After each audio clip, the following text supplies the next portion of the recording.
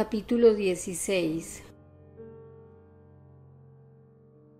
Llovió cuatro años, once meses y dos días. Hubo épocas de llovizna en que todo el mundo se puso sus ropas de pontifical y se compuso una cara de convaleciente para celebrar la escampada. Pero pronto se acostumbraron a interpretar las pausas como anuncios de recrudecimiento. Se desempedraba el cielo en unas tempestades de estrupicio,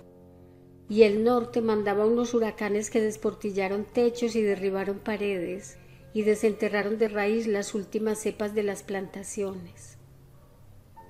Como ocurrió durante la peste del insomnio que Úrsula se dio a recordar por aquellos días, la propia calamidad iba inspirando defensas contra el tedio. Aureliano II fue uno de los que más hizo para no dejarse vencer por la ociosidad. Había ido a la casa por algún asunto casual la noche en que el señor Brown convocó la tormenta, y Fernanda trató de auxiliarlo con un paraguas medio desvarillado que encontró en un armario. No hace falta, dijo él. Me quedo aquí hasta que escampe. No era por supuesto un compromiso ineludible, pero estuvo a punto de cumplirlo al pie de la letra.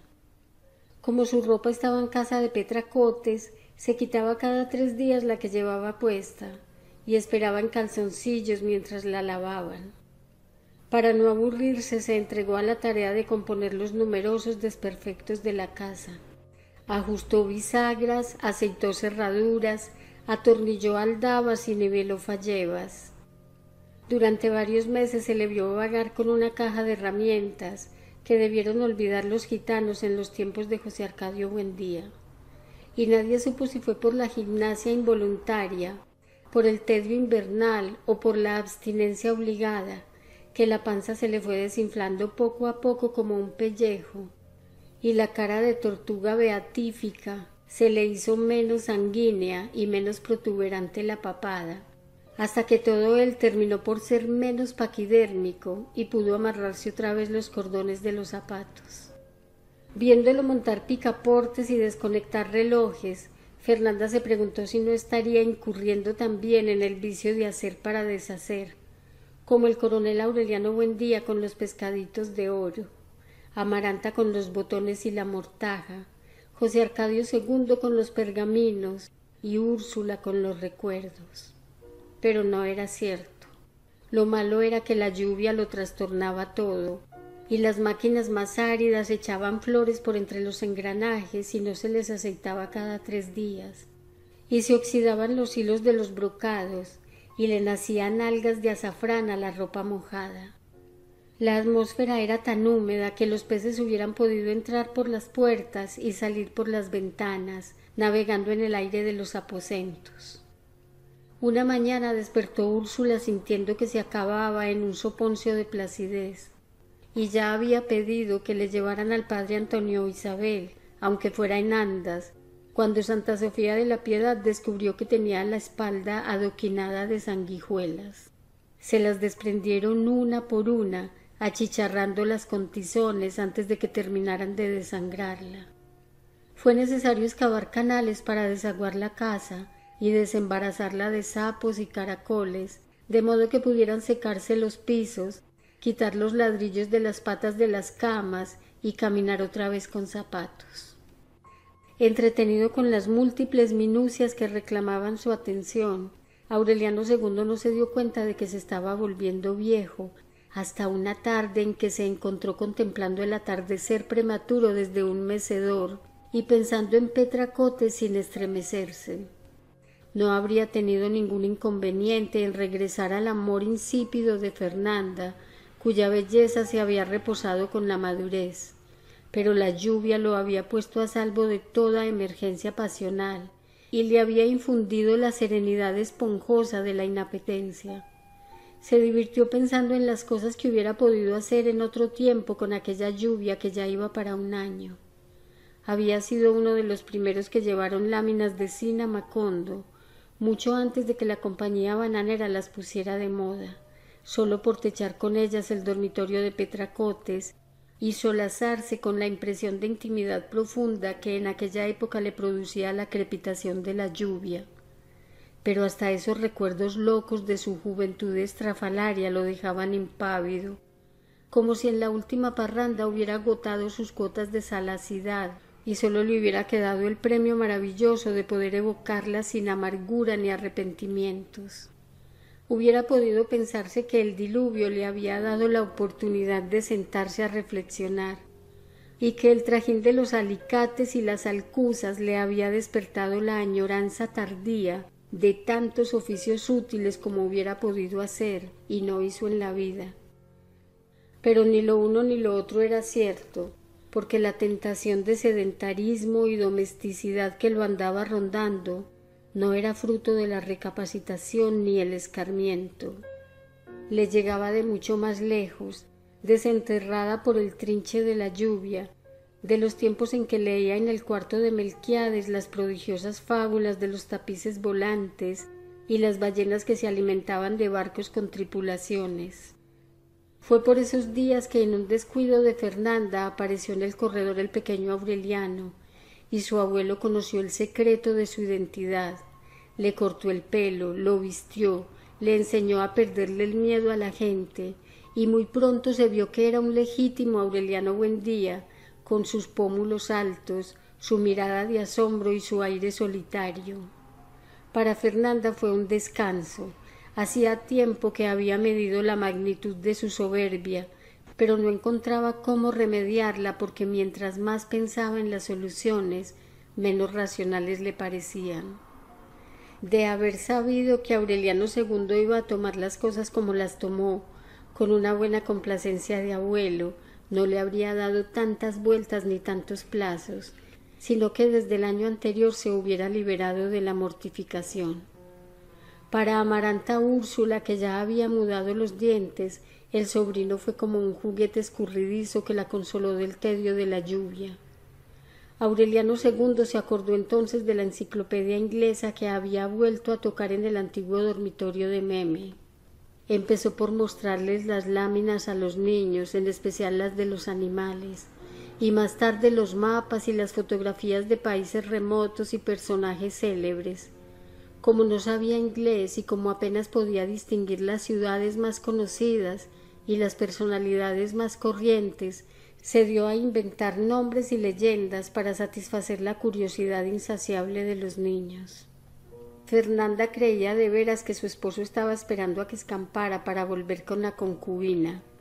En los primeros meses de la lluvia temió que él intentara deslizarse hasta su dormitorio y que ella iba a pasar por la vergüenza de revelarle que estaba incapacitada para la reconciliación desde el nacimiento de Amaranta Úrsula. Esa era la causa de su ansiosa correspondencia con los médicos invisibles, interrumpida por los frecuentes desastres del correo. Durante los primeros meses, cuando se supo que los trenes se descarrilaban en la tormenta, una carta de los médicos invisibles le indicó que se estaban perdiendo las suyas. Más tarde, cuando se interrumpieron los contactos con sus corresponsales ignotos, había pensado seriamente en ponerse la máscara de tigre que usó su marido en el carnaval sangriento para hacerse examinar con un nombre ficticio por los médicos de la compañía bananera. Pero una de las tantas personas que pasaban a menudo por la casa llevando las noticias ingratas del diluvio le había dicho que la compañía estaba desmantelando sus dispensorios para llevárselos a tierras de escampada. Entonces perdió la esperanza. Se resignó a aguardar que pasara la lluvia y se normalizara el correo. Y mientras tanto, se aliviaba de sus dolencias secretas con recursos de inspiración, porque hubiera preferido morirse a ponerse en manos del único médico que quedaba en Macondo,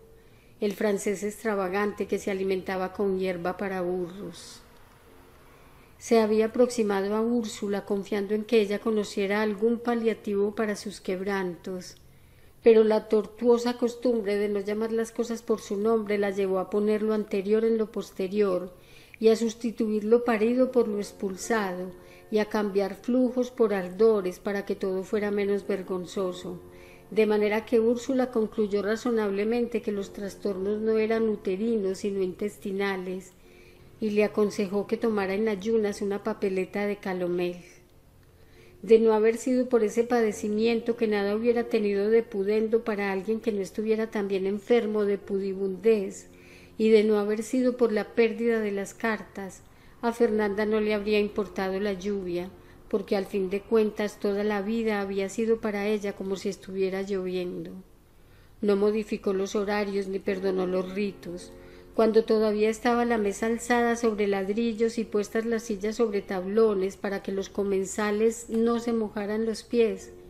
Ella seguía sirviendo con manteles de lino y vajillas chinas y prendiendo los candelabros en la cena, porque consideraba que las calamidades no podían tomarse de pretexto para el relajamiento de las costumbres. Nadie había vuelto a asomarse a la calle, si de Fernanda hubiera dependido, no habrían vuelto a hacerlo jamás, no solo desde que empezó a llover, sino desde mucho antes, puesto que ella consideraba que las puertas se habían inventado para cerrarlas, y que la curiosidad por lo que ocurría en la calle era cosa de rameras. Sin embargo, ella fue la primera en asomarse cuando avisaron que estaba pasando el entierro del coronel Gerineldo Márquez. Aunque lo que vio entonces por la ventana entreabierta la dejó en tal estado de aflicción que durante mucho tiempo estuvo arrepintiéndose de su debilidad. No habría podido concebirse un cortejo más desolado. Habían puesto el ataúd en una carreta de bueyes, sobre la cual construyeron un cobertizo de hojas de banano. Pero la presión de la lluvia era tan intensa y las calles estaban tan empantanadas que a cada paso se atollaban las ruedas y el cobertizo estaba a punto de desbaratarse.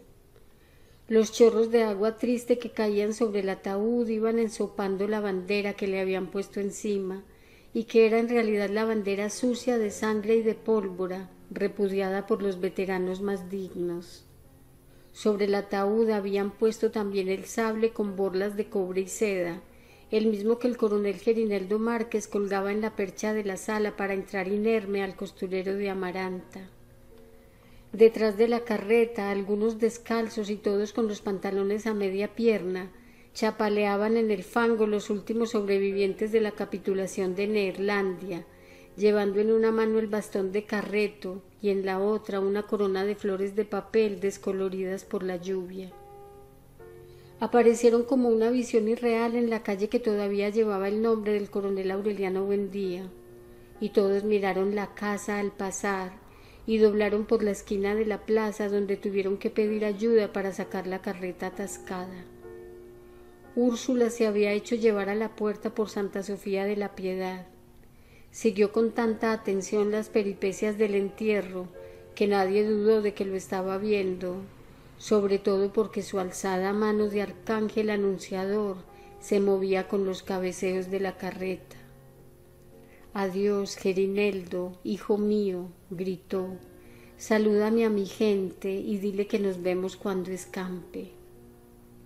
Aureliano II la ayudó a volver a la cama y con la misma informalidad con que la trataba siempre le preguntó el significado de su despedida. Es verdad, dijo ella, Nada más estoy esperando que pase la lluvia para morirme. El estado de las calles alarmó a Aureliano II. Tardíamente preocupado por la suerte de sus animales, se echó encima su lienzo encerado y fue a casa de Petracotes. La encontró en el patio con el agua a la cintura, tratando de desencallar el cadáver de un caballo. Aureliano II la ayudó con una tranca y el enorme cuerpo tumefacto dio una vuelta de campana y fue arrastrado por el torrente de barro líquido. Desde que empezó la lluvia, Petracotes no había hecho más que desembarazar su patio de animales muertos. En las primeras semanas le mandó recados a Aureliano II para que tomara providencias urgentes y él había contestado que no había prisa, que la situación no era alarmante, que ya se pensaría en algo cuando escampara. Le mandó a decir que los potreros estaban inundando, que el ganado se fugaba hacia las tierras altas donde no había que comer, y que estaban a merced del tigre y la peste. No hay nada que hacer, le contestó Aureliano II. Ya nacerán otros cuando escampe Petra Cotes los había visto morir arracimadas y apenas sí se daba abasto para destazar a los que se quedaban atollados. Vio con una impotencia sorda cómo el diluvio fue exterminando sin misericordia una fortuna que en un tiempo se tuvo como la más grande y sólida de Macondo, y de la cual no quedaba sino la pestilencia. Cuando Aureliano II decidió ir a ver lo que pasaba, solo encontró el cadáver del caballo y una mula escuálida entre los escombros de la caballeriza. Petra Cotes lo vio llegar sin sorpresa, sin alegría ni resentimiento, y apenas se permitió una sonrisa irónica. A buena hora, dijo. Estaba envejecida en los puros huesos y sus lanceolados ojos de animal carnívoro se habían vuelto tristes y mansos de tanto mirar la lluvia. Aureliano II se quedó más de tres meses en su casa, no porque entonces se sintiera mejor allí que en la de su familia, sino porque necesitó todo ese tiempo para tomar la decisión de echarse otra vez encima el pedazo de lienzo encerado. No hay prisa, dijo, como había dicho en la otra casa.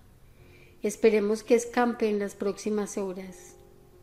En el curso de la primera semana se fue acostumbrando a los desgastes que habían hecho el tiempo y la lluvia en la salud de su concubina, y poco a poco fue viéndola como era antes, acordándose de sus desafueros jubilosos y de la fecundidad de delirio que su amor provocaba en los animales. Y en parte por amor y en parte por interés, una noche de la segunda semana la despertó con caricias apremiantes. Petra Cotes no reaccionó. Duerme tranquilo, murmuró. Ya los tiempos no están para estas cosas. Aureliano II se vio a sí mismo en los espejos del techo. Vio la espina dorsal de Petra Cotes como una hilera de carretes ensartados en un mazo de nervios marchitos y comprendió que ella tenía razón no por los tiempos, sino por ellos mismos, que ya no estaban para esas cosas. Aureliano II regresó a la casa con sus baúles, convencido de que no solo Úrsula, sino todos los habitantes de Macondo estaban esperando que escampara para morirse. Los había visto al pasar, sentados en las salas, con la mirada absorta y los brazos cruzados, sintiendo transcurrir un tiempo entero, un tiempo sin desbravar, porque era inútil dividirlo en meses y años y los días en horas, cuando no podía hacerse nada más que contemplar la lluvia. Los niños recibieron alborozados a Aureliano II, quien volvió a tocar para ellos el acordeón asmático. Pero el concierto no les llamó tanto la atención como las sesiones enciclopédicas, de modo que otra vez volvieron a reunirse en el dormitorio de Meme, donde la imaginación de Aureliano II convirtió el dirigible en un elefante volador que buscaba un sitio para dormir entre las nubes. En cierta ocasión encontró un hombre de a caballo que a pesar de su atuendo exótico conservaba un aire familiar, y después de mucho examinarlo llegó a la conclusión de que era un retrato del coronel Aureliano Buendía. Se lo mostró a Fernanda y también ella admitió el parecido del jinete, no solo con el coronel, sino con todos los miembros de la familia, aunque en verdad era un guerrero tártaro. Así se le fue pasando el tiempo, entre el coloso de Rodas y los encantadores de serpientes, hasta que su esposa le anunció que no quedaban más de seis kilos de carne salada y un saco de arroz en el granero. ¿Y ahora qué quieres que haga? preguntó él. Yo no sé, contestó Fernanda. Eso es asunto de hombres. Bueno, dijo Aureliano II, algo se hará cuando escampe. Siguió más interesado en la enciclopedia que en el problema doméstico, aun cuando tuvo que conformarse con una piltrafa y un poco de arroz en el almuerzo. Ahora es imposible hacer nada, decía, no puede llover toda la vida y mientras más largas le daba a las urgencias del granero, más intensa se iba haciendo la indignación de Fernanda, hasta que sus protestas eventuales, sus desahogos poco frecuentes, se desbordaron en un torrente incontenible, desatado, que empezó una mañana como el monótono bordón de una guitarra, y que a medida que avanzaba el día fue subiendo de tono, cada vez más rico, más espléndido. Aureliano II no tuvo conciencia de la cantaleta hasta el día siguiente después del desayuno, cuando se sintió aturdido por un abejorreo que era entonces más fluido y alto que el rumor de la lluvia. Y era Fernanda que se paseaba por toda la casa doliéndose de que la hubieran educado como una reina, para terminar de sirvienta en una casa de locos, con un marido holgazán, idólatra, libertino, que se acostaba boca arriba a esperar que le llovieran panes del cielo, mientras ella se destroncaba los riñones tratando de mantener a flote un hogar emparapetado con alfileres, donde había tanto que hacer, tanto que soportar y corregir desde que amanecía Dios hasta la hora de acostarse, que llegaba a la cama con los ojos llenos de polvo de vidrio, y sin embargo nadie le había dicho nunca buenos días Fernanda, ¿qué tal noche pasaste Fernanda? Ni le habían preguntado aunque fuera por cortesía, por qué estaba tan pálida, ni por qué despertaba con esas ojeras de violeta, a pesar de que ella no esperaba, por supuesto, que aquello saliera del resto de una familia que al fin y al cabo la había tenido siempre como un estorbo, como el trapito de bajar la olla, como un monigote pintado en la pared, y que siempre andaban desbarrando contra ella por los rincones, llamándola santurrona, llamándola farisea, llamándola lagarta y hasta amaranta que en paz descanse, había dicho de viva voz que ella era de las que confundían el recto con las témporas, bendito sea Dios, qué palabras, y ella había aguantado todo con resignación por las intenciones del Santo Padre, pero no había podido soportar más cuando el malvado de José Arcadio II dijo que la perdición de la familia había sido abrirle las puertas a una cachaca. Imagínense, una cachaca mandona, válgame Dios, una cachaca hija de la mala saliva, de la misma índole de los cachacos que mandó el gobierno a matar trabajadores, dígame usted y se refería a nadie menos que a ella, la ahijada del duque de Alba, una dama con tanta alcurnia que le revolvía el hígado a las esposas de los presidentes, una fijodalga de sangre como ella que tenía derecho a firmar con once apellidos peninsulares, y que era el único mortal en ese pueblo de bastardos que no se sentía emberenjenado frente a dieciséis cubiertos, para que luego el adúltero de su marido dijera muerto de risa que tantas cucharas y tenedores y tantos cuchillos y cucharitas no era cosa de cristianos sino de cien pies, y la única que podía determinar a ojos cerrados cuándo se servía el vino blanco y de qué lado y en qué copa, y cuándo se servía el vino rojo y de qué lado y en qué copa, y no como la montuna de amaranta que en paz descanse, que creía que el vino blanco se servía de día y el vino rojo de noche, y la única en todo el litoral que podía vanagloriarse de no haber hecho del cuerpo sino en vasinillas de oro, para que luego el coronel Aureliano Buendía, que en paz descanse, tuviera el atrevimiento de preguntar con su mala bilis de masón de dónde había merecido ese privilegio, si era que ella no cagaba mierda sino astromelias, imagínense, con esas palabras, y para que Renata, su propia hija, que por indiscreción había visto sus aguas mayores en el dormitorio, contestara que de verdad la vasinilla era de mucho oro y de mucha heráldica, pero lo que tenía adentro era pura mierda, mierda física y peor todavía que las otras, porque era mierda de cachaca. Imagínense, su propia hija. De modo que nunca se había hecho ilusiones con el resto de la familia, pero de todos modos tenía derecho a esperar un poco de más consideración de parte de su esposo, puesto que bien o mal era su cónyuge de sacramento, su autor, su legítimo perjudicador, que se echó encima por voluntad libre y soberana la grave responsabilidad de sacarla del solar paterno, donde nunca se privó ni se dolió de nada, donde tejía palmas fúnebres por gusto de entretenimiento, puesto que su padrino había mandado una carta con su firma y el sello de su anillo impreso en el lacre, solo para decir que las manos de su ahijada no estaban hechas para menesteres de este mundo, como no fuera tocar el clavicordio, y sin embargo el insensato de su marido la había sacado de su casa con todas las admoniciones y advertencias, y la había llevado a aquella paila de infierno donde no se podía respirar de calor. Y antes de que ella acabara de guardar sus dietas de Pentecostés, ya se había ido con sus baúles trashumantes y su acordeón de perdulario a holgar en adulterio con una desdichada, a quien bastaba con verle las nalgas, bueno, ya estaba dicho, a quien bastaba con verle menear las nalgas de potranca para adivinar que era una, que era una, todo lo contrario de ella, que era una dama en el palacio o en la posilga, en la mesa o en la cama, una dama de nación, temerosa de Dios, obediente de sus leyes y sumisa a su designio,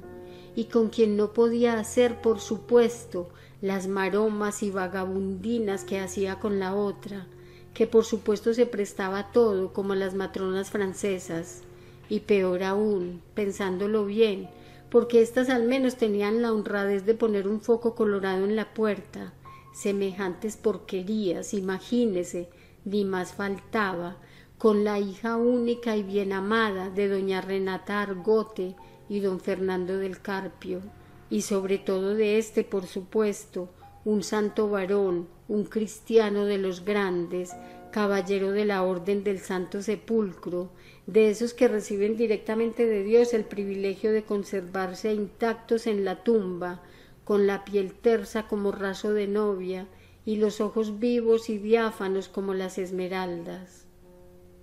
Eso sí no es cierto, la interrumpió Aureliano II. Cuando lo trajeron ya apestaba. Había tenido la paciencia de escucharla un día entero, hasta sorprenderla en una falta. Fernanda no le hizo caso, pero bajó la voz.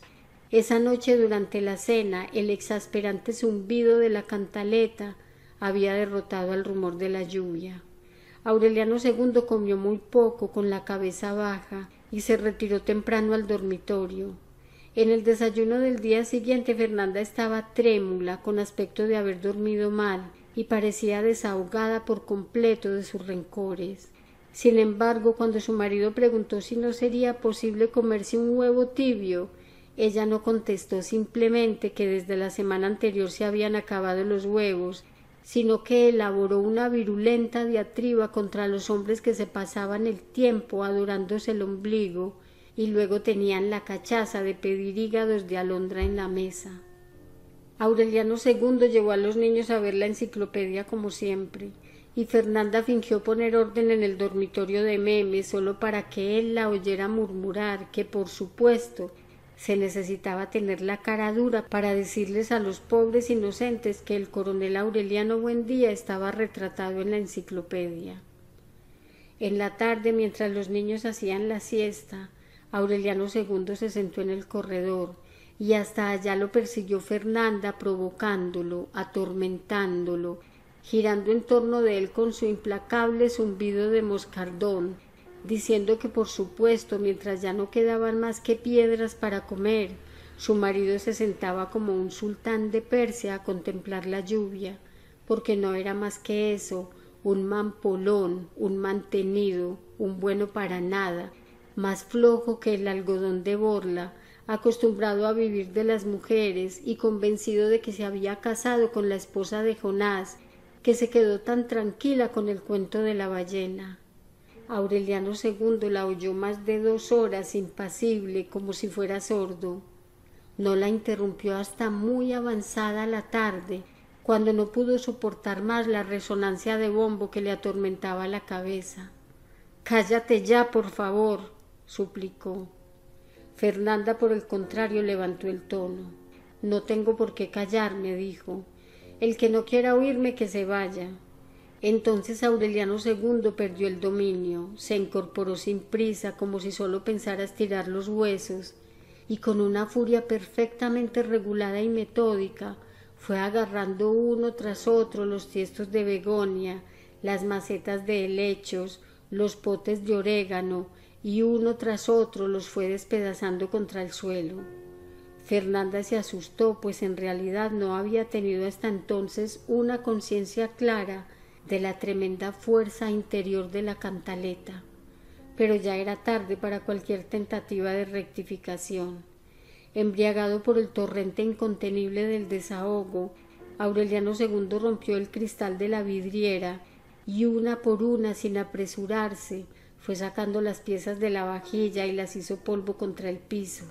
sistemático, sereno, con la misma parsimonia con que había empapelado la casa de billetes, fue rompiendo luego contra las paredes la cristalería de Bohemia,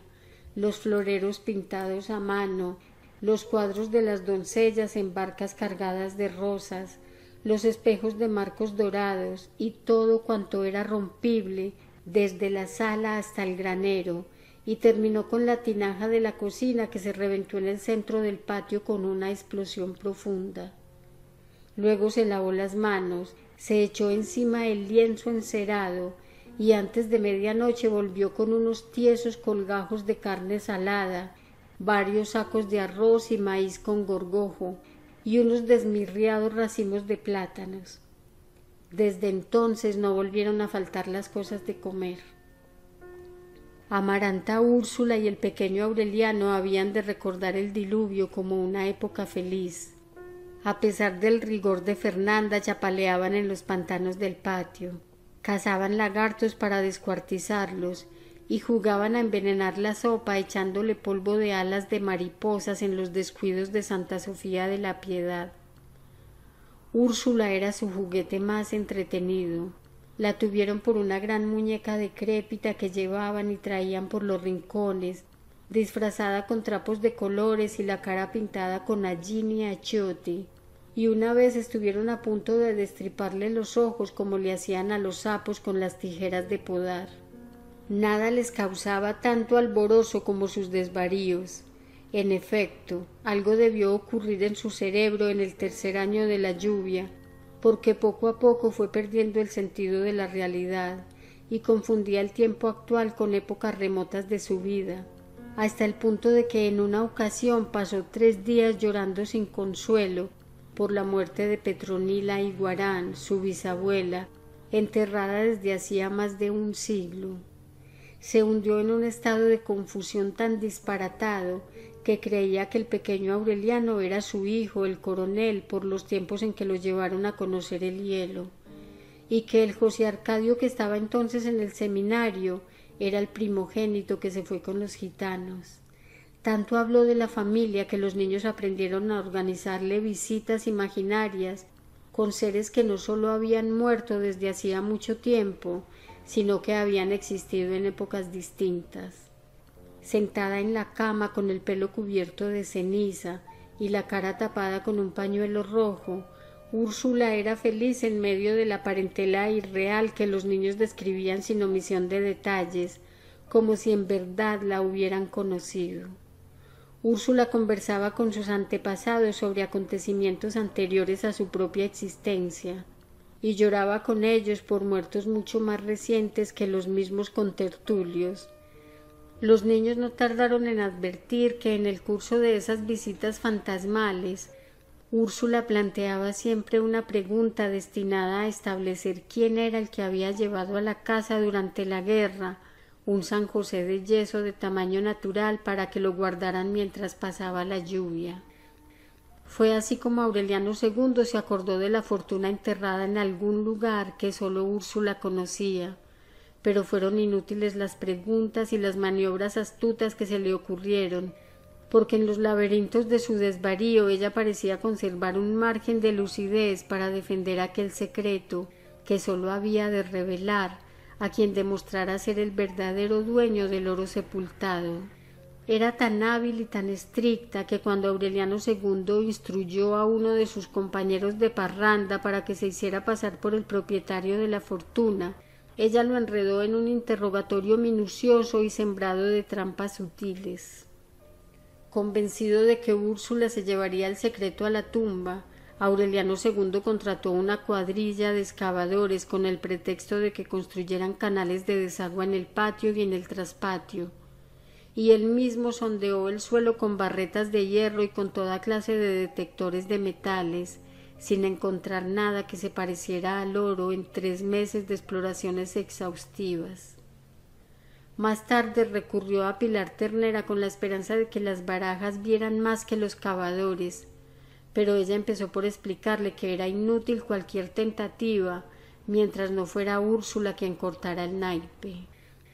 Confirmó en cambio la existencia del tesoro con la precisión de que eran siete mil doscientas catorce monedas enterradas en tres sacos de lona con jaretas de alambre de cobre dentro de un círculo con un radio de ciento veintidós metros, tomando como centro la cama de Úrsula, pero advirtió que no sería encontrado antes de que acabara de llover y los soles de tres junios consecutivos convirtieran en polvo los barrizales.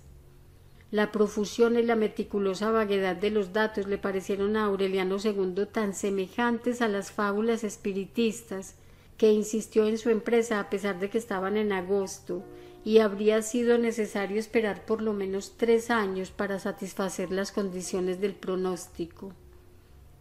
Lo primero que le causó asombro, aunque al mismo tiempo aumentó su confusión, fue el comprobar que había exactamente ciento veintidós metros de la cama de Úrsula a la cerca del traspatio.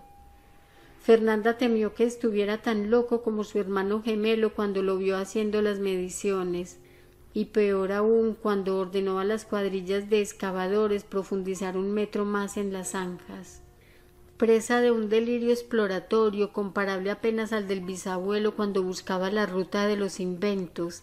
Aureliano II perdió las últimas bolsas de grasa que le quedaban,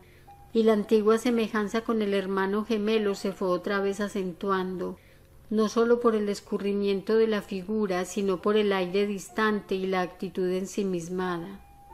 No volvió a ocuparse de los niños, comía a cualquier hora embarrado de pies a cabeza,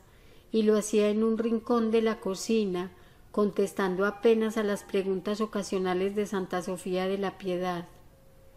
Viéndolo trabajar en aquella forma como nunca soñó que pudiera hacerlo, Fernanda creyó que su temeridad era diligencia, y que su codicia era abnegación, y que su tosudez era perseverancia, y le remordieron las entrañas por la virulencia con que había despotricado contra su desidia. Pero Aureliano II no estaba entonces para reconciliaciones misericordiosas. Hundido hasta el cuello en una ciénaga de ramazones muertas y flores podridas, volteó al derecho y al revés el suelo del jardín después de haber terminado con el patio y el traspatio, y barrenó tan profundamente los cimientos de la galería oriental de la casa que una noche despertaron aterrorizados por lo que parecía ser un cataclismo, tanto por las trepidaciones como por el pavoroso crujido subterráneo, y era que tres aposentos estaban desbarrancando y se había abierto una grieta de escalofrío desde el corredor hasta el dormitorio de Fernanda.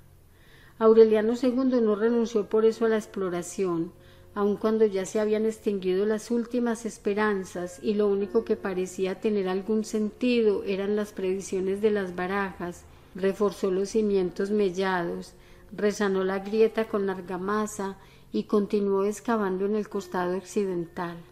Allí estaba todavía la segunda semana del junio siguiente, cuando la lluvia empezó a apaciguarse y las nubes se fueron alzando,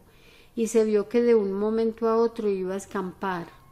Así fue. Un viernes a las dos de la tarde se alumbró el mundo con un sol bobo bermejo y áspero como polvo de ladrillo, y casi tan fresco como el agua, y no volvió a llover en diez años.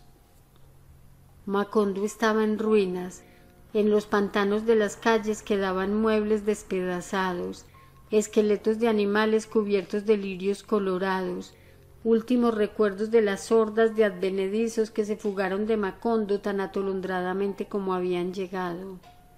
Las casas paradas con tanta urgencia durante la fiebre del banano habían sido abandonadas. La compañía bananera desmanteló sus instalaciones. De la antigua ciudad alambrada solo quedaban los escombros.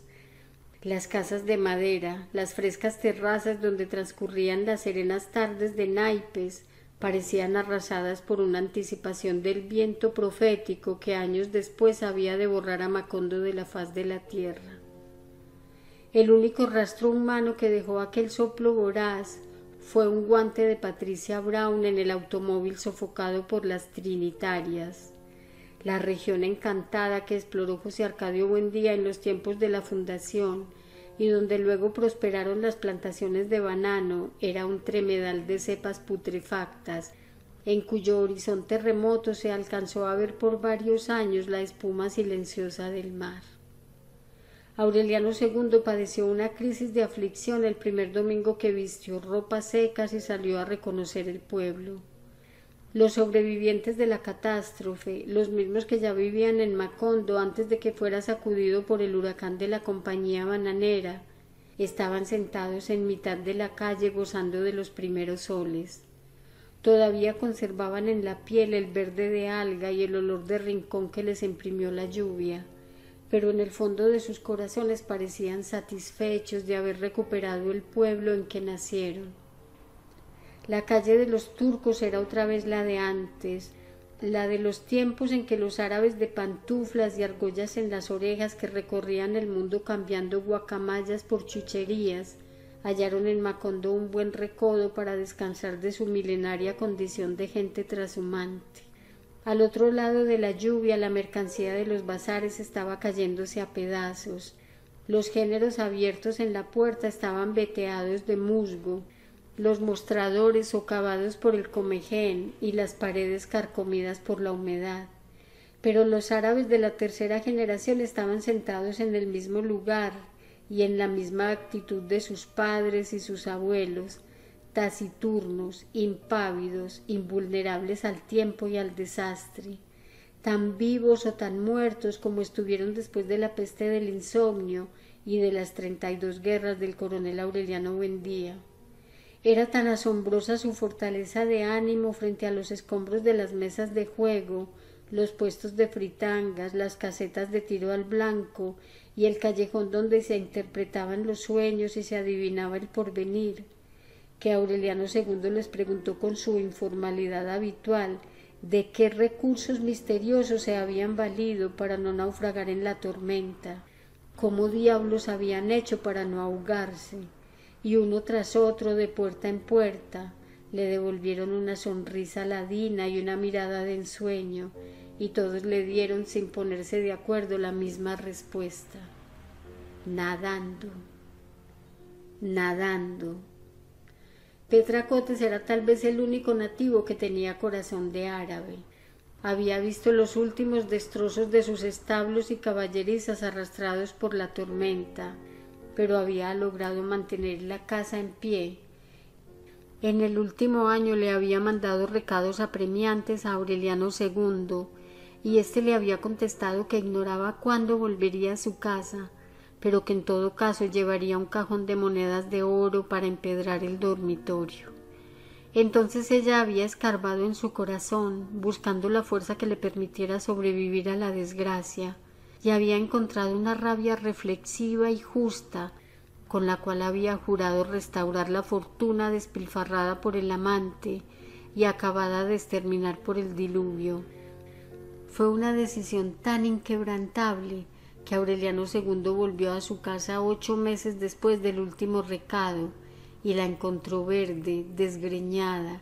con los párpados hundidos y la piel escarchada por la sarna, pero estaba escribiendo números en pedacitos de papel para hacer una rifa. Aureliano II se quedó atónito y estaba tan escuálido y tan solemne que Petracotes no creyó que quien había vuelto a buscarla fuera el amante de toda la vida, sino el hermano gemelo. Estás loca, dijo él, a menos que piense rifar los huesos. Entonces ella le dijo que se asomara al dormitorio y Aureliano II vio la mula. Estaba con el pellejo pegado a los huesos como la dueña, pero tan viva y resuelta como ella. Petra Cotes la había alimentado con su rabia, y cuando no tuvo más hierbas, ni maíz, ni raíces, la albergó en su propio dormitorio y le dio a comer las sábanas de percal, los tapices persa, los sobrecamas de peluche, las cortinas de terciopelo y el palio bordado con hilos de oro y borlones de seda de la cama episcopal. Capítulo 17 Úrsula tuvo que hacer un grande esfuerzo para cumplir su promesa de morirse cuando escampara. Las ráfagas de lucidez que eran tan escasas durante la lluvia se hicieron más frecuentes a partir de agosto, cuando empezó a soplar el viento árido que sofocaba los rosales y petrificaba los pantanos, y que acabó por esparcir sobre Macondo el polvo abrasante que cubrió para siempre los oxidados techos de zinc y los almendros centenarios. Úrsula lloró de lástima al descubrir que por más de tres años había quedado para juguete de los niños.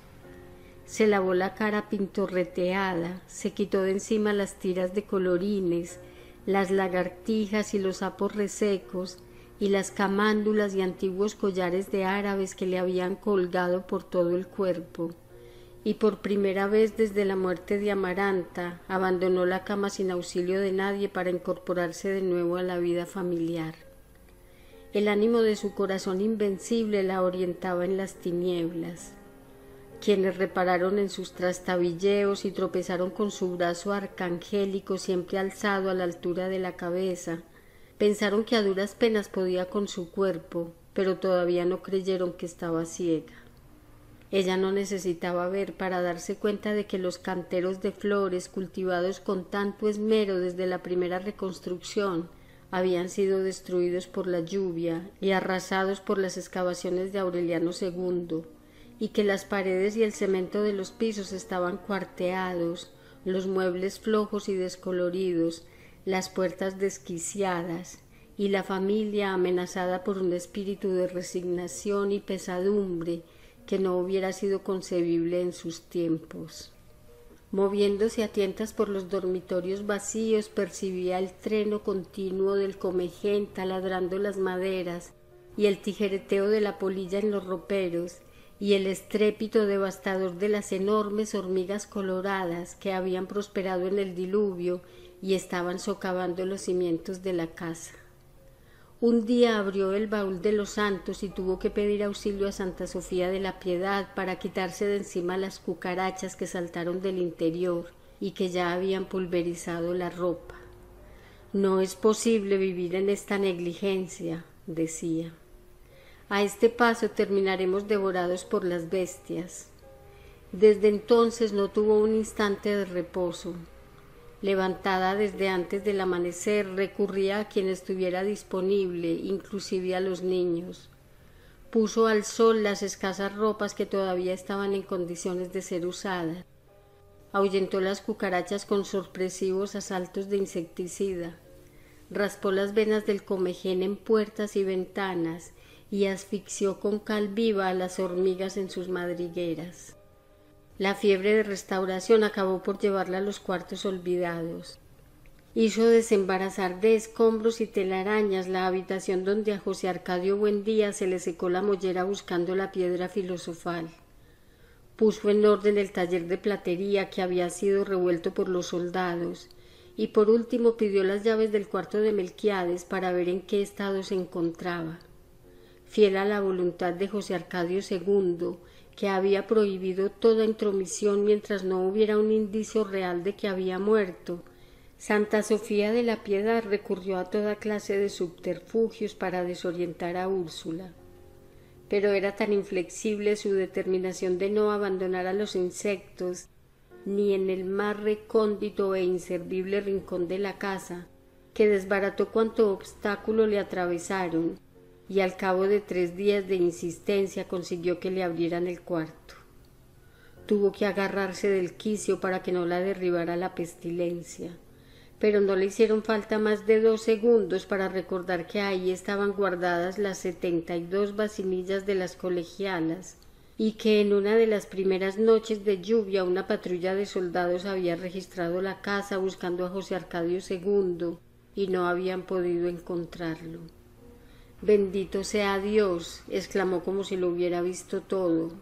tanto tratar de inculcarte las buenas costumbres para que terminaras viviendo como un puerco. José Arcadio II seguía releyendo los pergaminos. Lo único visible en la intrincada maraña de pelos eran los dientes rayados del ama verde y los ojos inmóviles. Al reconocer la voz de la bisabuela movió la cabeza hacia la puerta, trató de sonreír y sin saberlo repitió una antigua frase de Úrsula. ¿Qué quería?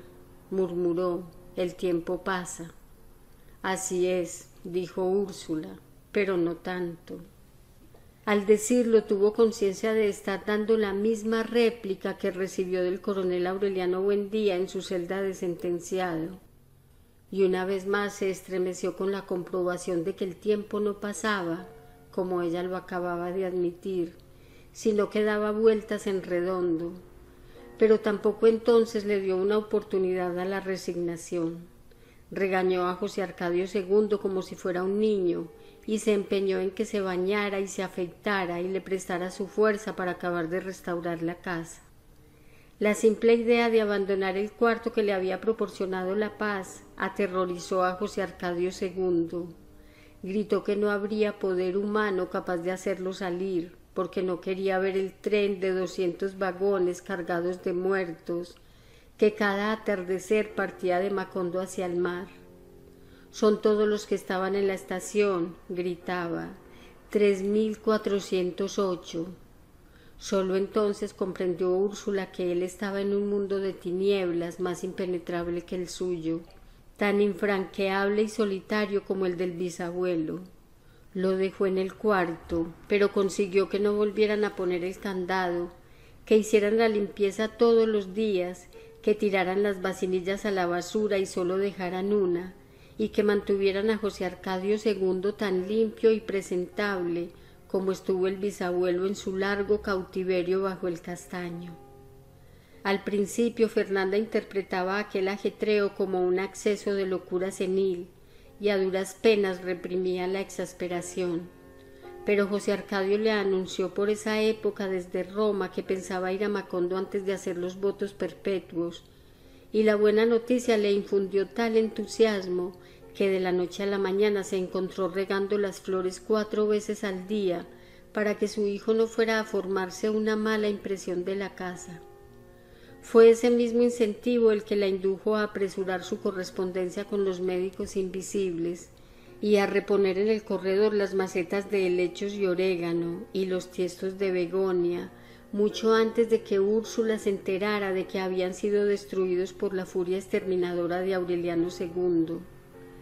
Más tarde vendió el servicio de plata y compró vajillas de cerámica, soperas y cucharones de peltre y cubiertos de alpaca, y empobreció con ellos las alacenas acostumbradas a la losa de la Compañía de Indias y la cristalería de Bohemia.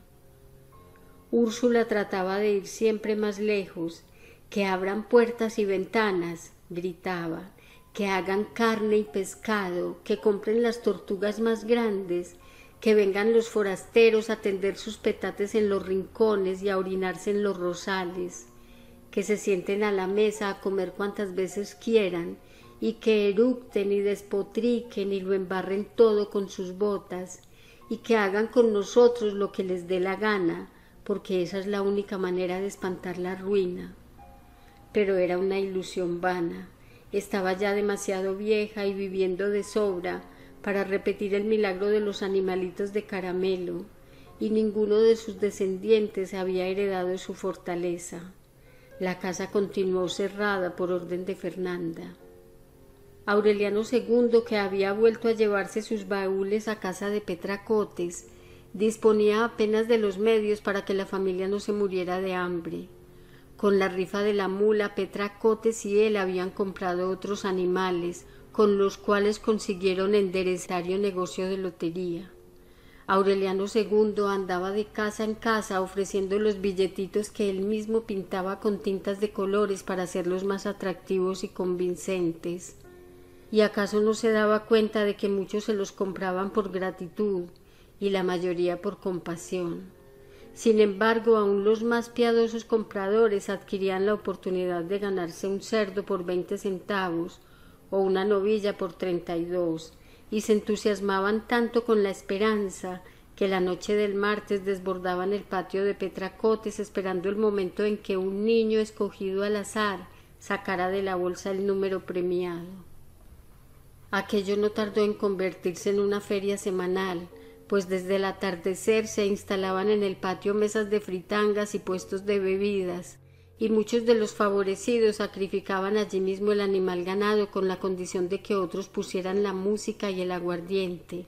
De modo que sin haberlo deseado, Aureliano II se encontró de pronto tocando otra vez el acordeón y participando en modestos torneos de voracidad. Estas humildes réplicas de las parrandas de otros días sirvieron para que el propio Aureliano II descubriera cuánto habían decaído sus ánimos y hasta qué punto se había secado su ingenio de cumbiambero magistral.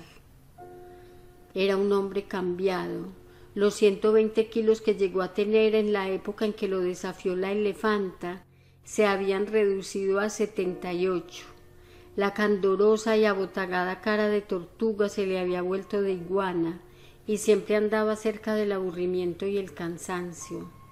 Para Petra Cote, sin embargo, nunca fue mejor hombre que entonces, tal vez porque confundía con el amor la compasión que él le inspiraba y el sentimiento de solidaridad que en ambos había despertado la miseria. La cama desmantelada dejó de ser lugar de desafueros y se convirtió en refugio de confidencias liberados de los espejos repetidores que habían rematado para comprar animales de rifa y de los damascos y terciopelos concupiscentes que se había comido la mula, se quedaban despiertos hasta muy tarde con la inocencia de dos abuelos desvelados, aprovechando para sacar cuentas y trasponer centavos el tiempo que antes malgastaban en malgastarse. A veces los sorprendían los primeros gallos haciendo y deshaciendo montoncitos de monedas quitando un poco de aquí para ponerlo allá, de modo que esto alcanzara para contentar a Fernanda, y aquello para los zapatos de Amaranta Úrsula, y esto otro para Santa Sofía de la Piedad, que no estrenaba un traje desde los tiempos del ruido, y esto para mandar a hacer el cajón si se moría Úrsula, y esto para el café, que subía un centavo por libra cada tres meses, y esto para el azúcar, que cada vez endulzaba menos, y esto para la leña que todavía estaba mojada por el diluvio, y esto otro para el papel y la tinta de colores de los billetes, y aquello que sobraba para ir amortizando el valor de la ternera de abril, de la cual milagrosamente salvaron el cuero, porque le dio carbunco sintomático cuando estaban vendidos casi todos los números de la rifa. Eran tan puras aquellas misas de pobreza que siempre destinaban la mejor parte para Fernanda, y no lo hicieron nunca por remordimiento ni por caridad, sino porque su bienestar les importaba más que el de ellos mismos. Lo que en verdad les ocurría, aunque ninguno de los dos se daba cuenta, era que ambos pensaban en Fernanda como en la hija que hubieran querido tener y no tuvieron, hasta el punto de que en cierta ocasión se resignaron a comer mazamorra por tres días para que ella pudiera comprar un mantel holandés. Sin embargo, por más que se mataban trabajando, por mucho dinero que escamotearan y muchas triquiñuelas que concibieran, los ángeles de la guarda se les dormían de cansancio, mientras ellos ponían y quitaban monedas tratando de que siquiera les alcanzaran para vivir. En el insomnio que les dejaban las malas cuentas se preguntaban qué había pasado en el mundo para que los animales no parieran con el mismo desconcierto de antes, porque el dinero se desbarataba en las manos y porque la gente que hacía poco tiempo quemaba mazos de billetes en la cumbiamba consideraba que era un asalto en despoblado cobrar doce centavos por la rifa de seis gallinas. Aureliano II pensaba sin decirlo que el mal no estaba en el mundo, sino en algún lugar recóndito del misterioso corazón de Petracotes, donde algo había ocurrido durante el diluvio que volvió estériles a los animales y escurridizo el dinero. Intrigado con ese enigma, escarbó tan profundamente en los sentimientos de ella, que buscando el interés encontró el amor, porque tratando de que ella lo quisiera terminó por quererla. Petra Cotes por su parte lo iba queriendo más a medida que sentía aumentar su cariño, y fue así como en la plenitud del otoño volvió a creer en la superstición juvenil de que la pobreza era una servidumbre del amor. Ambos evocaban entonces como un estorbo las parrandas desatinadas, la riqueza aparatosa y la fornicación sin frenos, y se lamentaban de cuánta vida les había costado encontrar el paraíso de la soledad compartida. Locamente enamorados al cabo de tantos años de complicidad estéril, gozaban con el milagro de quererse tanto en la mesa como en la cama, y llegaron a ser tan felices que todavía cuando eran dos ancianos agotados seguían retosando como conejitos y peleándose como perros.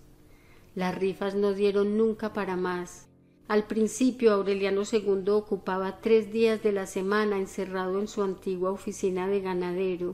dibujando billete por billete, pintando con un cierto primor una vaquita roja, un cochinito verde o un grupo de gallinitas azules, según fuera el animal rifado, y modelaba con una buena imitación de las letras de imprenta el nombre que le pareció bueno a Petra Cotes para bautizar el negocio. Rifas de la divina providencia.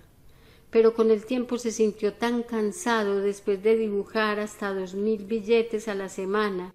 que mandó a hacer los animales, el nombre de los números en sellos de caucho, y entonces el trabajo se redujo a humedecerlos en almohadillas de distintos colores. En sus últimos años se les ocurrió sustituir los números por adivinanzas, de modo que el premio se repartiera entre todos los que acertaran, pero el sistema resultó ser tan complicado y se prestaba a tantas suspicacias que desistieron a la segunda tentativa. Aureliano II andaba tan ocupado tratando de consolidar el prestigio de sus rifas que apenas le quedaba tiempo para ver a los niños. Fernanda puso a Amaranta Úrsula en una escuelita privada donde no se recibían más de seis alumnas, pero se negó a permitir que Aureliano asistiera a la escuela pública. Consideraba que ya había cedido demasiado al aceptar que abandonara el cuarto. Además, en las escuelas de esa época solo se recibían hijos legítimos de matrimonios católicos, y en el certificado de nacimiento que habían prendido con una nodriza en la batita de Aureliano cuando lo mandaron a la casa, estaba registrado como expósito. De modo que se quedó encerrado a merced de la vigilancia caritativa de Santa Sofía de la Piedad y de las alternativas mentales de Úrsula, descubriendo el estrecho mundo de la casa según se lo explicaban las abuelas. Era fino, estirado, de una curiosidad que sacaba de quicio a los adultos, pero al contrario de la mirada inquisitiva y a veces clarividente que tuvo el coronel a su edad, la suya era parpadeante y un poco distraída. Mientras Amaranta Úrsula estaba en el parvulario, él cazaba lombrices y torturaba insectos en el jardín pero una vez en que Fernanda lo sorprendió metiendo alacranes en una caja para ponerlos en la estera de Úrsula, lo recluyó en el antiguo dormitorio de Meme, donde se distrajo de sus horas solitarias repasando las láminas de la enciclopedia.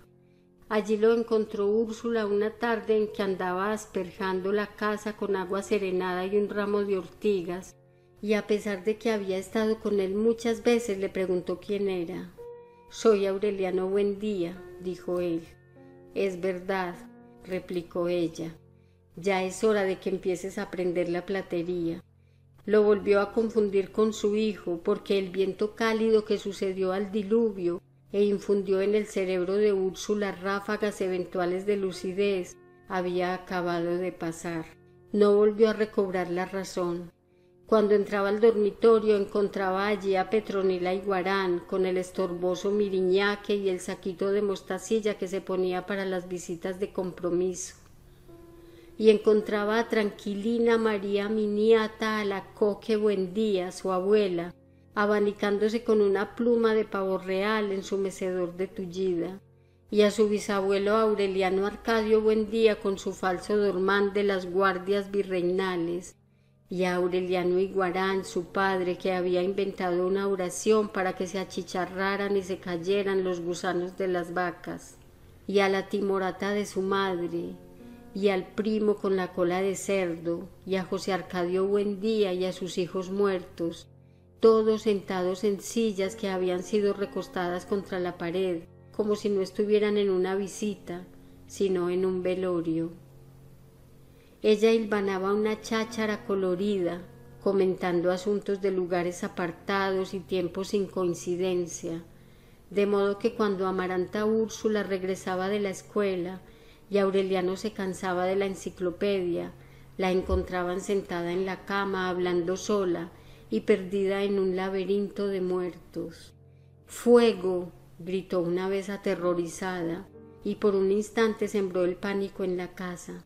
Pero lo que estaba anunciando era el incendio de una caballeriza que había presenciado a los cuatro años.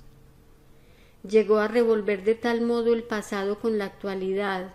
que en las dos o tres ráfagas de lucidez que tuvo antes de morir Nadie supo a ciencia cierta si hablaba de lo que sentía o de lo que recordaba. Poco a poco se fue reduciendo, petizándose, momificándose en vida, hasta el punto de que en sus últimos meses era una ciruela pasa perdida dentro del camisón, y el brazo siempre alzado terminó por parecer la pata de una marimonda. Se quedaba inmóvil varios días y Santa Sofía de la Piedad tenía que sacudirla para convencerse de que estaba viva, y se la sentaba en las piernas para alimentarla con cucharaditas de agua de azúcar. Parecía una anciana recién nacida. Amaranta Úrsula y Aureliano la llevaban y la traían por el dormitorio, la acostaban en el altar para ver que era apenas más grande que el niño Dios, y una tarde la escondieron en un armario del granero donde hubieran podido comérsela las ratas. Un domingo de ramos entraron al dormitorio mientras Fernanda estaba en misa y cargaron a Úrsula por la nuca y los tobillos. Pobre la tatarabuelita, dijo Amaranta Úrsula, se nos murió de vieja.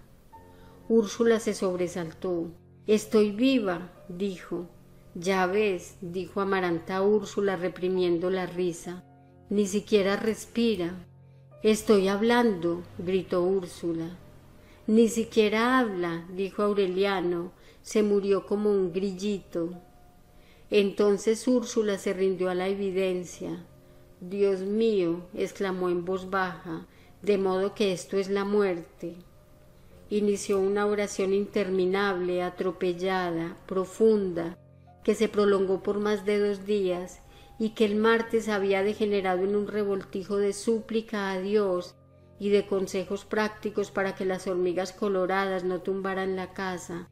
para que nunca dejaran apagar la lámpara frente al daguerrotipo de remedios, y para que cuidaran de que ningún buen día fuera a casarse con alguien de su misma sangre, porque nacían los hijos con cola de puerco. Aureliano II trató de aprovechar el delirio para que le confesara dónde estaba el oro enterrado, pero otra vez fueron inútiles las súplicas. Cuando aparezca el dueño, dijo Úrsula, Dios ha de iluminarlo para que lo encuentre. Santa Sofía de la Piedad tuvo la certeza de que la encontraría muerta de un momento a otro, porque observaba por esos días un cierto aturdimiento de la naturaleza que las rosas olían a que no podio, que se le cayó una totuma de garbanzos y los granos quedaron en el suelo en un orden geométrico perfecto y en forma de estrella de mar, y que una noche vio pasar por el cielo una fila de luminosos discos anaranjados. Amaneció muerta el jueves santo. La última vez que la habían ayudado a sacar la cuenta de su edad por los tiempos de la compañía bananera, la había calculado entre los ciento quince y los ciento veintidós años. La enterraron en una cajita que era apenas más grande que la canastilla en que fue llevado Aureliano, y muy poca gente asistió al entierro, en parte porque no eran muchos quienes se acordaban de ella, y en parte porque ese mediodía hubo tanto calor que los pájaros desorientados se estrellaban como perdigones contra las paredes y rompían las mallas metálicas de las ventanas para morirse en los dormitorios. Al principio se creyó que era una peste. Las amas de casa se agotaban de tanto barrer pájaros muertos, sobre todo a la hora de la siesta, y los hombres los echaban al río por carretadas. El domingo de resurrección, el centenario padre Antonio Isabel afirmó en el púlpito que la muerte de los pájaros obedecía a la mala influencia del judío errante, que él mismo había visto la noche anterior. Lo describió como un híbrido de macho cabrío cruzado con hembra hereje, una bestia infernal cuyo aliento calcinaba el aire y cuya visita determinaría la concepción de engendros por las recién casadas. No fueron muchos quienes prestaron atención a su plática apocalíptica, pero una mujer despertó a todos al amanecer del miércoles porque encontró unas huellas de bípedo de pezuña hendida. Eran tan ciertas e inconfundibles que quienes fueron a verlas no pusieron en duda la existencia de una criatura espantosa, semejante a la descrita por el párroco, y se asociaron para montar trampas en sus patios. Fue así como lograron la captura. Dos semanas después de la muerte de Úrsula, Petra Cotes y Aureliano II despertaron sobresaltados por un llanto de becerro descomunal que les llegaba del vecindario. Cuando se levantaron ya un grupo de hombres estaba desensartando al monstruo de las afiladas varas que habían parado en el fondo de una fosa cubierta con hojas secas y había dejado de berrear. Pesaba como un buey, a pesar de que su estatura no era mayor que la de un adolescente, y de sus heridas manaba una sangre verde y untuosa. Tenía el cuerpo cubierto de una pelambre áspera, plagada de garrapatas menudas, y el pellejo petrificado por una costra de rémora, pero al contrario de la descripción del párroco, sus partes humanas eran más de ángel valetudiniano que de hombre, porque las manos eran tersas y hábiles, los ojos grandes y crepusculares, y tenía en los omoplatos los muñones cicatrizados y callosos de unas alas potentes que debieron ser devastadas con hachas de labrador. Lo colgaron por los tobillos en un almendro de la plaza para que nadie se quedara sin verlo, y cuando empezó a pudrirse lo incineraron en una hoguera, porque no se pudo determinar si su naturaleza bastarda era de animal para echar en el río o de cristiano para sepultar. Nunca se estableció si en realidad fue por él que se murieron los pájaros, pero las recién casadas no concibieron los engendros anunciados, ni disminuyó la intensidad del calor. Rebeca murió a fines de ese año. Argénida, su criada de toda la vida, pidió ayuda a las autoridades para derribar la puerta del dormitorio, donde su patrona estaba encerrada desde hacía tres días, y la encontraron en la cama solitaria, enroscada como un camarón, con la cabeza pelada por la tiña y el pulgar metido en la boca. Aureliano II se hizo cargo del entierro y trató de restaurar la casa para venderla, pero la destrucción estaba tan encarnizada en ella que las paredes se desenconchaban acabadas de pintar, y no hubo argamasa bastante gruesa para impedir que la cizaña triturara los pisos y la hiedra pudriera los horcones. Todo andaba así desde el diluvio. La desidia de la gente contrastaba con la voracidad del olvido que poco a poco iba carcomiendo sin piedad los recuerdos, hasta el extremo de que por esos tiempos, en un nuevo aniversario del Tratado de Neerlandia, llegaron a Macondo unos emisarios del presidente de la República para entregar por fin la condecoración varias veces rechazada por el coronel Aureliano Buendía, y perdieron toda una tarde buscando a alguien que les indicara dónde podían encontrar a algunos de sus descendientes. Aureliano II estuvo tentado de recibirla creyendo que era una medalla de oro macizo, pero Petracotes lo persuadió de la indignidad cuando ya los emisarios aprestaban bandos y discursos para la ceremonia.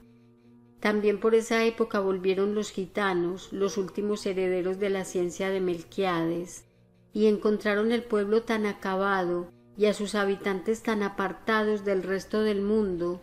que volvieron a meterse en las casas arrastrando fierros y mantados, como si de veras fueran el último descubrimiento de los sabios babilonios, y volvieron a concentrar los rayos solares con la lupa gigantesca, y no faltó quien se quedara con la boca abierta viendo caer peroles y rodar calderos, y quienes pagaran cincuenta centavos para asombrarse con una gitana que se quitaba y se ponía la dentadura postiza un desvencijado tren amarillo que no traía ni se llevaba a nadie y que apenas se detenía en la estación desierta era lo único que quedaba del tren multitudinario en el cual enganchaba el señor Brown su vagón con techo de vidrio y poltronas de obispo, y de los trenes fruteros de ciento veinte vagones que demoraban pasando toda una tarde. Los delegados curiales que habían ido a investigar el informe sobre la extraña mortandad de los pájaros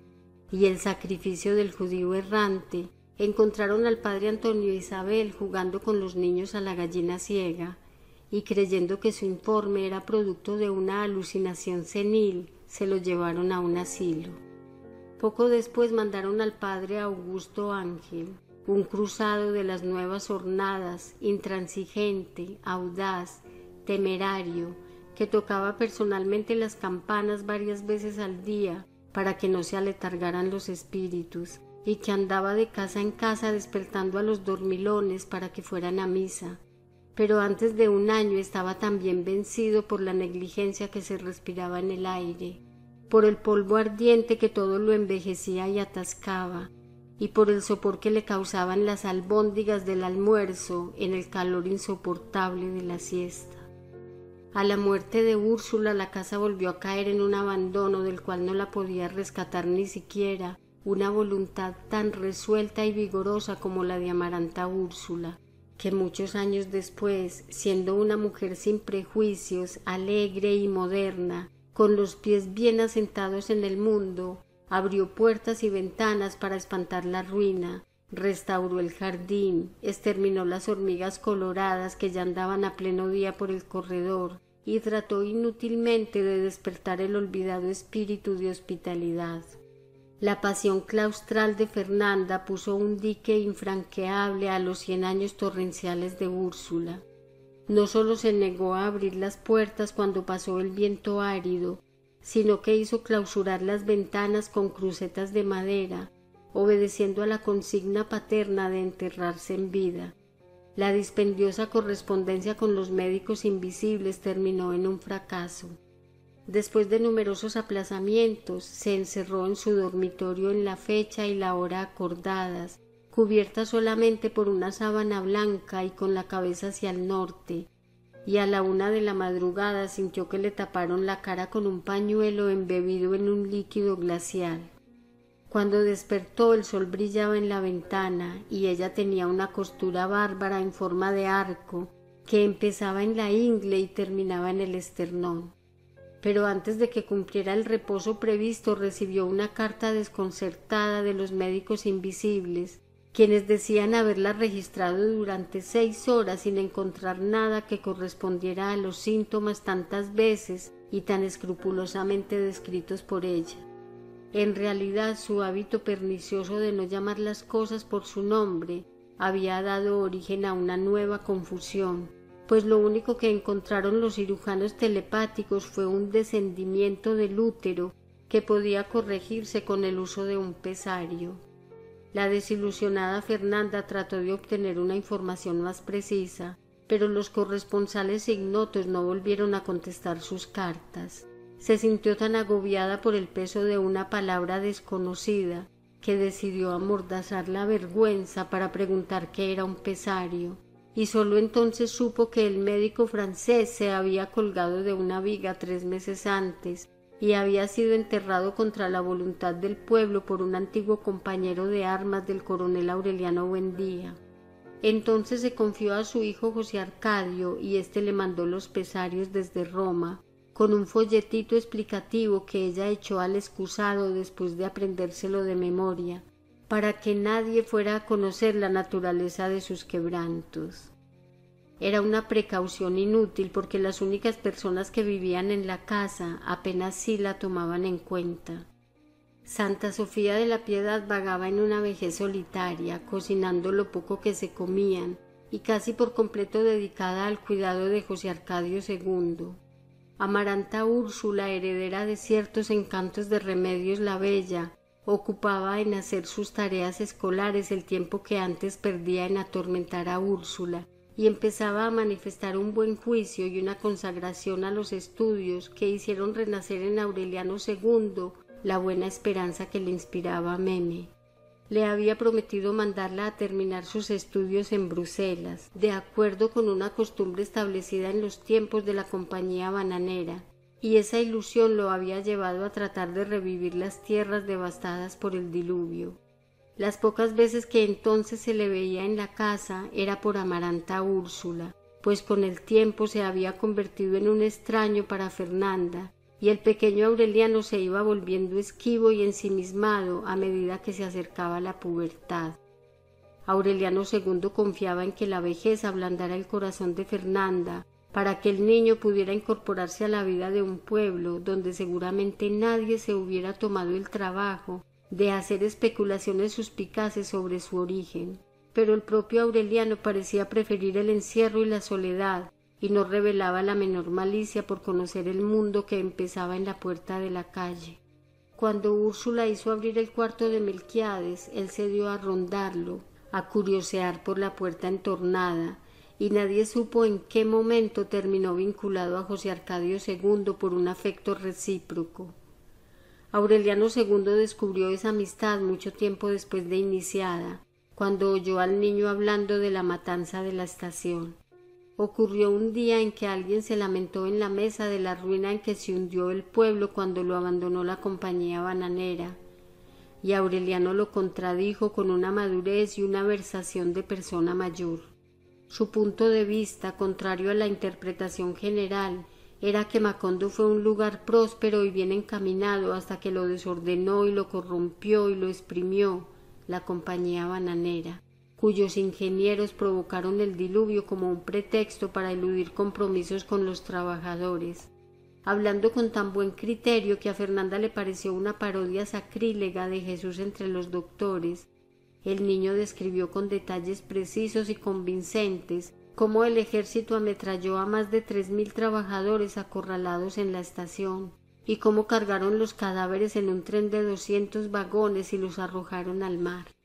Convencida como la mayoría de la gente de la verdad oficial de que no había pasado nada, Fernanda se escandalizó con la idea de que el niño había heredado los instintos anarquistas del coronel Aureliano Buendía y le ordenó callarse. Aureliano II, en cambio, reconoció la versión de su hermano gemelo. En realidad, a pesar de que todo el mundo lo tenía por loco, José Arcadio II era en aquel tiempo el habitante más lúcido de la casa. Enseñó al pequeño Aureliano a leer y a escribir, lo inició en el estudio de los pergaminos y le inculcó una interpretación tan personal de lo que significó para Macondo la compañía bananera, que muchos años después, cuando Aureliano se incorporó al mundo, había de pensarse que contaba una versión alucinada, porque era radicalmente contraria a la falsa que los historiadores habían admitido y consagrado en los textos escolares. En el cuartito apartado, a donde nunca llegó el viento árido, ni el polvo, ni el calor, ambos recordaban la visión atávica de un anciano con sombrero de alas de cuervo que hablaba del mundo a espaldas de la ventana, muchos años antes de que ellos nacieran. Ambos descubrieron al mismo tiempo que allí siempre era marzo y siempre era lunes, y entonces comprendieron que José Arcadio Buendía no estaba tan loco como contaba la familia,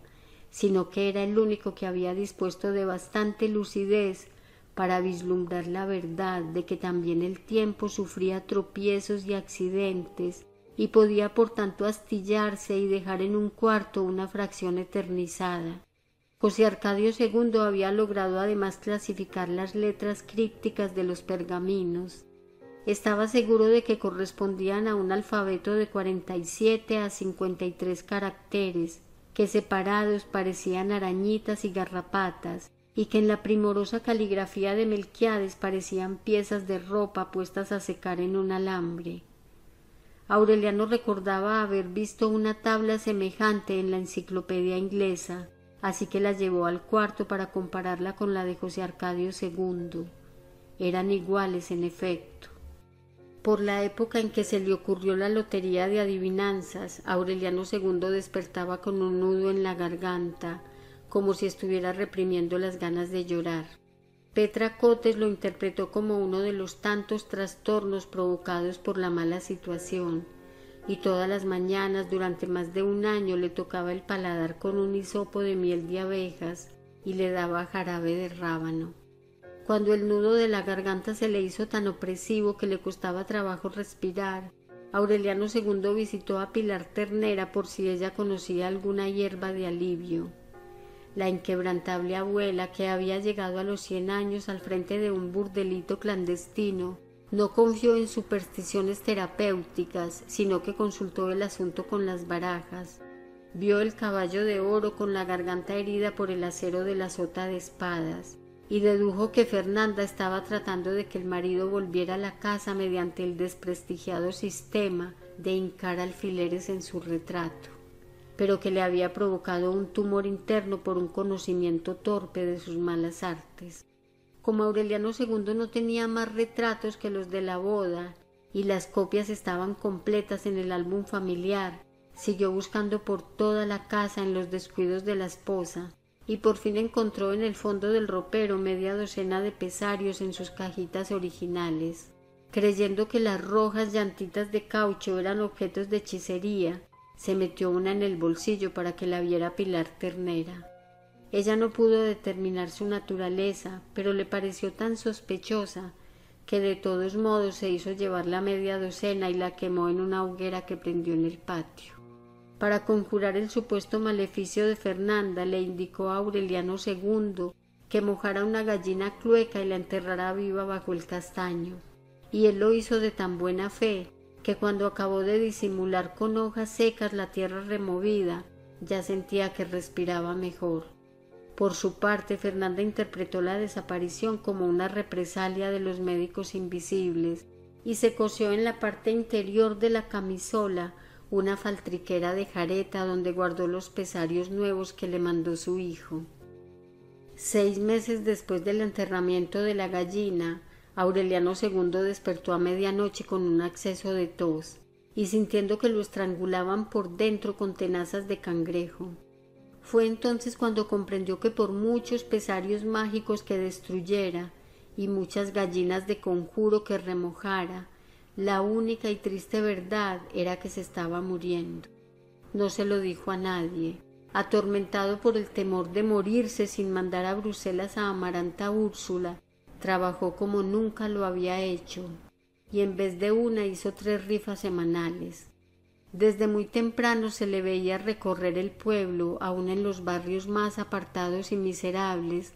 tratando de vender los billetitos con una ansiedad que sólo era concebible en un moribundo. Aquí está la divina providencia, pregonaba. No la dejen ir, que sólo llega una vez cada cien años. Hacía conmovedores esfuerzos por parecer alegre, simpático, locuaz, pero bastaba verle el sudor y la palidez para saber que no podía con su alma. A veces se desviaba por predios baldíos donde nadie lo viera y se sentaba un momento a descansar de las tenazas que lo despedazaban por dentro. Todavía a la medianoche estaba en el barrio de Tolerancia, tratando de consolar con prédicas de buena suerte a las mujeres solitarias que sollozaban junto a las vitrolas. Este número no sale hace cuatro meses, les decía mostrándole los billetitos. No lo dejes ir que la vida es más corta de lo que uno cree acabaron por perderle el respeto, por burlarse de él. Y en los últimos meses ya no le decían don Aureliano como lo habían hecho siempre, sino que lo llamaban en su propia cara don Divina Providencia. La voz se le iba llenando de notas falsas, se le fue destemplando y terminó por apagársele en un ronquido de perro, pero todavía tuvo voluntad para no dejar que decayera la expectativa por los premios en el patio de Petracotes. Sin embargo, a medida que se quedaba sin voz y se daba cuenta de que en poco tiempo ya no podría soportar el dolor, iba comprendiendo que no era con cerdos y chivos rifados como su hija llegaría a Bruselas, de modo que concibió la idea de hacer la fabulosa rifa de las tierras destruidas por el diluvio, que bien podían ser restauradas por quien dispusiera de capital. Fue una iniciativa tan espectacular que el propio alcalde se prestó para anunciarla con un bando, y se formaron sociedades para comprar billetes a cien pesos cada uno que se agotaron en menos de una semana. La noche de la rifa los ganadores hicieron una fiesta aparatosa, comparable apenas a las de los buenos tiempos de la compañía bananera. y Aureliano II tocó en el acordeón por última vez las canciones olvidadas de Francisco el Hombre, pero ya no pudo cantarlas. Dos meses después Amaranta Úrsula se fue a Bruselas. Aureliano II le entregó no solo el dinero de la rifa extraordinaria, sino el que había logrado economizar en los meses anteriores, y el muy escaso que obtuvo por la venta de la pianola, el clavicordio y otros corotos caídos en desgracia. Según sus cálculos, ese fondo le alcanzaba para los estudios, así que solo quedaba pendiente el valor del pasaje de regreso. Fernanda se opuso al viaje hasta el último momento, escandalizada con la idea de que Bruselas estuviera tan cerca de la perdición de París, pero se tranquilizó con una carta que le dio el padre Ángel para una pensión de jóvenes católicas atendida por religiosas, donde Amaranta Úrsula prometió vivir hasta el término de sus estudios. Además, el párroco consiguió que viajara al cuidado de un grupo de franciscanas que iban para Toledo, donde esperaban encontrar gente de confianza para mandarla a Bélgica. Mientras se adelantaba la apresurada correspondencia que hizo posible esta coordinación, Aureliano II, ayudado por Petra Cotes, se ocupó del equipaje de Amaranta Úrsula. La noche en que prepararon uno de los baúles nupciales de Fernanda, las cosas estaban tan bien dispuestas que la estudiante sabía de memoria cuáles eran los trajes y las babuchas de pana con que debía hacer la travesía del Atlántico y el abrigo de paño azul con botones de cobre y los zapatos de cordobán con que debía desembarcar. Sabía también cómo debía caminar para no caer al agua cuando subiera a bordo por la plataforma, que en ningún momento debía separarse de las monjas ni salir del camarote como no fuera para comer, y que por ningún motivo debía contestar a las preguntas que los desconocidos de cualquier sexo le hicieran en alta mar. Llevaba un frasquito con gotas para el mareo y un cuaderno escrito de su puño y letra por el padre Ángel con seis oraciones para conjurar la tempestad. Fernanda le fabricó un cinturón de lona para que guardara el dinero y le indicó la forma de usarlo ajustado al cuerpo, de modo que no tuviera que quitárselo ni siquiera para dormir. Trató de regalarle la vasinilla de oro lavada con lejía y desinfectada con alcohol, pero Amaranta Úrsula la rechazó por miedo de que se burlaran de ella sus compañeras de colegio. Pocos meses después, a la hora de la muerte, Aureliano II había de recordarla como la vio la última vez, tratando de bajar sin conseguirlo el cristal polvoriento del vagón de segunda clase para escuchar las últimas recomendaciones de Fernanda. Llevaba un traje de seda rosada con un ramito de pensamientos artificiales en el broche del hombro izquierdo, los zapatos de cordobán con trabilla y tacón bajo, y las medias atinadas con ligas elásticas en las pantorrillas. Tenía el cuerpo menudo, el cabello suelto y largo, y los ojos vivaces que tuvo Úrsula a su edad, y la forma en que se despedía sin llorar pero sin sonreír revelaba la misma fortaleza de carácter caminando junto al vagón a medida que aceleraba y llevando a Fernanda del brazo para que no fuera a tropezar. Aureliano II apenas pudo corresponderle con un saludo de la mano, cuando la hija le mandó un beso con la punta de los dedos. Los esposos permanecieron inmóviles bajo el sol abrasante, mirando cómo el tren se iba confundiendo con el punto negro del horizonte, y tomados del brazo por primera vez desde el día de la boda. El 9 de agosto, antes de que se recibiera la primera carta de Bruselas, José Arcadio II conversaba con Aureliano en el cuarto de Melquiades y sin que viniera a cuento dijo Acuérdate siempre de que eran más de tres mil y que los echaron al mar. Luego se fue de bruces sobre los pergaminos y murió con los ojos abiertos. En ese mismo instante, en la cama de Fernanda, su hermano gemelo llegó al final del prolongado y terrible martirio de los cangrejos de hierro que le carcomieron la garganta. Una semana antes había vuelto a la casa sin voz, sin aliento y casi en los puros huesos, con sus baúles trashumantes y su acordeón de perdulario, para cumplir la promesa de morir junto a la esposa Petra Cotes lo ayudó a recoger sus ropas y lo despidió sin derramar una lágrima, pero olvidó darle los zapatos de charol que él quería llevar en el ataúd. De modo que cuando supo que había muerto, se vistió de negro, envolvió los botines en un periódico y le pidió permiso a Fernanda para ver el cadáver. Fernanda no la dejó pasar de la puerta. Póngase en mi lugar, suplicó Petra Cotes. Imagínese cuánto lo habré querido para soportar esta humillación. No hay humillación que no la merezca una concubina, replicó Fernanda. Así que espere a que se muera otro de los tantos para ponerle esos botines. En cumplimiento de su promesa, Santa Sofía de la Piedad degolló con un cuchillo de cocina el cadáver de José Arcadio II para asegurarse de que no lo enterraran vivo. Los cuerpos fueron puestos en ataúdes iguales y allí se vio que volvían a ser idénticos en la muerte, como lo fueron hasta la adolescencia. Los viejos compañeros de parranda de Aureliano II pusieron sobre su caja una corona que tenía una cinta morada con un letrero. Apártense vacas que la vida es corta. Fernanda se indignó tanto con la irreverencia que mandó a tirar la corona en la basura. En el tumulto de última hora, los borrachitos tristes que lo sacaron de la casa confundieron los ataúdes y los enterraron en tumbas equivocadas. Capítulo 18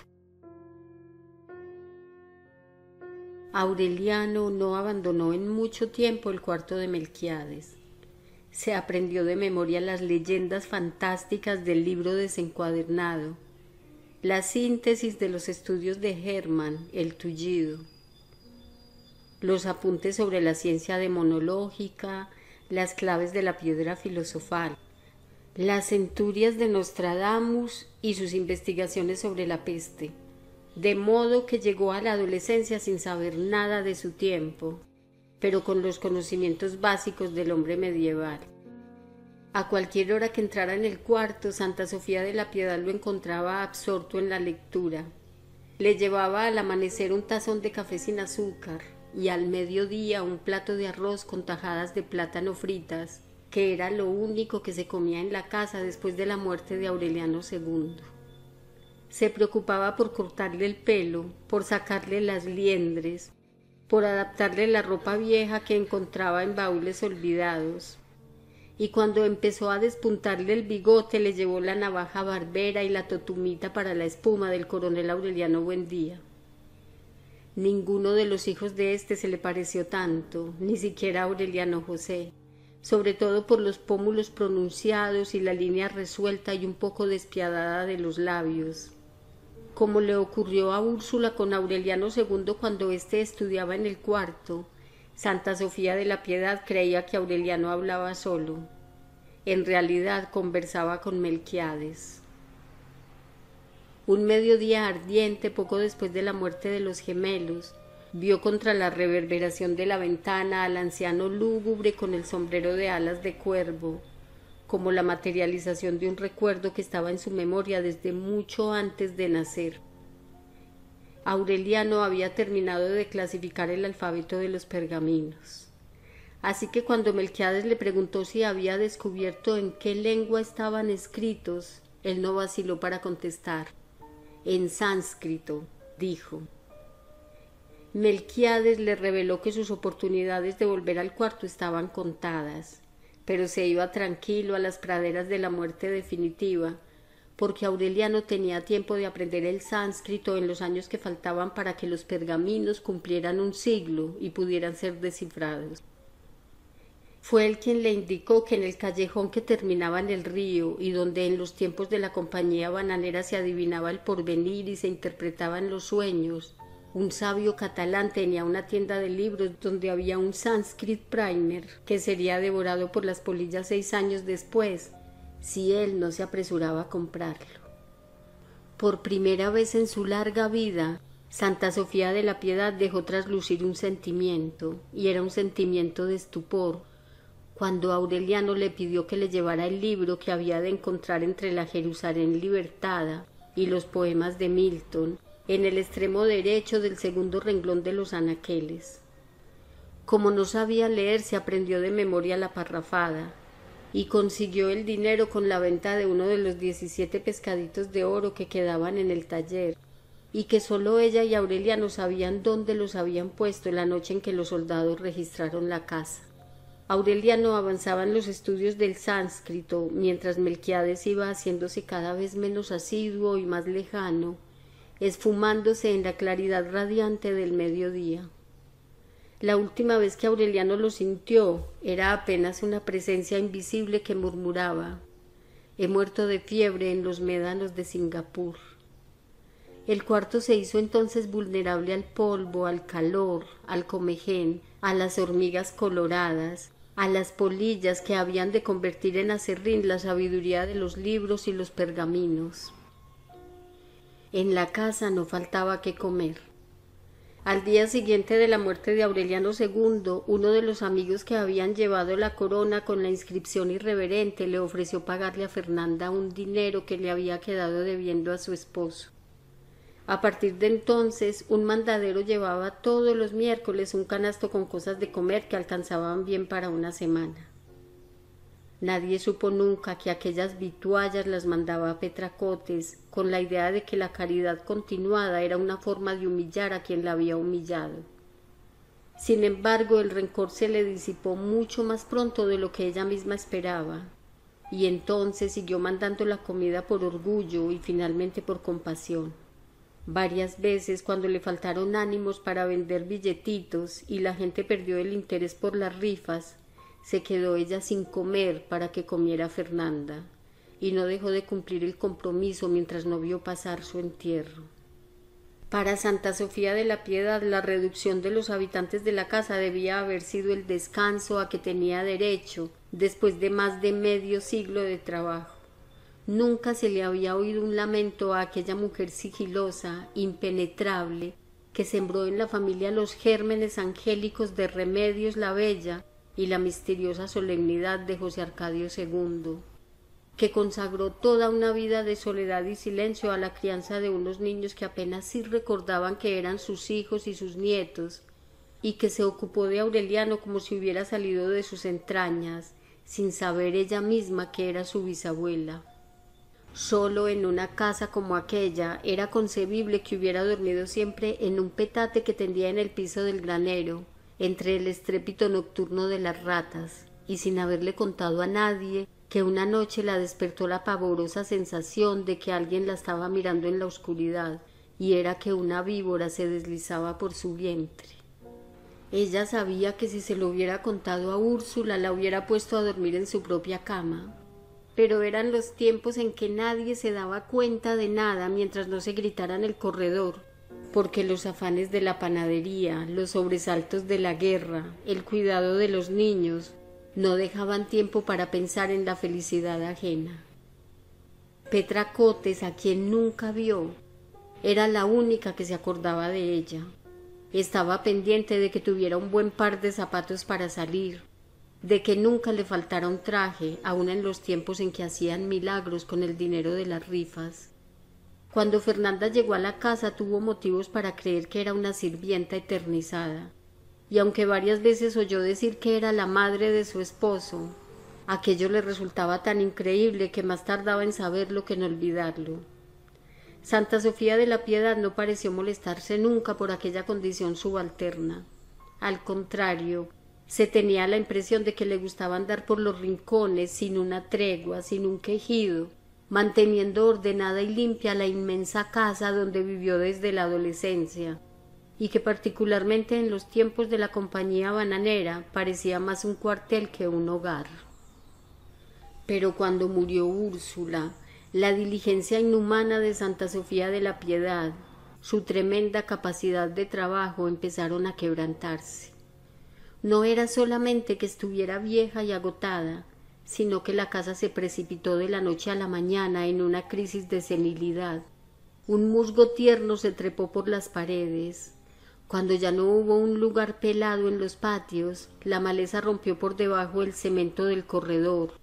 lo resquebrajó como un cristal, y salieron por las grietas las mismas florecitas amarillas que casi un siglo antes había encontrado Úrsula en el vaso donde estaba la dentadura postiza de Melquiades. Sin tiempo ni recursos para impedir los desafueros de la naturaleza, Santa Sofía de la Piedad se pasaba el día en los dormitorios, espantando los lagartos que volverían a meterse por la noche.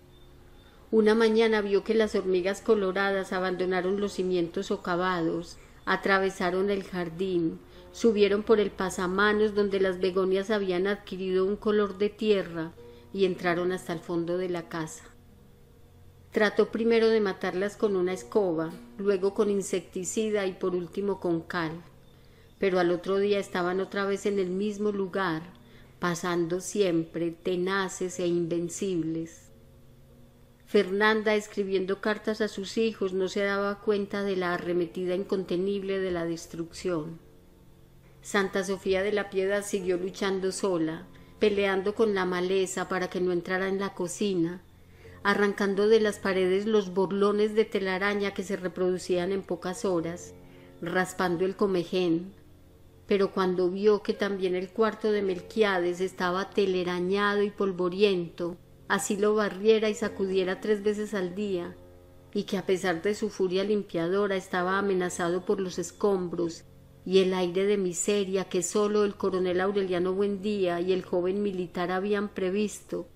comprendió que estaba vencida. Entonces se puso el gastado traje dominical, unos viejos zapatos de Úrsula y un par de medias de algodón que le había regalado Amaranta Úrsula, e hizo un atadito con las dos o tres mudas que le quedaban. Me rindo, le dijo Aureliano. Esta es mucha casa para mis pobres huesos. Aureliano le preguntó para dónde iba, y ella hizo un gesto de vaguedad, como si no tuviera la menor idea de su destino. Trató de precisar, sin embargo, que iba a pasar sus últimos años con una prima hermana que vivía en Riohacha. No era una explicación verosímil. Desde la muerte de sus padres no había tenido contacto con nadie en el pueblo, ni recibió cartas ni recados, ni se le oyó hablar de pariente alguno. Aureliano le dio catorce pescaditos de oro porque ella estaba dispuesta a irse con lo único que tenía, un peso y veinticinco centavos.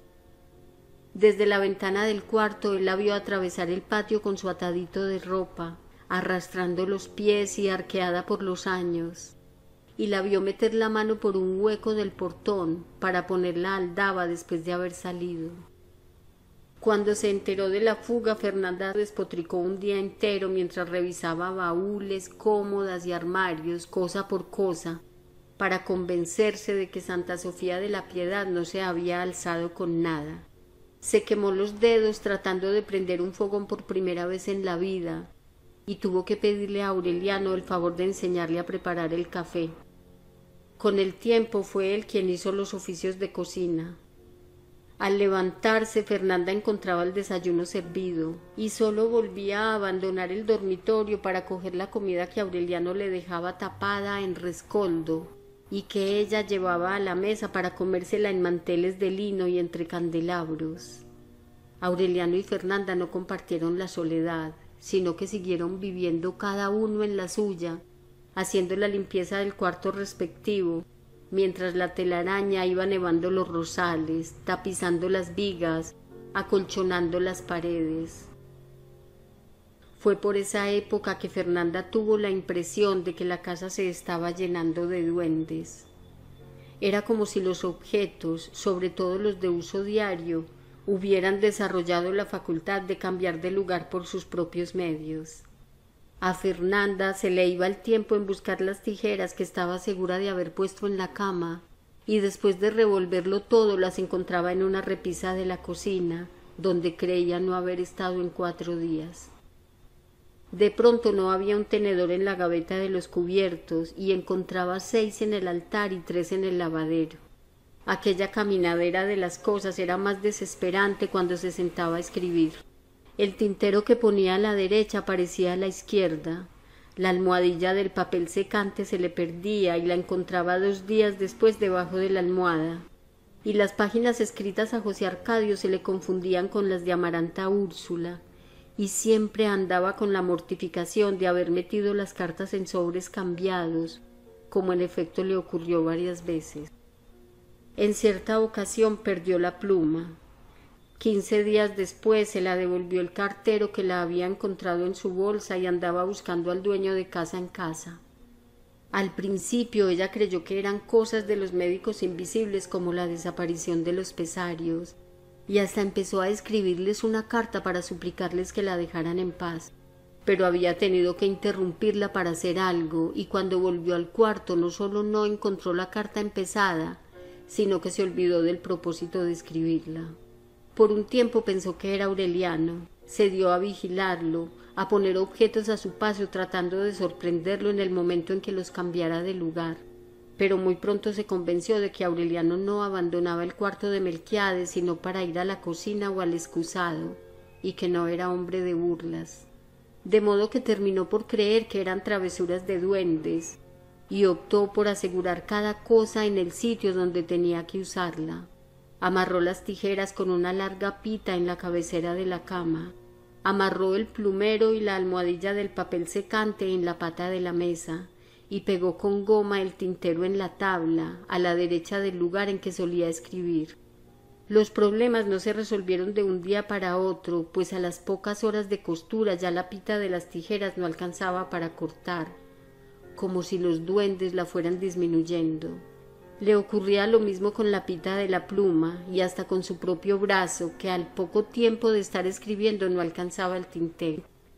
Ni Amaranta Úrsula en Bruselas, ni José Arcadio en Roma se enteraron jamás de esos insignificantes infortunios. Fernanda les contaba que era feliz y en realidad lo era, justamente porque se sentía liberada de todo compromiso como si la vida la hubiera arrastrado otra vez hasta el mundo de sus padres, donde no se sufría con los problemas diarios porque estaban resueltos de antemano en la imaginación. Aquella correspondencia interminable le hizo perder el sentido del tiempo, sobre todo después de que se fue Santa Sofía de la Piedad. Se había acostumbrado a llevar la cuenta de los días, los meses y los años, tomando como puntos de referencia las fechas previstas para el retorno de los hijos pero cuando estos modificaron los plazos una y otra vez, las fechas se le confundieron, los términos se le traspapelaron y las jornadas se parecieron tanto las unas a las otras que no se sentían transcurrir. En lugar de impacientarse experimentaba una honda complacencia con la demora. No la inquietaba que muchos años después de anunciarle las vísperas de sus votos perpetuos, José Arcadio siguiera diciendo que esperaba terminar los estudios de alta teología para emprenderlos de diplomacia, porque ella comprendía que era muy alta y empedrada de obstáculos la escalera de caracol que conducía a la silla de San Pedro. En cambio, el espíritu se le exaltaba con noticias que para otros hubieran sido insignificantes, como aquella de que su hijo había visto al Papa experimentó un gozo similar cuando Amaranta Úrsula le mandó decir que sus estudios se prolongaban más del tiempo previsto, porque sus excelentes calificaciones le habían merecido privilegios que su padre no tomó en consideración al hacer las cuentas. Habían transcurrido más de tres años desde que Santa Sofía de la Piedad le llevó la gramática, cuando Aureliano consiguió traducir el primer pliego. No fue una labor inútil, pero constituía apenas un primer paso en un camino cuya longitud era imposible prever, porque el texto en castellano no significaba nada, eran versos cifrados. Aureliano carecía de elementos para establecer las claves que le permitieran desentrañarlos,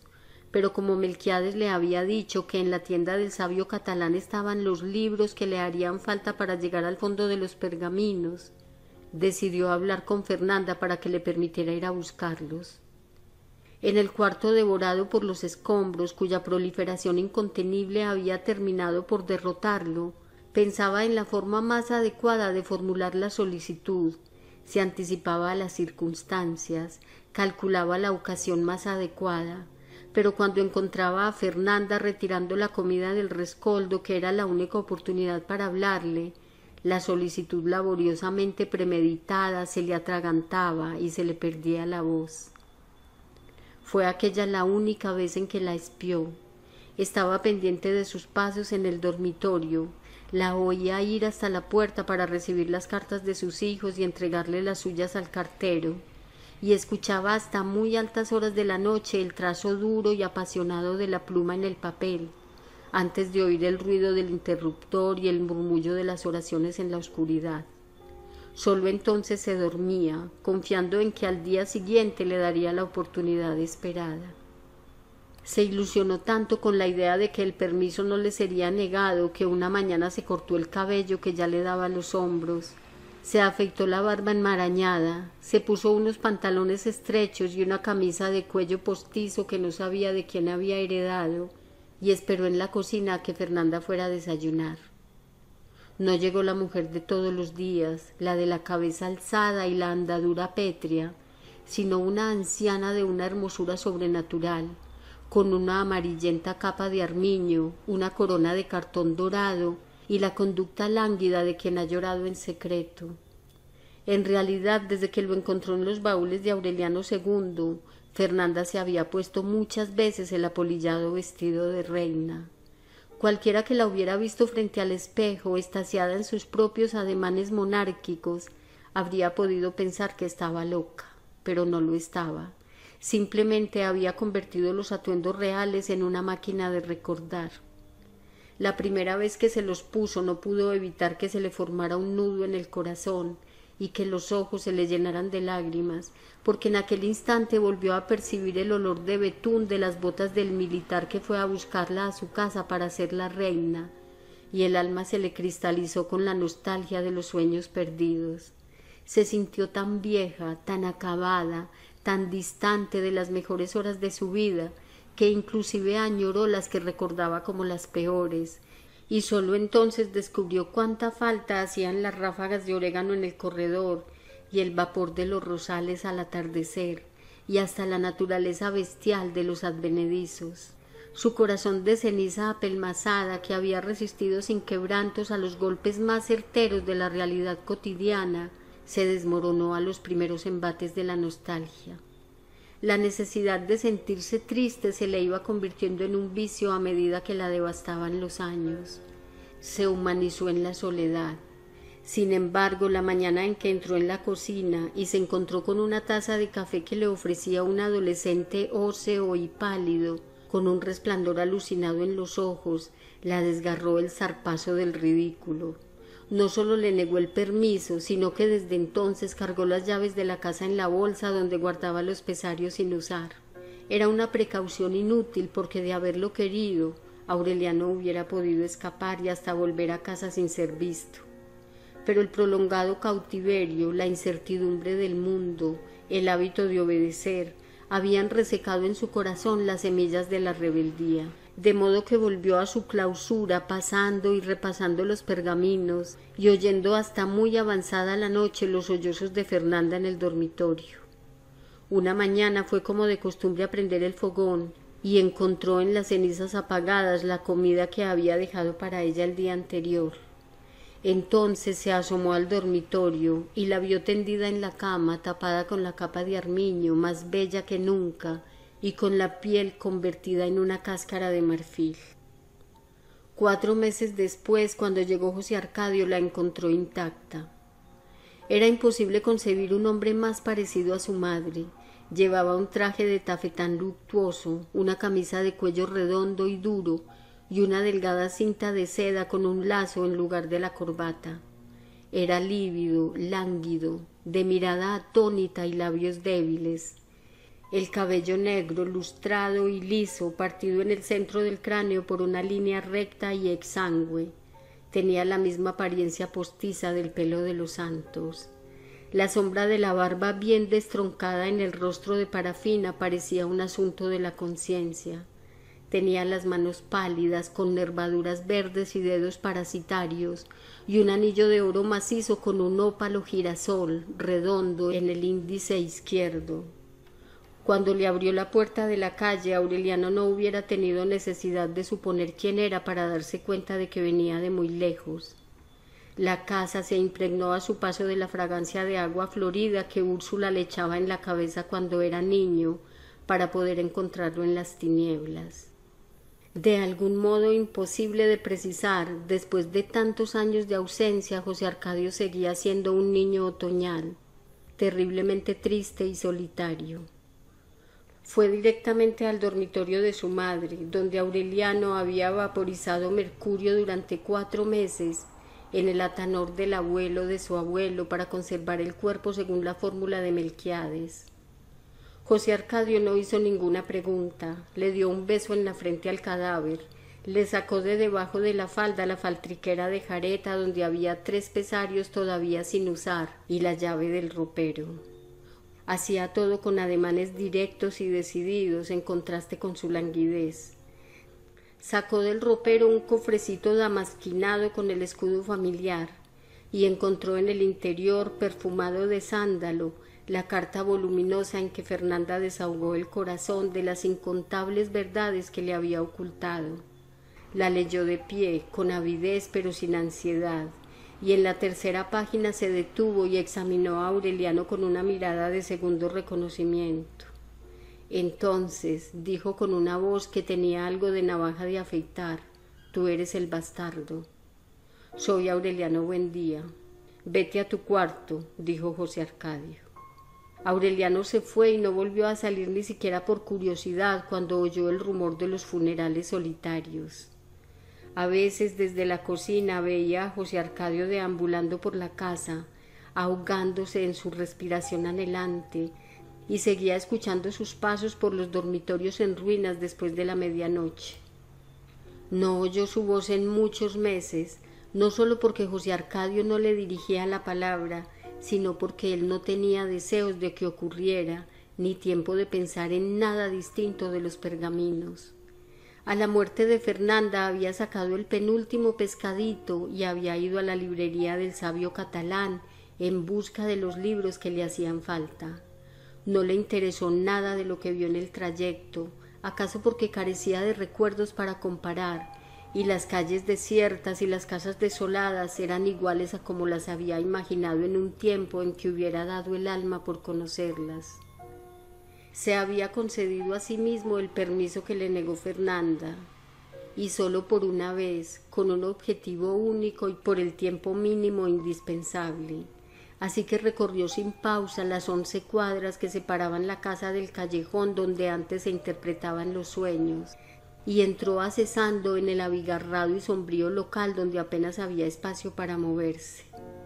Más que una librería, aquella parecía un basurero de libros usados, puestos en desorden en los estantes mellados por el comején, en los rincones amenazados de telaraña, y aún en los espacios que debieron destinarse a los pasadizos. En una larga mesa también agobiada de mamotretos, el propietario escribía una prosa incansable, con una caligrafía morada un poco delirante y en hojas sueltas de cuaderno escolar. Tenía una hermosa cabellera plateada que se le adelantaba en la frente como el penacho de una cacatúa, y sus ojos azules, vivos y estrechos, revelaban la mansedumbre del hombre que ha leído todos los libros. Estaba en calzoncillos, empapado en sudor, y no desatendió la escritura para ver quién había llegado. Aureliano no tuvo dificultad para rescatar de entre aquel desorden de fábula los cinco libros que buscaba, pues estaban en el lugar exacto que le indicó Melquiades. Sin decir una palabra se los entregó junto con el pescadito de oro al sabio catalán, y éste los examinó y sus párpados se contrajeron como dos almejas. Debes estar loco, dijo en su lengua alzándose de hombros y le devolvió a Aureliano los cinco libros y el pescadito. Llévatelo, dijo en castellano. El último hombre que leyó esos libros debió ser Isaac el ciego, así que piensa bien lo que haces.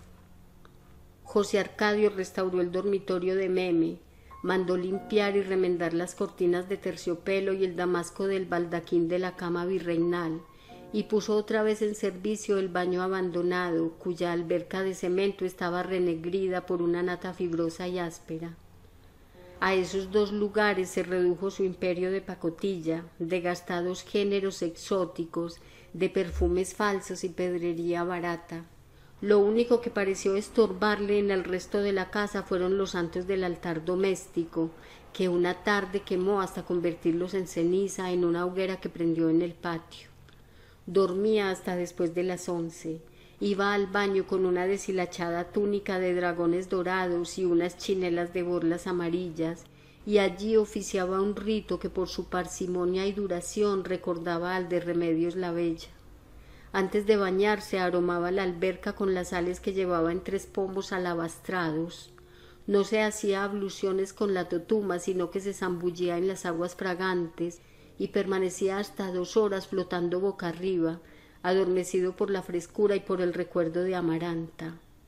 A los pocos días de haber llegado abandonó el vestido de tafetán, que además de ser demasiado caliente para el pueblo era el único que tenía, y lo cambió por unos pantalones ajustados muy parecidos a los que usaba Pietro Crespi en las clases de baile, y una camisa de seda tejida con el gusano vivo y con sus iniciales bordadas en el corazón. Dos veces por semana lavaba la muda completa en la alberca y se quedaba con la túnica hasta que se secaba, pues no tenía nada más que ponerse. Nunca comía en la casa, salía a la calle cuando aflojaba el calor de la siesta y no regresaba hasta muy entrada la noche. Entonces continuaba su deambular angustioso, respirando como un gato y pensando en Amaranta ella y la mirada espantosa de los santos en el fulgor de la lámpara nocturna eran los dos recuerdos que conservaba de la casa. Muchas veces en el alucinante agosto romano había abierto los ojos en mitad del sueño y había visto a Amaranta surgiendo de un estanque de mármol brocatel con sus pollerines de encaje y su venda en la mano, idealizada por la ansiedad del exilio al contrario de Aureliano José, que trató de sofocar aquella imagen en el pantano sangriento de la guerra, él trataba de mantenerla viva en un Senegal de concupiscencia, mientras entretenía a su madre con la patraña sin término de la vocación pontificia. Ni a él ni a Fernanda se les ocurrió pensar nunca que su correspondencia era un intercambio de fantasías. José Arcadio, que abandonó el seminario tan pronto como llegó a Roma, siguió alimentando la leyenda de la teología y el derecho canónico para no poner en peligro la herencia fabulosa de que le hablaban las cartas delirantes de su madre y que había de rescatarlo de la miseria y la sordidez que compartía con dos amigos en una buhardilla de Trastevere. Cuando recibió la última carta de Fernanda dictada por el presentimiento de la muerte inminente, metió en una maleta los últimos desperdicios de su falso esplendor y atravesó el océano en una bodega donde los emigrantes se apelotonaban como reses de matadero, comiendo macarrones fríos y queso agusanado. Antes de leer el testamento de Fernanda, que no era más que una minuciosa y tardía recapitulación de infortunios, ya los muebles desvencijados y la maleza del corredor le habían indicado que estaba metido en una trampa de la cual no saldría jamás para siempre exiliado de la luz de diamante y el aire inmemorial de la primavera romana. En los insomnios agotadores del asma, medía y volvía a medir la profundidad de su desventura, mientras repasaba la casa tenebrosa donde los aspavientos seniles de Úrsula le infundieron el miedo del mundo. Para estar segura de no perderlo en las tinieblas, ella le había asignado un rincón del dormitorio, el único donde podría estar a salvo de los muertos que deambulaban por la casa desde el atardecer. Cualquier cosa mala que hagas, le decía Úrsula, me la dirán los santos.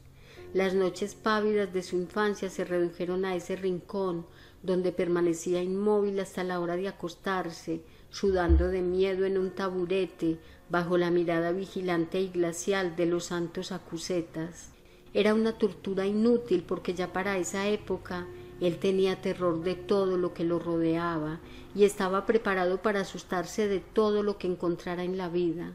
Las mujeres de la calle que echaban a perder la sangre, las mujeres de la casa que parían hijos con cola de puerco, los gallos de pelea que provocaban muertes de hombres y remordimientos de conciencia para el resto de la vida las armas de fuego que con solo tocarlas condenaban a veinte años de guerra, las empresas desacertadas que solo conducían al desencanto y la locura, y todo, en fin, todo cuanto Dios había creado con su infinita bondad y que el diablo había pervertido. Al despertar, molido por el torno de las pesadillas, la claridad de la ventana y las caricias de Amaranta en la alberca, y el deleite con que lo empolvaba entre las piernas con una bellota de seda lo liberaban del terror. Hasta Úrsula era distinta bajo la luz radiante del jardín, porque allí no le hablaba de cosas de pavor, sino que le frotaba los dientes con polvo de carbón para que tuviera la sonrisa radiante de un papa, y le cortaba y le pulía las uñas para que los peregrinos que llegaran a Roma de todo el ámbito de la tierra se asombraran de la pulcritud de las manos del papa cuando les echara la bendición, y lo peinaba como un papa, y lo ensopaba con agua florida para que su cuerpo y sus ropas tuvieran la fragancia de un papa. En el patio de Castel Gandolfo él había visto al papa en un balcón, pronunciando el mismo discurso en siete idiomas para una muchedumbre de peregrinos, y lo único que en efecto le había llamado la atención era la blancura de sus manos, que parecían maceradas en lejía, el resplandor deslumbrante de sus ropas de verano y su recóndito hálito de agua de colonia. Casi un año después del regreso a la casa, habiendo vendido para comer los candelabros de plata y la vasinilla heráldica que a la hora de la verdad solo tuvo de oro las incrustaciones del escudo, la única distracción de José Arcadio era recoger niños en el pueblo para que jugaran en la casa. Aparecía con ellos a la hora de la siesta y los hacía saltar la cuerda en el jardín, cantar en el corredor y hacer maromas en los muebles de la sala, mientras él iba por entre los grupos impartiendo lecciones de buen comportamiento. Para esa época había acabado con los pantalones estrechos y la camisa de seda, y usaba una muda ordinaria comprada en los almacenes de los árabes, pero seguía manteniendo su dignidad lánguida y sus ademanes papales. Los niños se tomaron la casa como lo hicieron en el pasado las compañeras de Meme, hasta muy entrada la noche se les oía cotorrear y cantar y bailar zapateados, de modo que la casa parecía un internado sin disciplina. Aureliano no se preocupó de la invasión mientras no fueron a molestarlo en el cuarto de Melquiades. Una mañana dos niños empujaron la puerta y se espantaron ante la visión del hombre cochambroso y peludo que seguía descifrando los pergaminos en la mesa de trabajo. No se atrevieron a entrar, pero siguieron rondando la habitación. Se asomaban cuchicheando por las rendijas, arrojaban animales vivos por las claraboyas y en una ocasión clavetearon por fuera la puerta y la ventana, y Aureliano necesitó medio día para forzarlas. Divertidos por la impunidad de sus travesuras, cuatro niños entraron otra mañana en el cuarto mientras Aureliano estaba en la cocina, dispuestos a destruir los pergaminos pero tan pronto como se apoderaron de los pliegos amarillentos, una fuerza angélica los levantó del suelo y los mantuvo suspendidos en el aire, hasta que regresó Aureliano y les arrebató los pergaminos. Desde entonces no volvieron a molestarlo. Los cuatro niños mayores que usaban pantalones cortos a pesar de que ya se asomaban a la adolescencia, se ocupaban de la apariencia personal de José Arcadio. Llegaban más temprano que los otros y dedicaban la mañana a afeitarle, a darle masajes con toallas calientes, a cortarle y pulirle las uñas de las manos y los pies, a perfumarle con agua florida. En varias ocasiones se metieron en la alberca para jabonarlo de pies a cabeza mientras él flotaba boca arriba pensando en Amaranta. Luego le secaban, le empolvaban el cuerpo y lo vestían. Uno de los niños que tenía el cabello rubio y crespo y los ojos de vidrio rosados como los conejos, solía dormir en la casa. Eran tan firmes los vínculos que lo unían a José Arcadio que le acompañaban en sus insomnios de asmático sin hablar, deambulando con él por la casa en tinieblas. Una noche vieron en la alcoba donde dormía Úrsula un resplandor amarillo a través del cemento cristalizado, como si un sol subterráneo hubiera convertido en vitral el piso del dormitorio. No tuvieron que encender el foco. Les bastó con levantar las placas quebradas del rincón donde siempre estuvo la cama de Úrsula y donde el resplandor era más intenso para encontrar la cripta secreta que Aureliano II se cansó de buscar en el delirio de las excavaciones.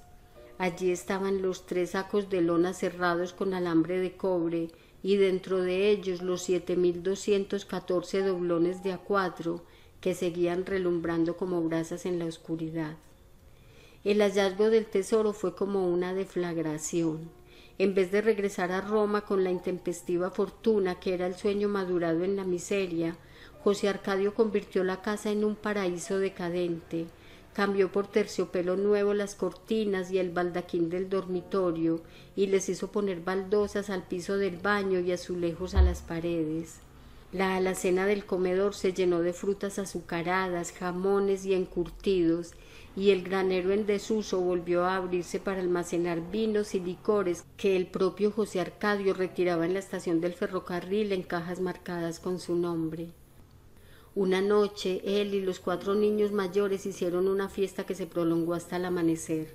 A las seis de la mañana salieron desnudos del dormitorio, vaciaron la alberca y la llenaron de champaña, se zambulleron en bandada, nadando como pájaros que volaran en un cielo dorado de burbujas fragantes, mientras José Arcadio flotaba boca arriba, al margen de la fiesta, evocando a Amaranta con los ojos abiertos. Permaneció así, ensimismado, rumiendo la amargura de sus placeres equívocos, hasta después de que los niños se cansaron y se fueron en tropel al dormitorio, donde arrancaron las cortinas de terciopelo para secarse y cuartearon en el desorden la luna del cristal de roca y desbarataron el baldaquín de la cama tratando de acostarse en tumulto. Cuando José Arcadio volvió del baño los encontró durmiendo apelotonados, desnudos, en una alcoba de naufragio,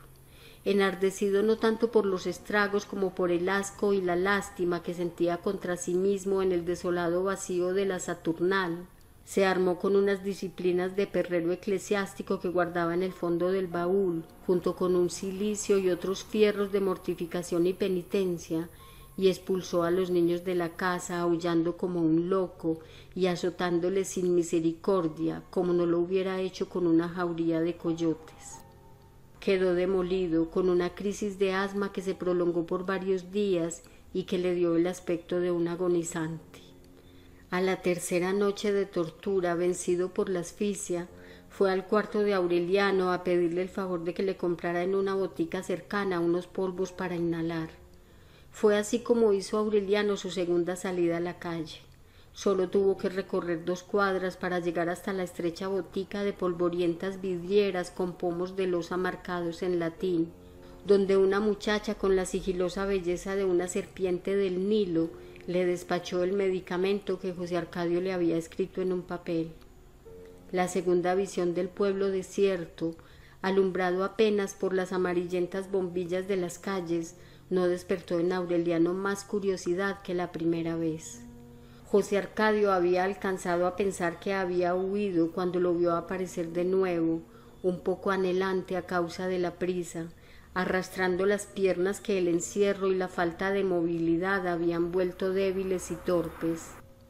Era tan cierta su indiferencia por el mundo que pocos días después José Arcadio violó la promesa que había hecho a su madre y lo dejó en libertad para salir cuando quisiera. No tengo nada que hacer en la calle, le contestó Aureliano. Siguió encerrado, absorto en los pergaminos que poco a poco iba desentrañando y cuyo sentido, sin embargo, no lograba interpretar. José Arcadio le llevaba al cuarto rebanadas de jamón, flores azucaradas que dejaban en la boca un regusto primaveral, y en dos ocasiones un vaso de buen vino.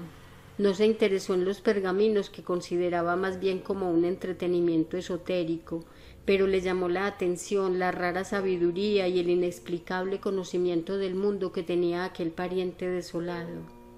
Supo entonces que era capaz de comprender el inglés escrito y que entre pergamino y pergamino había leído de la primera página a la última como si fuera una novela los seis tomos de la enciclopedia. A eso atribuyó al principio el que Aureliano pudiera hablar de Roma como si hubiera vivido allí muchos años, pero muy pronto se dio cuenta de que tenía conocimientos que no eran enciclopédicos como los precios de las cosas. Todo se sabe, fue la única respuesta que recibió de Aureliano cuando le preguntó cómo había obtenido aquellas informaciones. Aureliano por su parte se sorprendió de que José Arcadio visto de cerca fuera tan distinto de la imagen que se había formado de él cuando lo veía deambular por la casa. Era capaz de reír, de permitirse de vez en cuando una nostalgia del pasado de la casa y de preocuparse por el ambiente de miseria en que se encontraba el cuarto de Melquiades. Aquel acercamiento entre dos solitarios de la misma sangre estaba muy lejos de la amistad, pero les permitió a ambos sobrellevar mejor la insondable soledad que al mismo tiempo los separaba y los unía. José Arcadio pudo entonces acudir a Aureliano para desenredar ciertos problemas domésticos que lo exasperaban. Aureliano a su vez podía sentarse a leer en el corredor, recibir las cartas de Amaranta Úrsula que seguían llegando con la puntualidad de siempre y usar el baño de donde lo había desterrado José Arcadio desde su llegada. Una calurosa madrugada ambos despertaron alarmados por unos golpes apremiantes en la puerta de la calle. Era un anciano oscuro con unos ojos grandes y verdes que le daban a su rostro una fosforescencia espectral y con una cruz de ceniza en la frente las ropas en piltrafas, los zapatos rotos, la vieja mochila que llevaba en el hombro como único equipaje le daban el aspecto de un pordiosero, pero su conducta tenía una dignidad que estaba en franca contradicción con su apariencia. Bastaba con verlo una vez, aún en la penumbra de la sala, para darse cuenta de que la fuerza secreta que le permitía vivir no era el instinto de conservación, sino la costumbre del miedo era Aureliano Amador, el único sobreviviente de los diecisiete hijos del coronel Aureliano Buendía, que iba buscando una tregua en su larga y azarosa existencia de fugitivo. Se identificó, suplicó que le dieran refugio en aquella casa que en sus noches de paria había evocado como el último reducto de seguridad que le quedaba en la vida. Pero José Arcadio y Aureliano no lo recordaban Creyendo que era un vagabundo, lo echaron a la calle en pellones. Ambos vieron entonces desde la puerta el final de un drama que había empezado desde antes de que José Arcadio tuviera uso de razón. Dos agentes de la policía que habían perseguido a Aureliano Amador durante años, que lo habían rastreado como perros por medio mundo, surgieron de entre los almendros de la acera opuesta y le hicieron dos tiros de Mauser que le penetraron limpiamente por la cruz de ceniza. En realidad, desde que expulsó a los niños de la casa, José Arcadio esperaba noticias de un transatlántico que saliera para Nápoles antes de Navidad. Se lo había dicho a Aureliano e inclusive había hecho planes para dejarle montado un negocio que le permitiera vivir, porque la canastilla de víveres no volvió a llegar desde el entierro de Fernanda. Sin embargo, tampoco aquel sueño final había de cumplirse. Una mañana de septiembre, después de tomar el café con Aureliano en la cocina, José Arcadio estaba terminando su baño diario cuando irrumpieron por entre los portillos de las tejas los cuatro niños que había expulsado de la casa. Sin darle tiempo de defenderse, se metieron vestidos en la alberca, lo agarraron por el pelo y le mantuvieron la cabeza hundida hasta que cesó en la superficie la borboritación de la agonía y el silencioso y pálido cuerpo de Delfín se deslizó hasta el fondo de las aguas fragantes. Después se llevaron los tres sacos de oro que sólo ellos y su víctima sabían dónde estaban escondidos. Fue una acción tan rápida, metódica y brutal que pareció un asalto de militares. Aureliano, encerrado en su cuarto, no se dio cuenta de nada. Esa tarde, habiéndolo echado de menos en la cocina, buscó a José Arcadio por toda la casa y lo encontró flotando en los espejos perfumados de la alberca, enorme y tumefacto, y todavía pensando en Amaranta. Solo entonces comprendió cuánto había empezado a quererlo. Capítulo 19 Amaranta Úrsula regresó con los primeros ángeles de diciembre, empujada por brisas de velero, llevando al esposo amarrado por el cuello con un cordel de seda. Apareció sin ningún anuncio, con un vestido color de marfil, un hilo de perlas que le daba casi a las rodillas, sortijas de esmeraldas y topacios, y el cabello redondo y liso rematado en las orejas con puntas de golondrinas. El hombre con quien se había casado seis meses antes era un flamenco maduro, esbelto, con aires de navegante.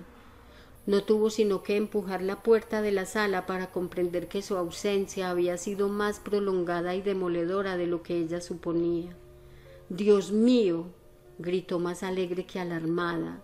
¿Cómo se ve que no hay una mujer en esta casa? El equipaje no cabía en el corredor. Además del antiguo baúl de Fernanda con que la mandaron al colegio, llevaba dos roperos verticales, cuatro maletas grandes, un talego para las sombrillas, ocho cajas de sombreros, una jaula gigantesca con medio centenar de canarios y el velocípedo del marido, desarmado dentro de un estuche especial que permitía llevarlo como un violonchelo. Ni siquiera se permitió un día de descanso al cabo del largo viaje. Se puso un gastado overol de lienzo que había llevado el esposo con otras prendas de motorista y emprendió una nueva restauración de la casa. Desbandó las hormigas coloradas que ya se habían apoderado del corredor, resucitó los rosales, arrancó la maleza de raíz y volvió a sembrar helechos, oréganos y begonias en los tiestos del pasamanos. Se puso al frente de una cuadrilla de carpinteros, cerrajeros y albañiles que resanaron las grietas de los pisos, enquiciaron puertas y ventanas, renovaron los muebles y blanquearon las paredes por dentro y por fuera, de modo que tres meses después de su llegada se respiraba otra vez el aire de juventud y de fiesta que hubo en los tiempos de la pianola.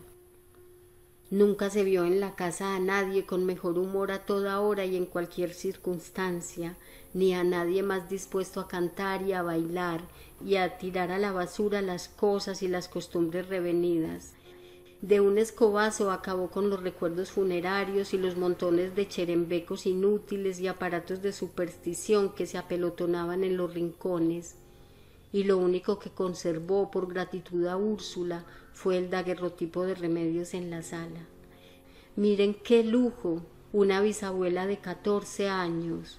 Cuando uno de los albañiles le contó que la casa estaba poblada de aparecidos y que el único modo de espantarlos era buscando los tesoros que habían dejado enterrados, ella replicó entre carcajadas que no creía en supersticiones de hombre.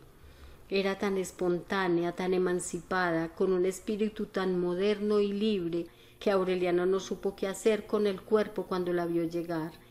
¡Qué bárbaro! gritó ella feliz con los brazos abiertos. Miren cómo ha crecido mi adorado antropófago. Antes de que él tuviera tiempo de reaccionar, ya ella había puesto un disco en el gramófono portátil que llevó consigo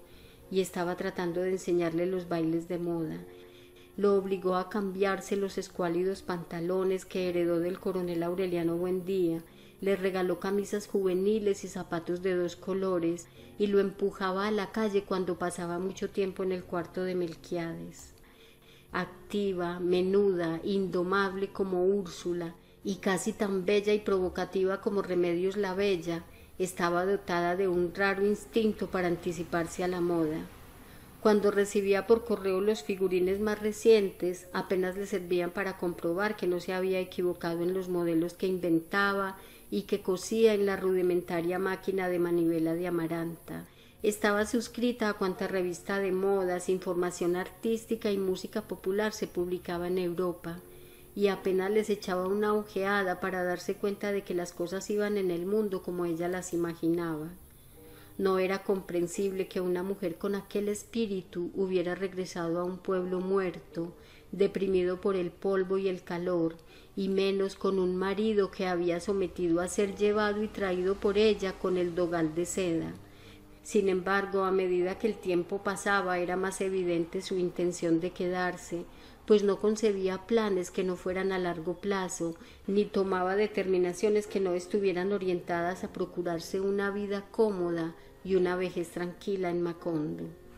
La jaula de canarios demostraba que esos propósitos no eran improvisados. Recordando que su madre le había contado en una carta el exterminio de los pájaros, había retrasado el viaje varios meses hasta encontrar un barco que hiciera escala en las Islas Afortunadas,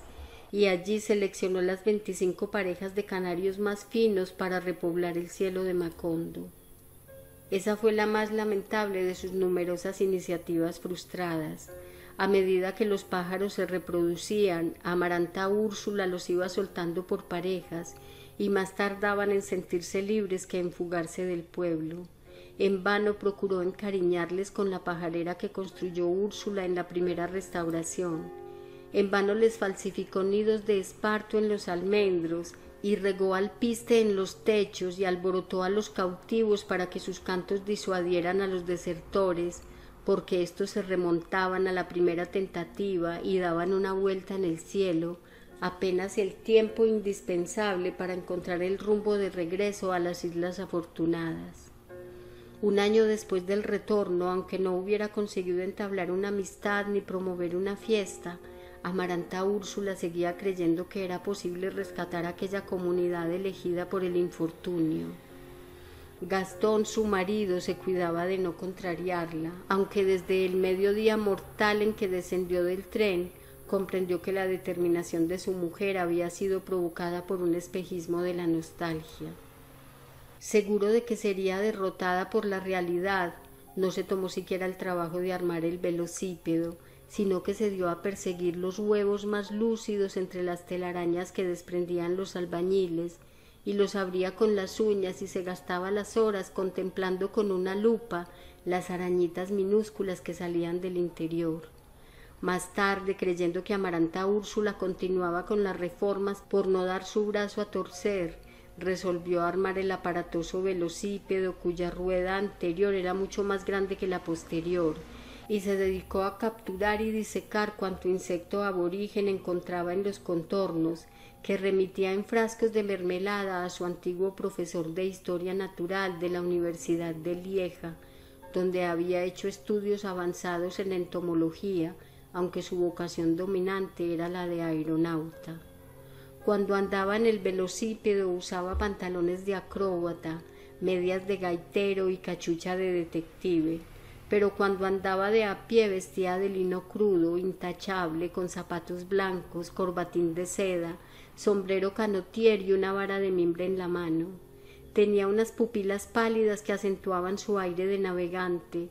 y un bigotito de pelos de ardilla. Aunque era por lo menos quince años mayor que su mujer, sus gustos juveniles, su vigilante determinación de hacerla feliz, y sus virtudes de buen amante compensaban la diferencia. En realidad, quienes veían aquel cuarentón de hábitos cautelosos, con su sedal al cuello y su bicicleta de circo, no hubieran podido pensar que tenía con su joven esposa un pacto de amor desenfrenado y que ambos cedían al apremio recíproco en los lugares menos adecuados y donde los sorprendiera la inspiración, como lo hicieron desde que empezaron a verse, y con una pasión que el transcurso del tiempo y las circunstancias cada vez más insólitas iba profundizando y enriqueciendo. Gastón no sólo era un amante feroz, de una sabiduría y una imaginación inagotables, sino que era tal vez el primer hombre en la historia de la especie que hizo un aterrizaje de emergencia y estuvo a punto de matarse con su novia solo por hacer el amor en un campo de violetas. Se habían conocido tres años antes de casarse, cuando el biplano deportivo en que él hacía piruetas sobre el colegio en que estudiaba Amaranta Úrsula intentó una maniobra intrépida para eludir el asta de la bandera, y la primitiva armazón de lona y papel de aluminio quedó colgada por la cola en los cables de la energía eléctrica. Desde entonces, sin hacer caso de su pierna entablillada, él iba los fines de semana a recoger a Amaranta Úrsula en la pensión de religiosas donde vivió siempre, cuyo reglamento no era tan severo como deseaba Fernanda, y la llevaba a su club deportivo. Empezaron a amarse a quinientos metros de altura en el aire dominical de las landas, y más se sentían compenetrados mientras más minúsculos iban haciéndose los seres de la tierra. Ella le hablaba de Macondo como del pueblo más luminoso y plácido del mundo, y de una casa enorme perfumada de orégano donde quería vivir hasta la vejez con un marido leal y dos hijos indómitos que se llamarían Rodrigo y Gonzalo, y en ningún caso Aureliano y José Arcadio, y una hija que se llamara Virginia y en ningún caso Remedios. Había evocado con una tenacidad tan anhelante el pueblo idealizado por la nostalgia que Gastón comprendió que ella no quisiera casarse si no la llevaba a vivir en Macondo. Él estuvo de acuerdo como lo estuvo más tarde con el sedal, porque creyó que era un capricho transitorio que más valía defraudar a tiempo, pero cuando transcurrieron dos años en Macondo y Amaranta Úrsula seguía tan contenta como el primer día, él comenzó a dar señales de alarma. Ya para entonces había disecado cuanto insecto era disecable en la región, hablaba el castellano como un nativo y había descifrado todos los crucigramas de las revistas que recibían por correo. No tenía el pretexto del clima para apresurar el regreso, porque la naturaleza lo había dotado de un hígado colonial que resistía sin quebrantos el bochorno de la siesta y el agua con guasarapos. Le gustaba tanto la comida criolla que una vez se comió un sartal de ochenta y dos huevos de iguana. Amaranta Úrsula, en cambio, se hacía llevar en el tren pescados y mariscos en cajas de hielo, carnes en latas y frutas almibaradas, que era lo único que podía comer, y seguía vistiéndose a la moda europea y recibiendo figurines por correo, a pesar de que no tenía dónde ir ni a quién visitar, y de que a esas alturas su marido carecía de humor para apreciar sus vestidos cortos, sus fieltros ladeados y sus collares de siete vueltas.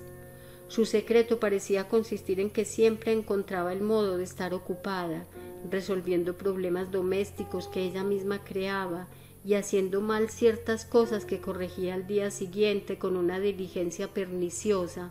que habría hecho pensar a Fernanda en el vicio hereditario de hacer para deshacer.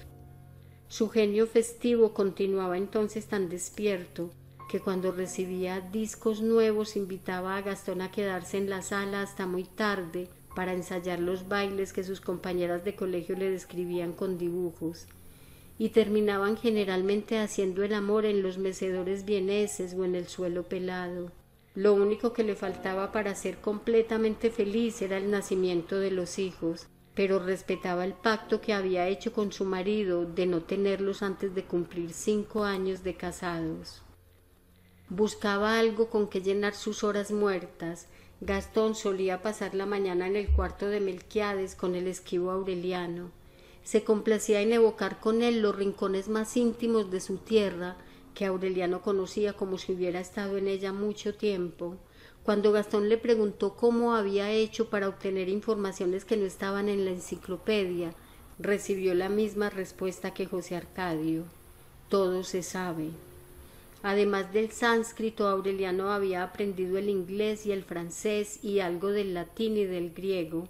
Como entonces salía todas las tardes y Amaranta Úrsula le había asignado una suma semanal para sus gastos personales, su cuarto parecía una sección de la librería del sabio catalán. Leía con avidez hasta muy altas horas de la noche, aunque por la forma en que se refería a sus lecturas, Gastón pensaba que no compraba los libros para informarse, sino para verificar la exactitud de sus conocimientos, y que ninguno le interesaba más que los pergaminos, a los cuales dedicaba las mejores horas de la mañana. Tanto a Gastón como a su esposa les habría gustado incorporarlo a la vida familiar, pero Aureliano era hombre hermético, con una nube de misterio que el tiempo iba haciendo más densa. Era una condición tan infranqueable que Gastón fracasó en sus esfuerzos por intimar con él y tuvo que buscarse otro entretenimiento para llenar sus horas muertas. Fue por esa época que concibió la idea de establecer un servicio de correo aéreo. No era un proyecto nuevo, en realidad lo tenía bastante avanzado cuando conoció a Amaranta Úrsula, solo que no era para Macondo sino para el Congo belga, donde su familia tenía inversiones en aceite de palma. El matrimonio, la decisión de pasar unos meses en Macondo para complacer a la esposa, lo habían obligado a aplazarlo, pero cuando vio que Amaranta Úrsula estaba empeñada en organizar una junta de mejoras públicas y hasta se reía de él por insinuar la posibilidad del regreso, comprendió que las cosas iban para largo y volvió a establecer contacto con sus olvidados socios de Bruselas, pensando que para ser pionero daba lo mismo el Caribe que el África. Mientras progresaban las gestiones, preparó un campo de aterrizaje en la antigua región encantada, que entonces parecía una llanura de pedernal resquebrajado, y estudió la dirección de los vientos, la geografía del litoral y las rutas más adecuadas para la navegación aérea, sin saber que su diligencia, tan parecida a la de Mr. Herbert, estaba infundiendo en el pueblo la peligrosa sospecha de que su propósito no era planear itinerarios, sino sembrar banano. entusiasmado con una ocurrencia que después de todo podía justificar su establecimiento definitivo en Macondo, hizo varios viajes a la capital de la provincia, se entrevistó con las autoridades y obtuvo licencias y suscribió contratos de exclusividad.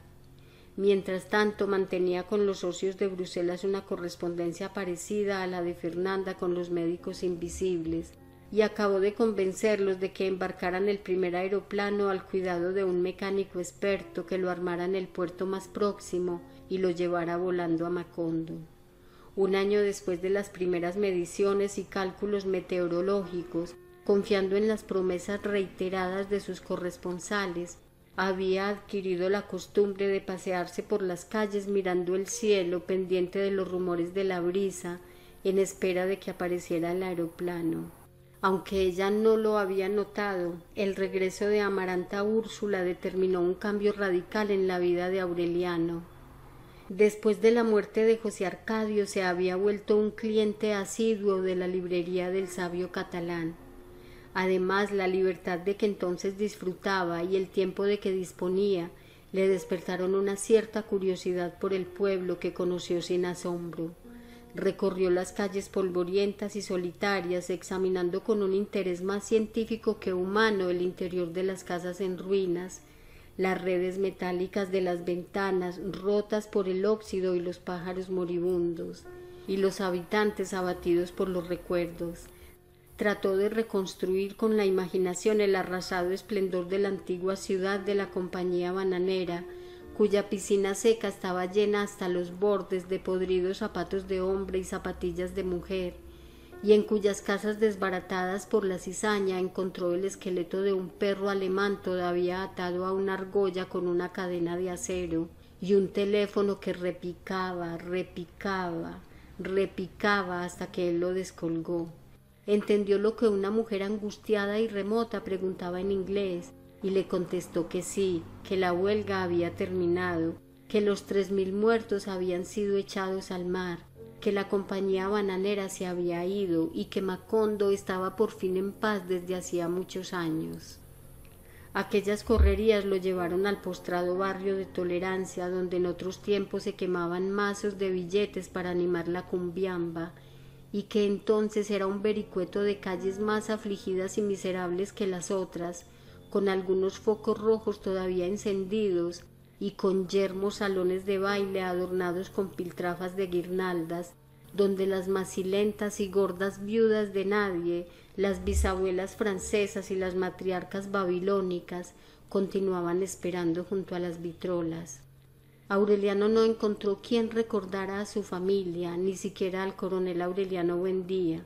salvo el más antiguo de los negros antillanos, un anciano cuya cabeza algodonada le daba el aspecto de un negativo de fotografía, que seguía cantando en el pórtico de la casa los salmos lúgubres del atardecer. Aureliano conversaba con él en el enrevesado papiamento que aprendió en pocas semanas, y a veces compartía el caldo de cabezas de gallo que preparaba la bisnieta, una negra grande de huesos sólidos, caderas de yegua y tetas de melones vivos, y una cabeza redonda, perfecta, acorazada por un duro capacete de pelos de alambre que parecía el almófar de un guerrero medieval. Se llamaba nigromanta. Por esa época Aureliano vivía de vender cubiertos, palmatorias y otros chécheres de la casa. Cuando andaba sin un céntimo, que era lo más frecuente, conseguía que en las fondas del mercado le regalaran las cabezas de gallo que iban a tirar en la basura, y se las llevaba a Nigromanta para que le hiciera sus sopas aumentadas con verdolaga y perfumadas con hierbabuena. Al morir el bisabuelo, Aureliano dejó de frecuentar la casa, pero se encontraba a Nigromanta bajo los oscuros almendros de la plaza, cautivando con sus silbos de animal montuno a los escasos trasnochadores. Muchas veces la acompañó, hablando en papiamento de las sopas de cabezas de gallo y otras exquisiteces de la miseria, y hubiera seguido haciéndolo si ella no lo hubiera hecho caer en la cuenta de que su compañía le ahuyentaba la clientela. Aunque algunas veces sintió la tentación, y aunque a la propia nigromanta le hubiera parecido una culminación natural de la nostalgia compartida, no se acostaba con ella, de modo que Aureliano seguía siendo virgen cuando Amaranta Úrsula regresó a Macondo y le dio un abrazo fraternal que lo dejó sin aliento. Cada vez que la veía, y peor aún cuando ella le enseñaba los bailes de moda, él sentía el mismo desamparo de esponja en los huesos que turbó a su tatarabuelo cuando Pilar Ternera le puso pretextos de barajas en el granero. Tratando de sofocar el tormento, se sumergió más a fondo en los pergaminos y eludió los halagos inocentes de aquella tía que emponzoñaba sus noches con efluvios de tribulación. Pero mientras más la evitaba, con más ansiedad esperaba su risa pedregosa, sus aullidos de gata feliz y sus canciones de gratitud, agonizando de amor a cualquier hora y en los lugares menos pensados de la casa. Una noche a diez metros de su cama en el mesón de platería, los esposos del vientre desquiciado desbarataron la vidriera y terminaron amándose en un charco de ácido muriático. Aureliano no solo no pudo dormir un minuto, sino que pasó el día siguiente con calentura, sollozando de rabia se le hizo eterna la llegada de la primera noche en que esperó a Nigromanta a la sombra de los almendros, atravesado por las agujas de hielo de la incertidumbre, y apretando en el puño el peso con cincuenta centavos que le había pedido a Amaranta Úrsula, no tanto porque los necesitara como para complicarla, envilecerla y prostituirla de algún modo con su aventura. Nigromanta lo llevó a su cuarto alumbrado con veladoras de superchería, a su cama de tijeras con el lienzo percudido de malos amores y su cuerpo de perra brava, empedernida, desalmada, que se preparó para despacharlo como si fuera un niño asustado, y se encontró de pronto con un hombre cuyo poder tremendo exigió a sus entrañas un movimiento de reacomodación sísmica. Se hicieron amantes. Aureliano ocupaba la mañana en descifrar pergaminos y a la hora de la siesta iba al dormitorio soporífero donde Nigromanta lo esperaba para enseñarle a hacer primero como las lombrices, luego como los caracoles y por último como los cangrejos, hasta que tenía que abandonarlo para acechar amores extraviados. Pasaron varias semanas antes de que Aureliano descubriera que ella tenía alrededor de la cintura un cintillo que parecía hecho con una cuerda de violonchelo, pero que era duro como el acero y carecía de remate, porque había nacido y crecido con ella. Casi siempre entre amor y amor comían desnudos en la cama, en el calor alucinante y bajo las estrellas diurnas que el óxido iba haciendo despuntar en el techo de zinc. Era la primera vez que Negromanta tenía un hombre fijo, un machucante de planta, como ella misma decía, muerta de risa, y hasta empezaba a hacerse ilusiones de corazón cuando Aureliano le confió su pasión reprimida por Amaranta Úrsula, que no había conseguido remediar con la sustitución, sino que le iba torciendo cada vez más las entrañas a medida que la experiencia ensanchaba el horizonte del amor. Entonces Nigromanta siguió recibiéndolo con el mismo calor de siempre, pero se hizo pagar los servicios con tanto rigor que cuando Aureliano no tenía dinero se los cargaba en la cuenta que no llevaba con números, sino con rayitas que iba trazando con la uña del pulgar detrás de la puerta. Al anochecer, mientras ella se quedaba barloventeando en las sombras de la plaza, Aureliano pasaba por el corredor como un extraño, saludando apenas a Amaranta Úrsula y a Gastón, que de ordinario cenaban a esa hora, y volvía a encerrarse en el cuarto sin poder leer ni escribir, ni siquiera pensar, por la ansiedad que le provocaban las risas, los cuchicheos, los retosos preliminares y luego las explosiones de felicidad agónica que colmaban las noches de la casa. Esa era su vida dos años antes de que Gastón empezara a esperar el aeroplano, y seguía siendo igual la tarde en que fue a la librería del sabio catalán y encontró a cuatro muchachos despotricadores, encarnizados en una discusión sobre los métodos de matar cucarachas en la Edad Media. El viejo librero, conociendo la afición de Aureliano por libros que sólo había leído Veda el Venerable, lo instó con una cierta malignidad paternal a que terciara en la controversia, y él ni siquiera tomó aliento para explicar que las cucarachas, el insecto alado más antiguo sobre la tierra, era ya la víctima favorita de los chancletazos en el Antiguo Testamento, pero que como especie era definitivamente refractaria a cualquier método de exterminio, desde las rebanadas de tomate con bórax hasta la harina con azúcar, pues sus mil seiscientas tres variedades habían resistido a la más remota, tenaz y despiadada persecución que el hombre había desatado desde sus orígenes contra ser viviente alguno, inclusive el propio hombre, hasta el extremo de que así como se atribuía al género humano un instinto de reproducción, debía atribuírsele otro más definido y apremiante, que era el instinto de matar cucarachas, y que si éstas habían logrado escapar a la ferocidad humana, era porque se habían refugiado en las tinieblas, donde se hicieron invulnerables por el miedo congénito del hombre a la oscuridad, pero en cambio se volvieron susceptibles al esplendor del mediodía, de modo que ya en la Edad Media, en la actualidad y por los siglos de los siglos, el único método eficaz para matar cucarachas era el deslumbramiento solar. Aquel fatalismo enciclopédico fue el principio de una gran amistad. Aureliano siguió reuniéndose todas las tardes con los cuatro discutidores que se llamaban Álvaro, Germán, Alfonso y Gabriel, los primeros y últimos amigos que tuvo en la vida. Para un hombre como él, encastillado en la realidad escrita, aquellas sesiones tormentosas que empezaban en la librería a las seis de la tarde y terminaban en los burdeles al amanecer, fueron una revelación. No se le había ocurrido pensar hasta entonces que la literatura fuera el mejor juguete que se había inventado para burlarse de la gente, como lo demostró Álvaro en una noche de parranda. Había de transcurrir algún tiempo antes de que Aureliano se diera cuenta de que tanta arbitrariedad tenía origen en el ejemplo del sabio catalán, para quien la sabiduría no valía la pena si no era posible servirse de ella para inventar una manera nueva de preparar los garbanzos. La tarde en que Aureliano sentó cátedra sobre las cucarachas, la discusión terminó en la casa de las muchachitas que se acostaban por hambre, un burdel de mentiras en los arrabales de Macondo.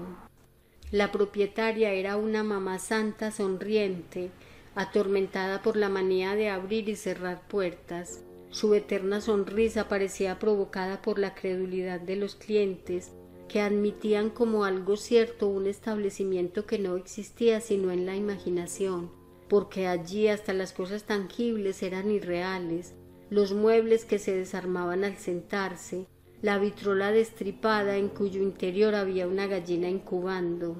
el jardín de flores de papel, los almanaques de años anteriores a la llegada de la compañía bananera, los cuadros con litografías recortadas de revistas que nunca se editaron, hasta las putitas tímidas que acudían del vecindario cuando la propietaria les avisaba que habían llegado clientes, eran una pura invención.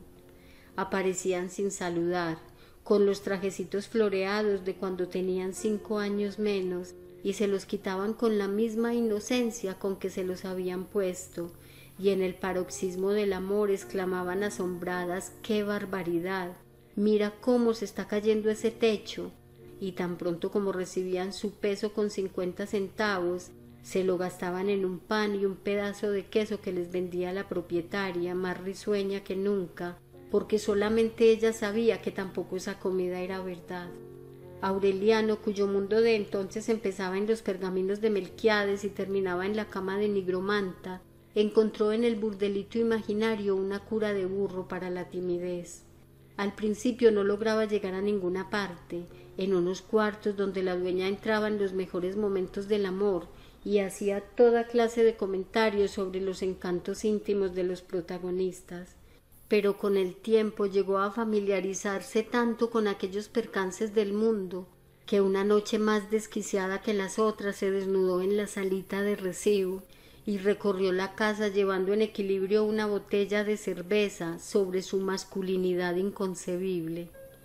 Fue él quien puso de moda las extravagancias que la propietaria celebraba con su sonrisa eterna, sin protestar, sin creer en ellas, lo mismo cuando Germán trató de incendiar la casa para demostrar que no existía, que cuando Alfonso le torció el pescuezo al loro y lo echó en la olla donde empezaba a hervir el sancocho de gallina. aunque Aureliano se sentía vinculado a los cuatro amigos por un mismo cariño y una misma solidaridad, hasta el punto de que pensaba en ellos como si fueran uno solo, estaba más cerca de Gabriel que de los otros. El vínculo nació la noche en que él habló casualmente del coronel Aureliano Buendía, y Gabriel fue el único que no creyó que se estuviera burlando de alguien. Hasta la dueña, que no solía intervenir en las conversaciones, discutió con una rabiosa pasión de comadrona que el coronel Aureliano Buendía, de quien en efecto había oído hablar alguna vez, era un personaje inventado por el gobierno como un pretexto para matar liberales.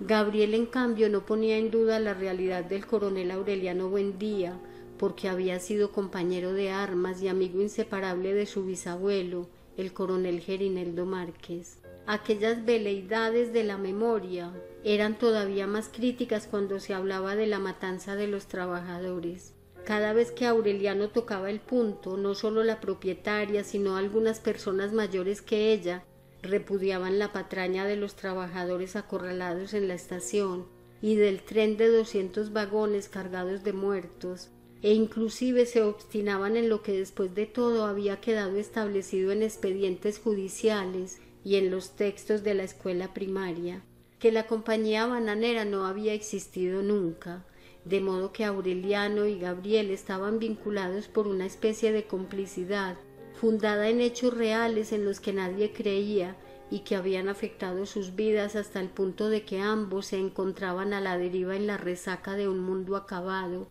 del cual sólo quedaba la nostalgia. Gabriel dormía donde lo sorprendiera la hora, Aureliano lo acomodó varias veces en el taller de platería, pero se pasaba las noches en vela, perturbado por el trasiego de los muertos que andaban hasta el amanecer por los dormitorios. Más tarde se lo encomendó a Nigromanta, quien lo llevaba a su cuarto multitudinario cuando estaba libre, y le anotaba las cuentas con rayitas verticales después de la puerta, en los pocos espacios disponibles que habían dejado las deudas de Aureliano. A pesar de su vida desordenada, todo el grupo trataba de hacer algo perdurable a instancias del sabio catalán. Era él, con su experiencia de antiguo profesor de letras clásicas y su depósito de libros raros, quien los había puesto en condiciones de pasar una noche entera buscando la trigésimo séptima situación dramática, en un pueblo donde ya nadie tenía interés ni posibilidades de ir más allá de la escuela primaria. Fascinado por el descubrimiento de la amistad, aturdido por los hechizos de un mundo que le había sido vedado por la mezquindad de Fernanda, Aureliano abandonó el escrutinio de los pergaminos precisamente cuando empezaban a revelársele como predicciones en versos cifrados. Pero la comprobación posterior de que el tiempo alcanzaba para todo sin que fuera necesario renunciar a los burdeles le dio ánimos para volver al cuarto de Melquiades decidido a no flaquear en su empeño hasta descubrir las últimas claves. Eso fue por los días en que Gastón empezaba a esperar el aeroplano y Amaranta Úrsula se encontraba tan sola que una mañana apareció en el cuarto. Hola, antropófago, le dijo, otra vez en la cueva. Era irresistible con su vestido inventado y uno de los largos collares de vértebras de sábalo que ella misma fabricaba había desistido del sedal convencida de la fidelidad del marido, y por primera vez desde el regreso parecía disponer de un rato de ocio. Aureliano no hubiera tenido necesidad de verla para saber que había llegado. Ella se acodó en la mesa de trabajo, tan cercana e inerme, que Aureliano percibió el hondo rumor de sus huesos y se interesó en los pergaminos.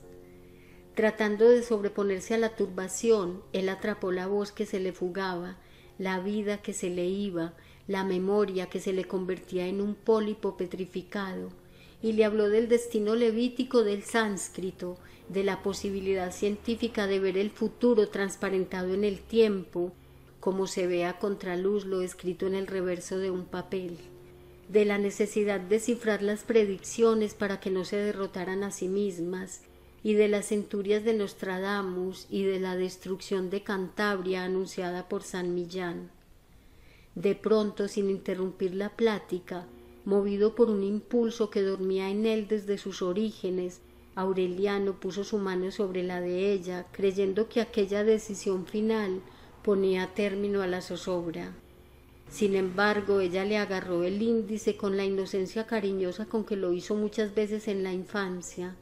y lo tuvo agarrado mientras él seguía contestando sus preguntas. Permanecieron así, vinculados por un índice de hielo que no transmitía nada en ningún sentido, hasta que ella despertó de su sueño momentáneo y se dio una palmada en la frente. Las hormigas. exclamó, y entonces se olvidó de los manuscritos, llegó hasta la puerta con un paso de baile, y desde allí le mandó a Aureliano con la punta de los dedos el mismo beso con que se despidió de su padre la tarde en que la mandaron a Bruselas. Después me explicas, dijo, se me había olvidado que hoy es día de echar cal en los huecos de las hormigas. Siguió yendo al cuarto ocasionalmente cuando tenía algo que hacer por esos lados y permanecía allí breves minutos mientras su marido continuaba escrutando el cielo. Ilusionado con aquel cambio, Aureliano se quedaba entonces a comer en familia como no lo hacía desde los primeros meses del regreso de Amaranta Úrsula. A Gastón le agradó. En las conversaciones de sobremesa que solían prolongarse por más de una hora, se dolía de que sus socios le estuvieran engañando. Le habían anunciado el embarque del aeroplano en un buque que no llegaba, y aunque sus agentes marítimos insistían en que no llegaría nunca porque no figuraba en las listas de los barcos del Caribe, sus socios se obstinaban en que el despacho era correcto y hasta insinuaban la posibilidad de que Gastón les mintiera en sus cartas. La correspondencia alcanzó tal grado de suspicacia recíproca que Gastón optó por no volver a escribir y empezó a sugerir la posibilidad de un viaje rápido a Bruselas para aclarar las cosas y regresar con el aeroplano. Sin embargo, el proyecto se desvaneció tan pronto como Amaranta Úrsula reiteró su decisión de no moverse de Macondo aunque se quedara sin marido. En los primeros tiempos Aureliano compartió la idea generalizada de que Gastón era un tonto en velocípedo, y eso le suscitó un vago sentimiento de piedad. Más tarde, cuando obtuvo en los burdeles una información más profunda sobre la naturaleza de los hombres, pensó que la mansedumbre de Gastón tenía origen en la pasión desmandada. Pero cuando lo conoció mejor y se dio cuenta de que su verdadero carácter estaba en contradicción con su conducta sumisa, concibió la maliciosa sospecha de que hasta la espera del aeroplano era una farsa. Entonces pensó que Gastón no era tan tonto como lo aparentaba, sino al contrario, un hombre de una constancia, una habilidad y una paciencia infinitas, que se había propuesto vencer a la esposa por el cansancio de la eterna complacencia, del nunca decirle que no, del simular una conformidad sin límites, dejándola enredarse en su propia telaraña hasta el día en que no pudiera soportar más el tedio de las ilusiones al alcance de la mano y ella misma hiciera las maletas para volver a Europa. La antigua piedad de Aureliano se transformó en una animadversión virulenta. Le pareció tan perverso el sistema de Gastón, pero al mismo tiempo tan eficaz, que se atrevió a prevenir a Amaranta Úrsula. Sin embargo, ella se burló de su suspicacia sin vislumbrar siquiera la desgarradora carga de amor, de incertidumbre y de celos que llevaba dentro. No se le había ocurrido pensar que suscitaba en Aureliano algo más que un afecto fraternal, hasta que se pinchó un dedo tratando de destapar una lata de melocotones y él se precipitó a chuparle la sangre con una avidez y una devoción que le erizaron la piel. Aureliano, rió ella inquieta, eres demasiado malicioso para ser un buen murciélago. Entonces Aureliano se desbordó, dándole besitos de huérfano en el cuenco de la mano herida, abrió los pasadizos más recónditos de su corazón y se sacó una tripa interminable y macerada, el terrible animal parasitario que había incubado en el martirio le contó cómo se levantaba a medianoche para llorar de desamparo y de rabia en la ropa íntima que ella dejaba secando en el baño. Le contó con cuánta ansiedad le pedía a Nigromanta que chillara como una gata y sollozara en su oído Gastón, Gastón, Gastón, y con cuánta astucia saqueaba sus frascos de perfume para encontrarlos en el cuello de las muchachas que se acostaban por hambre. Espantada con la pasión de aquel desahogo, Amaranta Úrsula fue cerrando los dedos, contrayéndolos como un molusco hasta que su mano herida, liberada de todo dolor y todo vestigio de misericordia, se convirtió en un nudo de esmeraldas y topacios y huesos pétreos e insensibles. Bruto, dijo como si estuviera escupiendo, me voy a Bélgica en el primer barco que salga. Álvaro había llegado una de esas tardes a la librería del sabio catalán, pregonando a voz en cuello su último hallazgo, un burdel zoológico. Se llamaba El Niño de Oro y era un inmenso salón al aire libre, por donde se paseaban a voluntad no menos de doscientos alcaravanes que daban la hora con un cacareo ensordecedor. En los corrales de alambre que rodeaban la pista de baile y entre grandes camelias amazónicas había garzas de colores, caimanes cebados como cerdos, serpientes de doce cascabeles y una tortuga de concha dorada que se zambullía en un minúsculo océano artificial. Había un perrazo blanco, manso y pederasta, que sin embargo prestaba servicios de padrote para que le dieran de comer. El aire tenía una densidad ingenua como si lo acabaran de inventar, y las bellas mulatas que esperaban sin esperanza entre pétalos sangrientos y discos pasados de moda conocían oficios de amor que el hombre había dejado olvidados en el paraíso terrenal. La primera noche en que el grupo visitó aquel invernadero de ilusiones, la espléndida y taciturna anciana que vigilaba el ingreso en un mecedor de bejuco sintió que el tiempo regresaba a sus manantiales primarios cuando entre los cinco que llegaban descubrió un hombre óseo, cetrino, de pómulos tártaros, marcado para siempre y desde el principio del mundo por la viruela de la soledad. Ay, suspiró, Aureliano,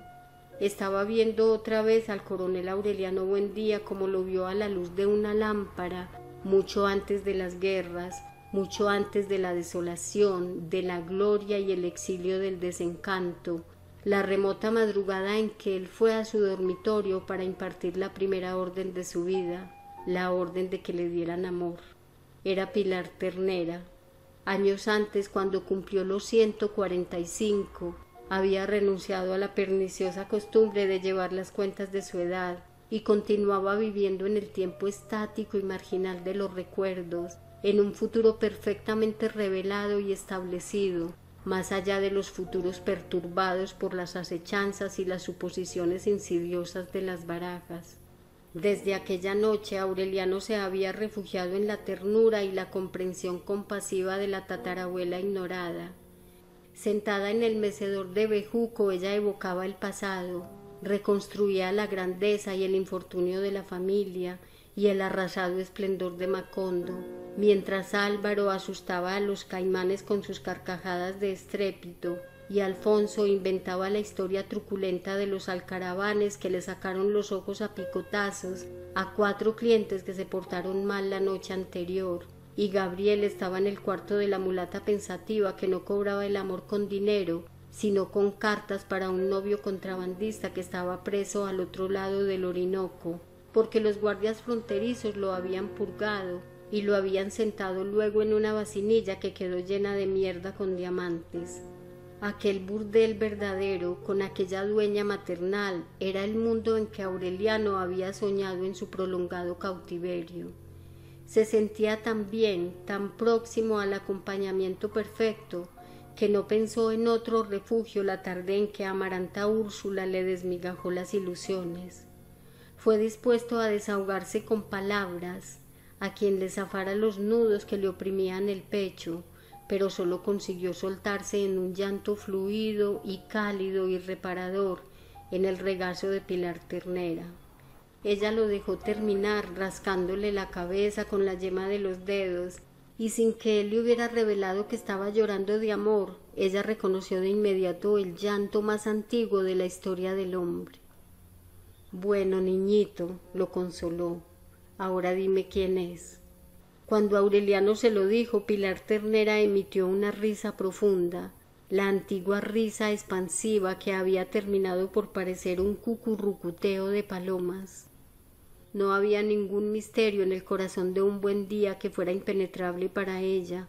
porque un siglo de naipes y de experiencia le había enseñado que la historia de la familia era un engranaje de repeticiones irreparables, una rueda giratoria que hubiera seguido dando vueltas hasta la eternidad de no haber sido por el desgaste progresivo e irremediable del eje.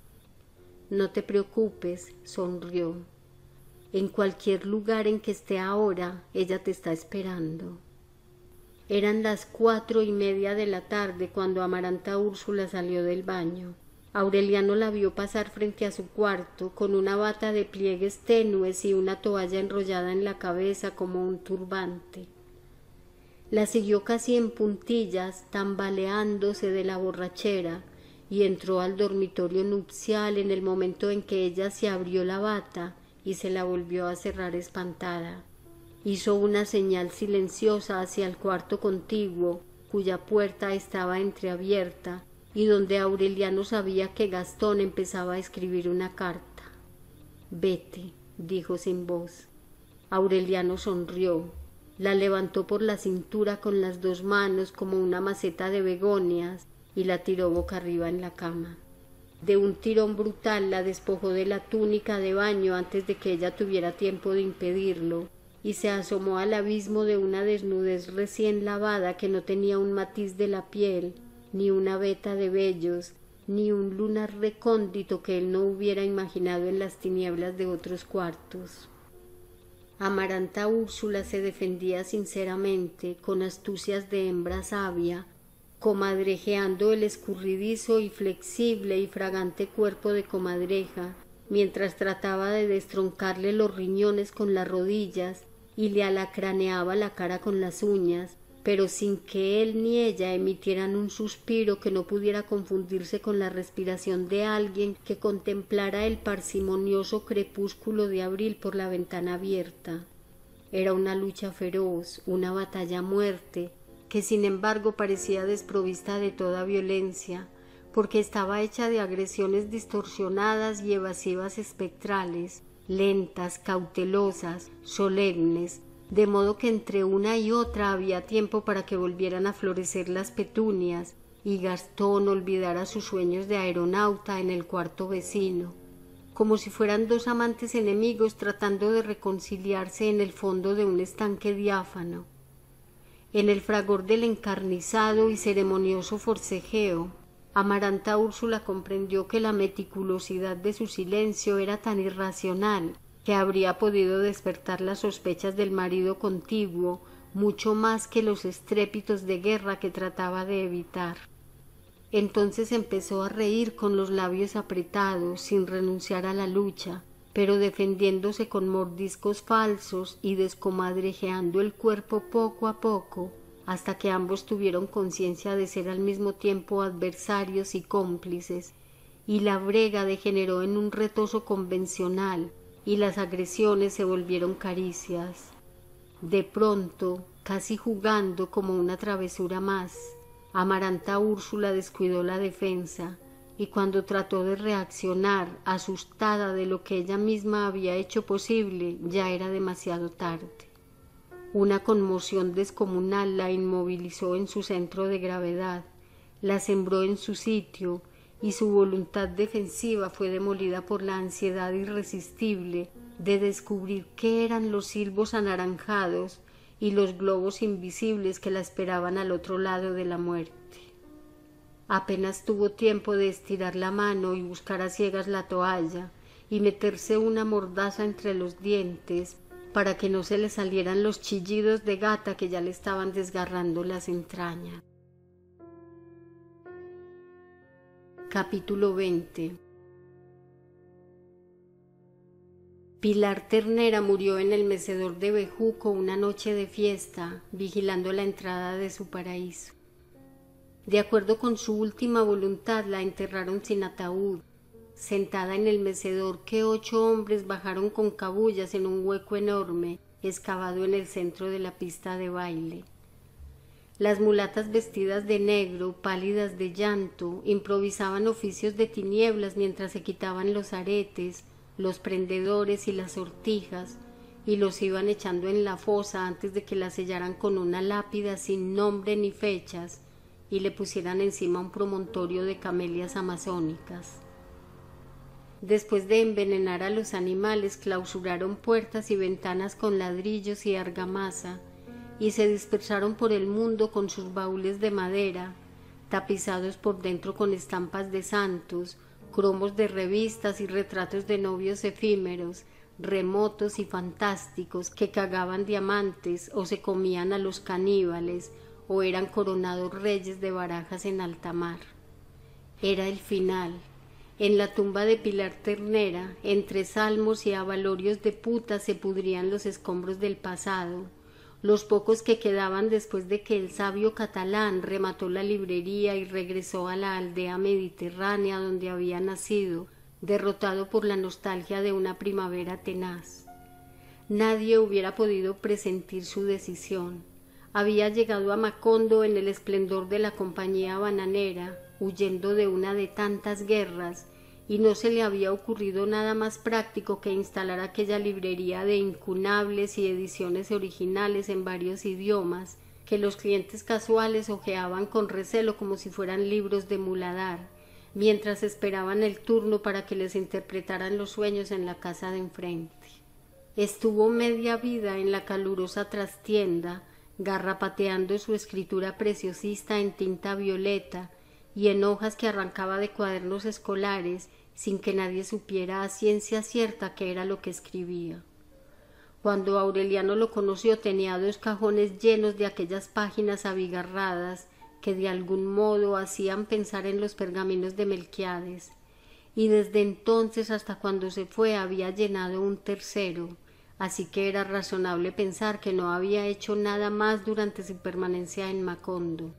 Las únicas personas con quienes se relacionó fueron los cuatro amigos, a quienes les cambió por libros los trompos y las cometas, y los puso a leer a Séneca y a Ovidio cuando todavía estaban en la escuela primaria. Trataba a los clásicos con una familiaridad casera, como si todos hubieran sido en alguna época sus compañeros de cuarto, y sabía muchas cosas que simplemente no se debían saber, como que San Agustín usaba debajo del hábito un jubón de lana que no se lo quitó en catorce años, y que Arnaldo de Vilanova, el nigromante, se volvió impotente desde niño por una mordedura de alacrán. Su fervor por la palabra escrita era una urdimbre de respeto solemne e irreverencia comadrera. Ni sus propios manuscritos estaban a salvo de esa dualidad. Habiendo aprendido el catalán para traducirlos, Alfonso se metió un rollo de páginas en los bolsillos, que siempre tenía llenos de recortes de periódicos y manuales de oficios raros, y una noche los perdió en la casa de las muchachitas que se acostaban por hambre. Cuando el abuelo sabio se enteró, en vez de hacerle el escándalo temido, comentó muerto de risa que aquel era el destino natural de la literatura. En cambio, no hubo poder humano capaz de persuadirlo de que no se llevara los tres cajones cuando regresó a su aldea natal, y se soltó en improperios cartagineses contra los inspectores del ferrocarril que trataban de mandarlos como carga, hasta que consiguió quedarse con ellos en el vagón de pasajeros. El mundo habrá acabado de joderse, dijo entonces, el día en que los hombres viajen en primera clase y la literatura en el vagón de carga. Eso fue lo último que se le oyó decir. Había pasado una semana negra con los preparativos finales del viaje, porque a medida que se le aproximaba la hora se le iba descomponiendo el humor y se le traspapelaban las intenciones y las cosas que ponía en un lugar aparecían en otro, asediado por los mismos duendes que atormentaban a Fernanda. Colons maldecía, me cago en el canon 27 del Sínodo de Londres. Germán y Aurelio se hicieron cargo de él, lo auxiliaron como a un niño, le prendieron los pasajes y los documentos migratorios en los bolsillos con alfileres de nodriza, le hicieron una lista pormenorizada de lo que debía hacer desde que saliera de Macondo hasta que desembarcara en Barcelona, pero de todos modos echó a la basura sin darse cuenta un pantalón con la mitad de su dinero. La víspera del viaje, después de clavetear los cajones y meter la ropa en la misma maleta con que había llegado, frunció sus párpados de almejas, señaló con una especie de bendición procaz los montones de libros con los que había sobrellevado el exilio y dijo a sus amigos ahí les dejo esa mierda. Tres meses después se recibieron en un sobre grande veintinueve cartas y más de cincuenta retratos que se le habían acumulado en los ocios de alta mar. Aunque no ponía fechas, era evidente el orden en que había escrito las cartas. En las primeras contaba con su humor habitual las peripecias de la travesía, las ganas que le dieron de echar por la borda al sobrecargo que no le permitió meter los tres cajones en el camarote, la imbecilidad lúcida de una señora que se aterraba con el número trece, no por superstición, sino porque le parecía un número que se había quedado sin terminar,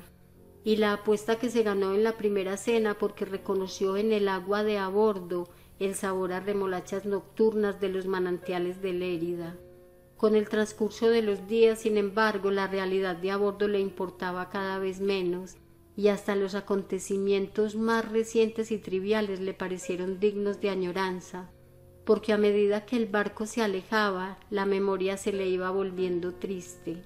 Aquel proceso de nostalgización progresiva era también evidente en los retratos. En los primeros parecía feliz con su camisa de inválido y su mechón nevado en el cabrilleante octubre del Caribe.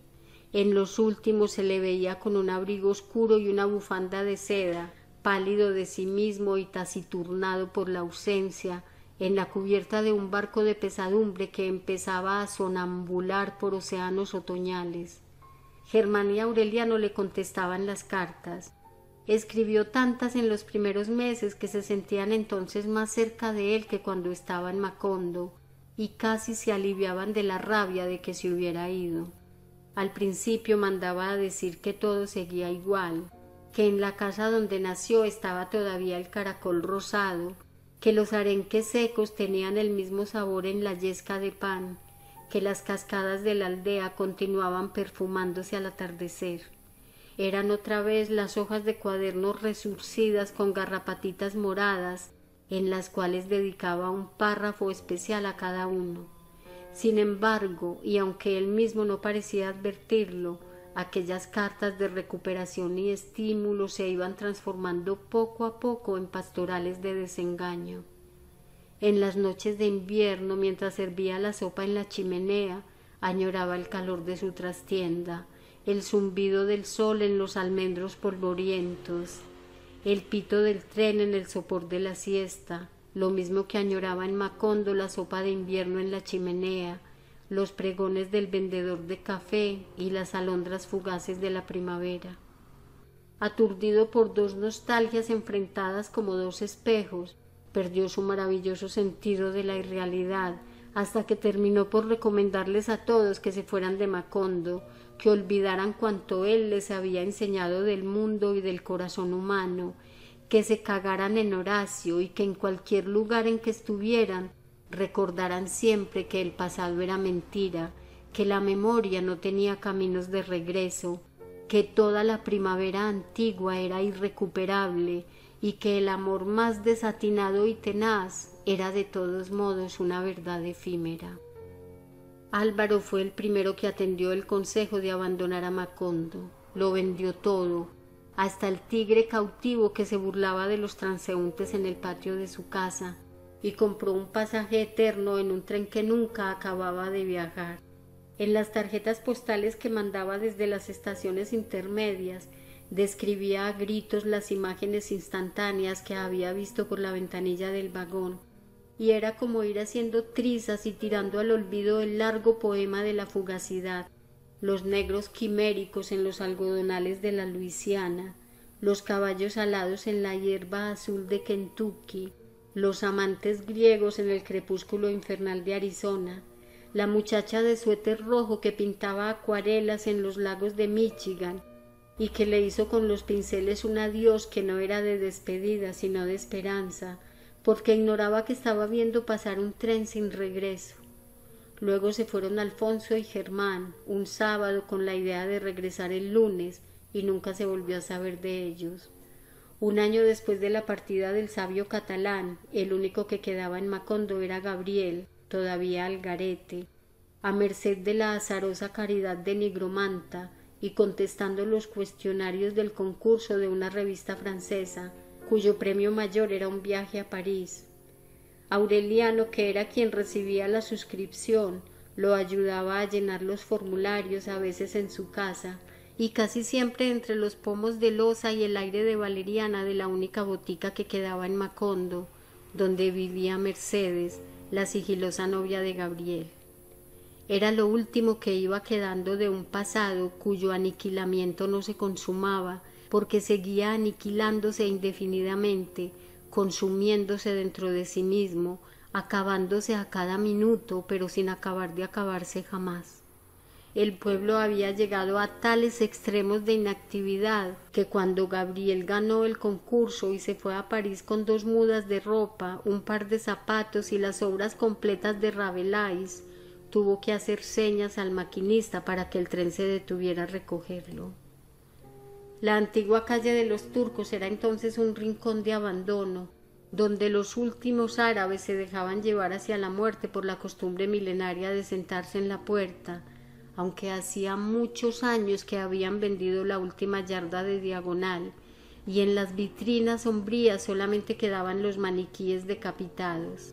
La ciudad de la compañía bananera, que tal vez Patricia Brown trataba de evocar para sus nietos en las noches de intolerancia y pepinos en vinagre de Prattville, Alabama, era una llanura de hierba silvestre. El cura anciano que había sustituido al padre Ángel y cuyo nombre nadie se tomó el trabajo de averiguar, esperaba la piedad de Dios tendido a la Bartola en una hamaca, atormentado por la artritis y el insomnio de la duda, mientras los lagartos y las ratas se disputaban la herencia del templo vecino. En aquel macondo olvidado hasta por los pájaros, donde el polvo y el calor se habían hecho tan tenaces que costaba trabajo respirar, recluidos por la soledad y el amor, y por la soledad del amor en una casa donde era casi imposible dormir por el estruendo de las hormigas coloradas, Aureliano y Amaranta Úrsula eran los únicos seres felices y los más felices sobre la tierra. Gastón había vuelto a Bruselas.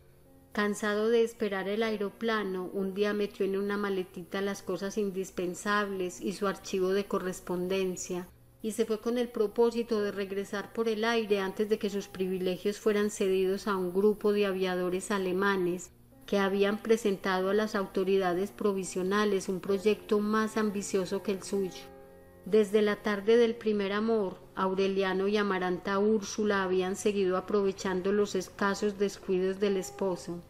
amándose con ardores amordazados en encuentros azarosos y casi siempre interrumpidos por regresos imprevistos. Pero cuando se vieron solos en la casa, sucumbieron en el delirio de los amores atrasados. Era una pasión insensata, desquiciante, que hacía temblar de pavor en su tumba a los huesos de Fernanda y los mantenía en un estado de exaltación perpetua. Los chillidos de Amaranta Úrsula, sus canciones agónicas estallaban lo mismo a las dos de la tarde en la mesa del comedor que a las dos de la madrugada en el granero. Lo que más me duele, reía, es tanto tiempo que perdimos. En el aturdimiento de la pasión vio las hormigas devastando el jardín, saciando su hambre prehistórica en las maderas de la casa, y vio el torrente de lava viva apoderándose otra vez del corredor, pero solamente se preocupó de combatirlo cuando lo encontró en su dormitorio. Aureliano abandonó los pergaminos, no volvió a salir de la casa y contestaba de cualquier modo las cartas del sabio catalán. Perdieron el sentido de la realidad, la noción del tiempo, el ritmo de los hábitos cotidianos. Volvieron a cerrar puertas y ventanas para no demorarse en trámites de desnudamientos, y andaban por la casa como siempre quiso estar Remedios la Bella, y se revolcaban en cueros en los barrizales del patio, y una tarde estuvieron a punto de ahogarse cuando se amaban en la alberca. En poco tiempo hicieron más estragos que las hormigas coloradas, destrozaron los muebles de la sala, rasgaron con sus locuras la hamaca que había resistido a los tristes amores de campamento del coronel Aureliano Buendía y destriparon los colchones y los vaciaron en los pisos para sofocarse en tempestades de algodón. Aunque Aureliano era un amante tan feroz como su rival, era Amaranta Úrsula quien comandaba con su ingenio disparatado y su voracidad lírica aquel paraíso de desastres, como si hubiera concentrado en el amor la indómita energía que la tatarabuela consagró a la fabricación de animalitos de caramelo. Además, mientras ella cantaba de placer y se moría de risa de sus propias invenciones, Aureliano se iba haciendo más absorto y callado, porque su pasión era ensimismada y calcinante. Sin embargo, ambos llegaron a tales extremos de virtuosismo que cuando se agotaban en la exaltación le sacaban mejor partido al cansancio. Se entregaron a la idolatría de sus cuerpos, al descubrir que los tedios del amor tenían posibilidades inexploradas, mucho más ricas que las del deseo. Mientras él amasaba con claras de huevo los senos eréctiles de Amaranta Úrsula, o suavizaba con manteca de coco sus muslos elásticos y su vientre aduraznado, ella jugaba a las muñecas con la portentosa criatura de Aureliano, y le pintaba ojos de payaso con carmín de labios y bigotes de turco con carboncillo de las cejas, y le ponía corbatines de organza y sombreritos de papel plateado.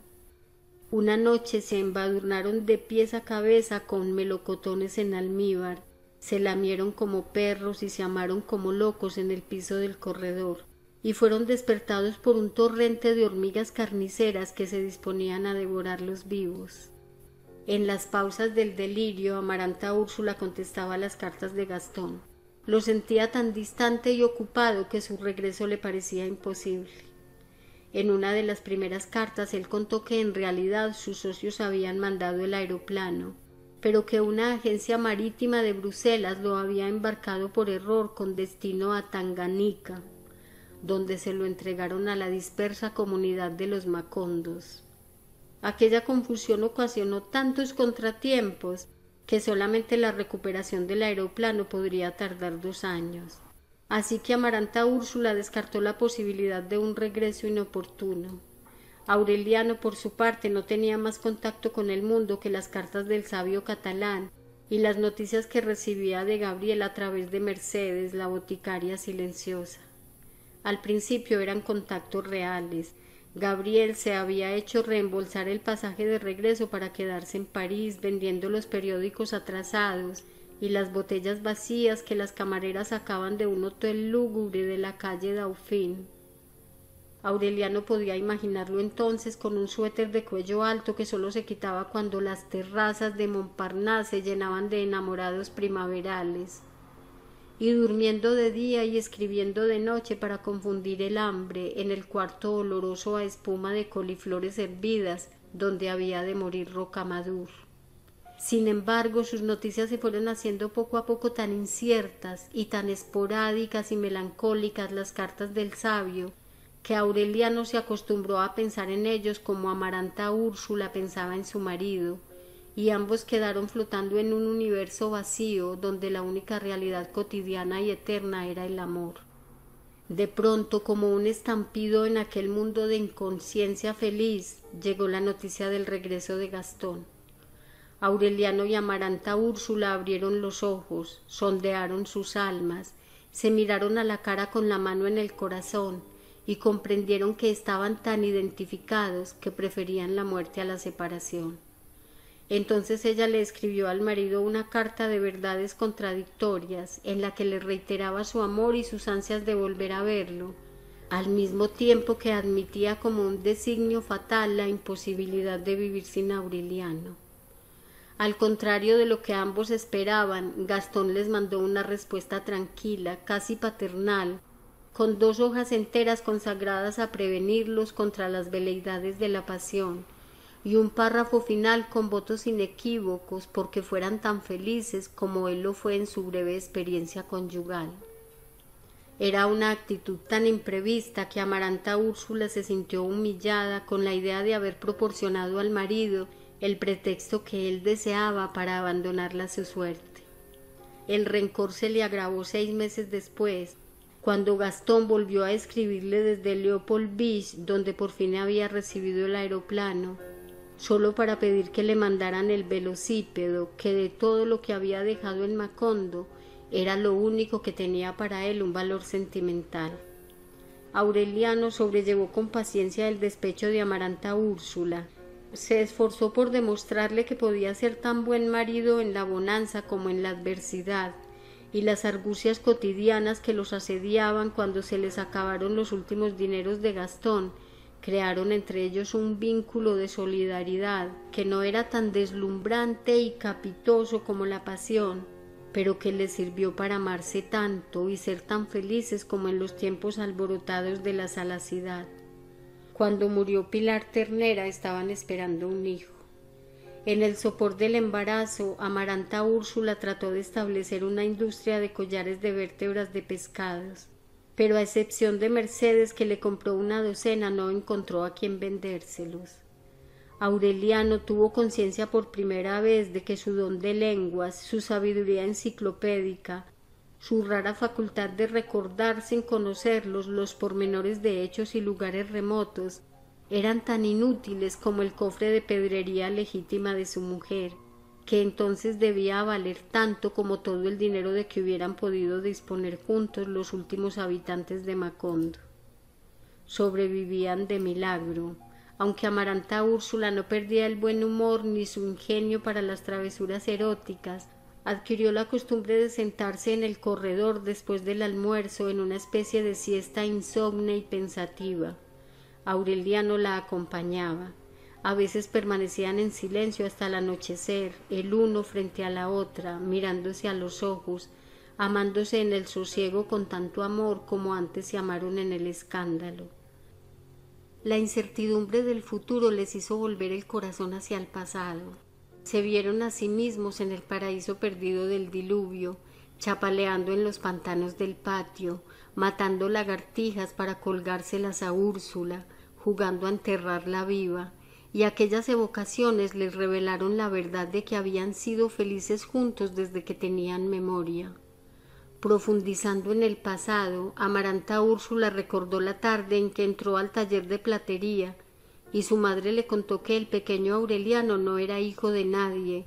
porque había sido encontrado flotando en una canastilla.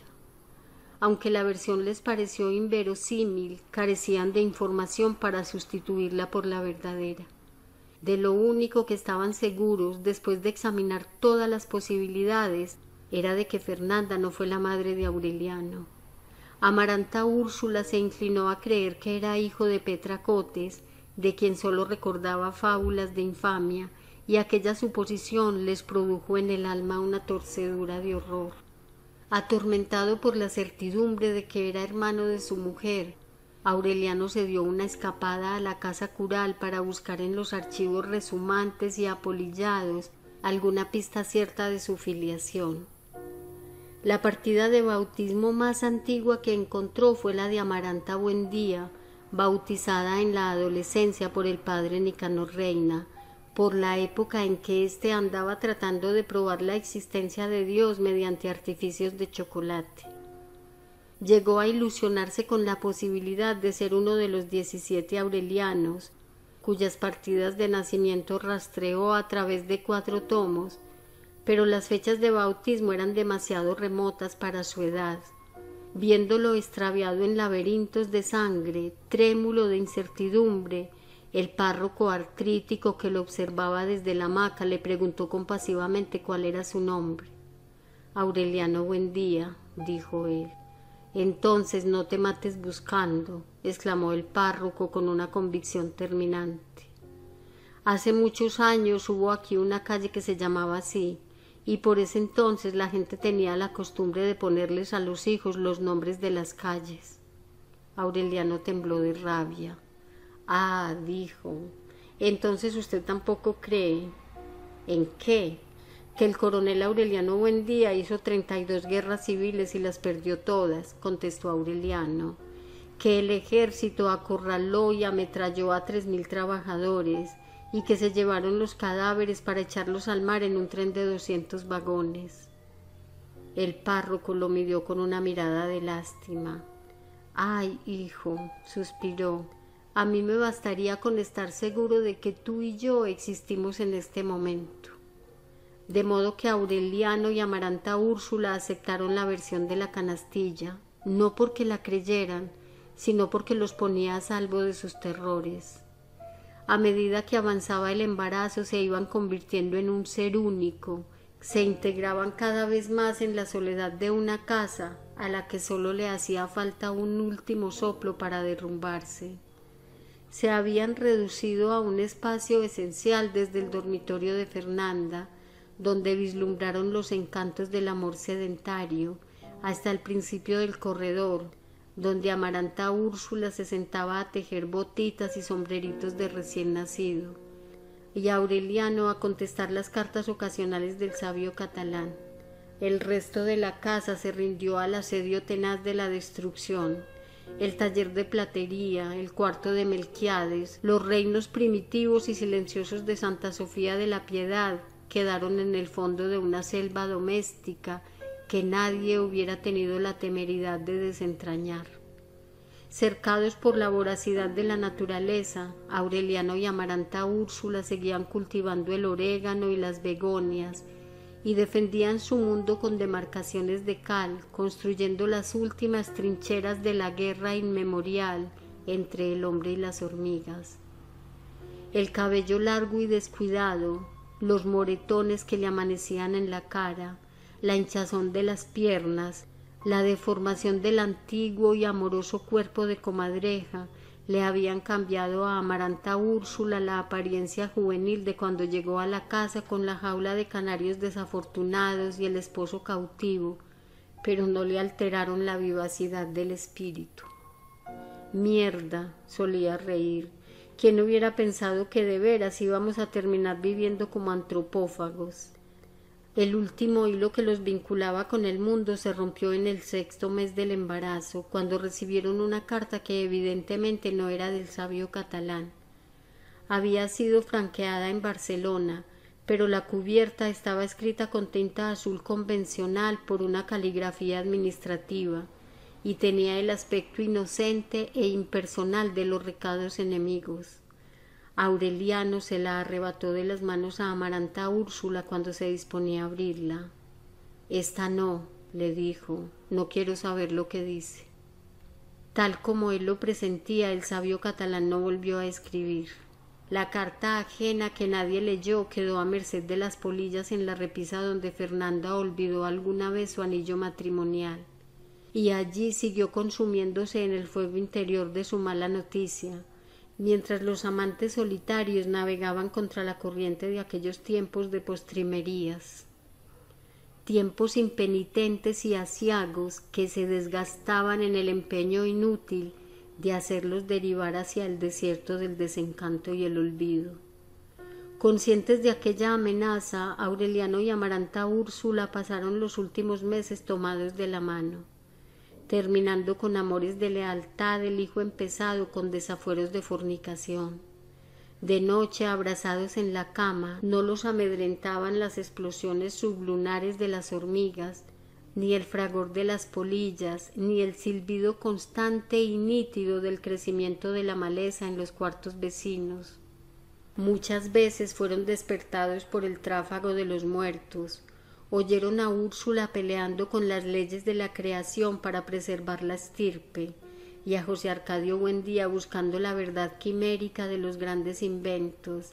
y a Fernanda rezando, y al coronel Aureliano Buendía embruteciéndose con engaños de guerra y pescaditos de oro,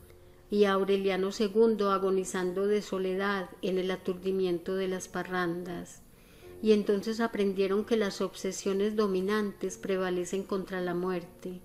y volvieron a ser felices con la certidumbre de que ellos seguirían amándose con sus naturalezas de aparecidos, mucho después de que otras especies de animales futuros les arrebataran a los insectos el paraíso de miseria que los insectos estaban acabando de arrebatarles a los hombres.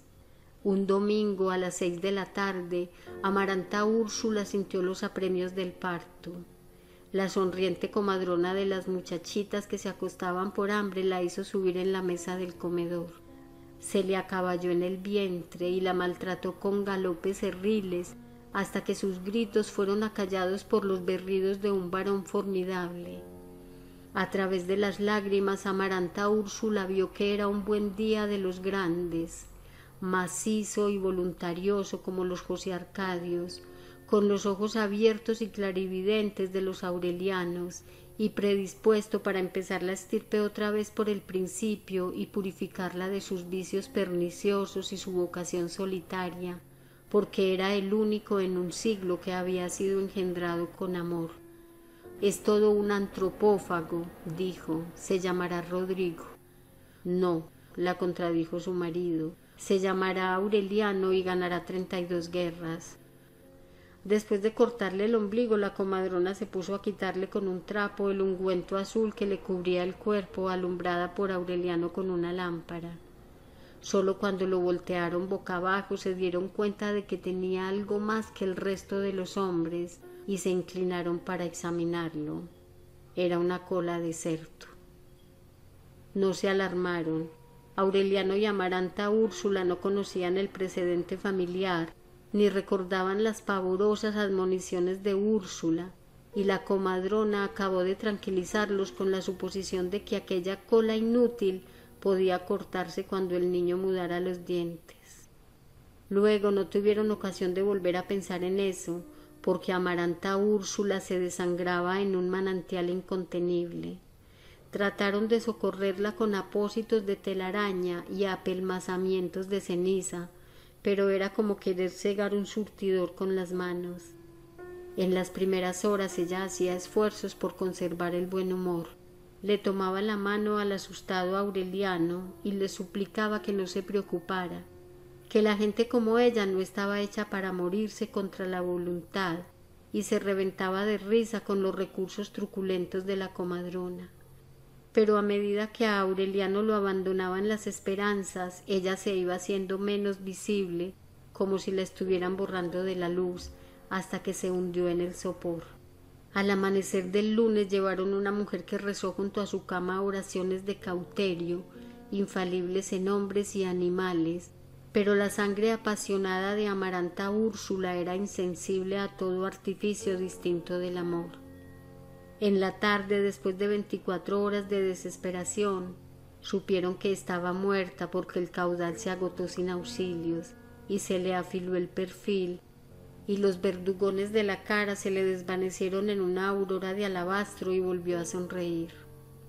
Aureliano no comprendió hasta entonces cuánto quería a sus amigos, cuánta falta le hacían y cuánto hubiera dado por estar con ellos en aquel momento.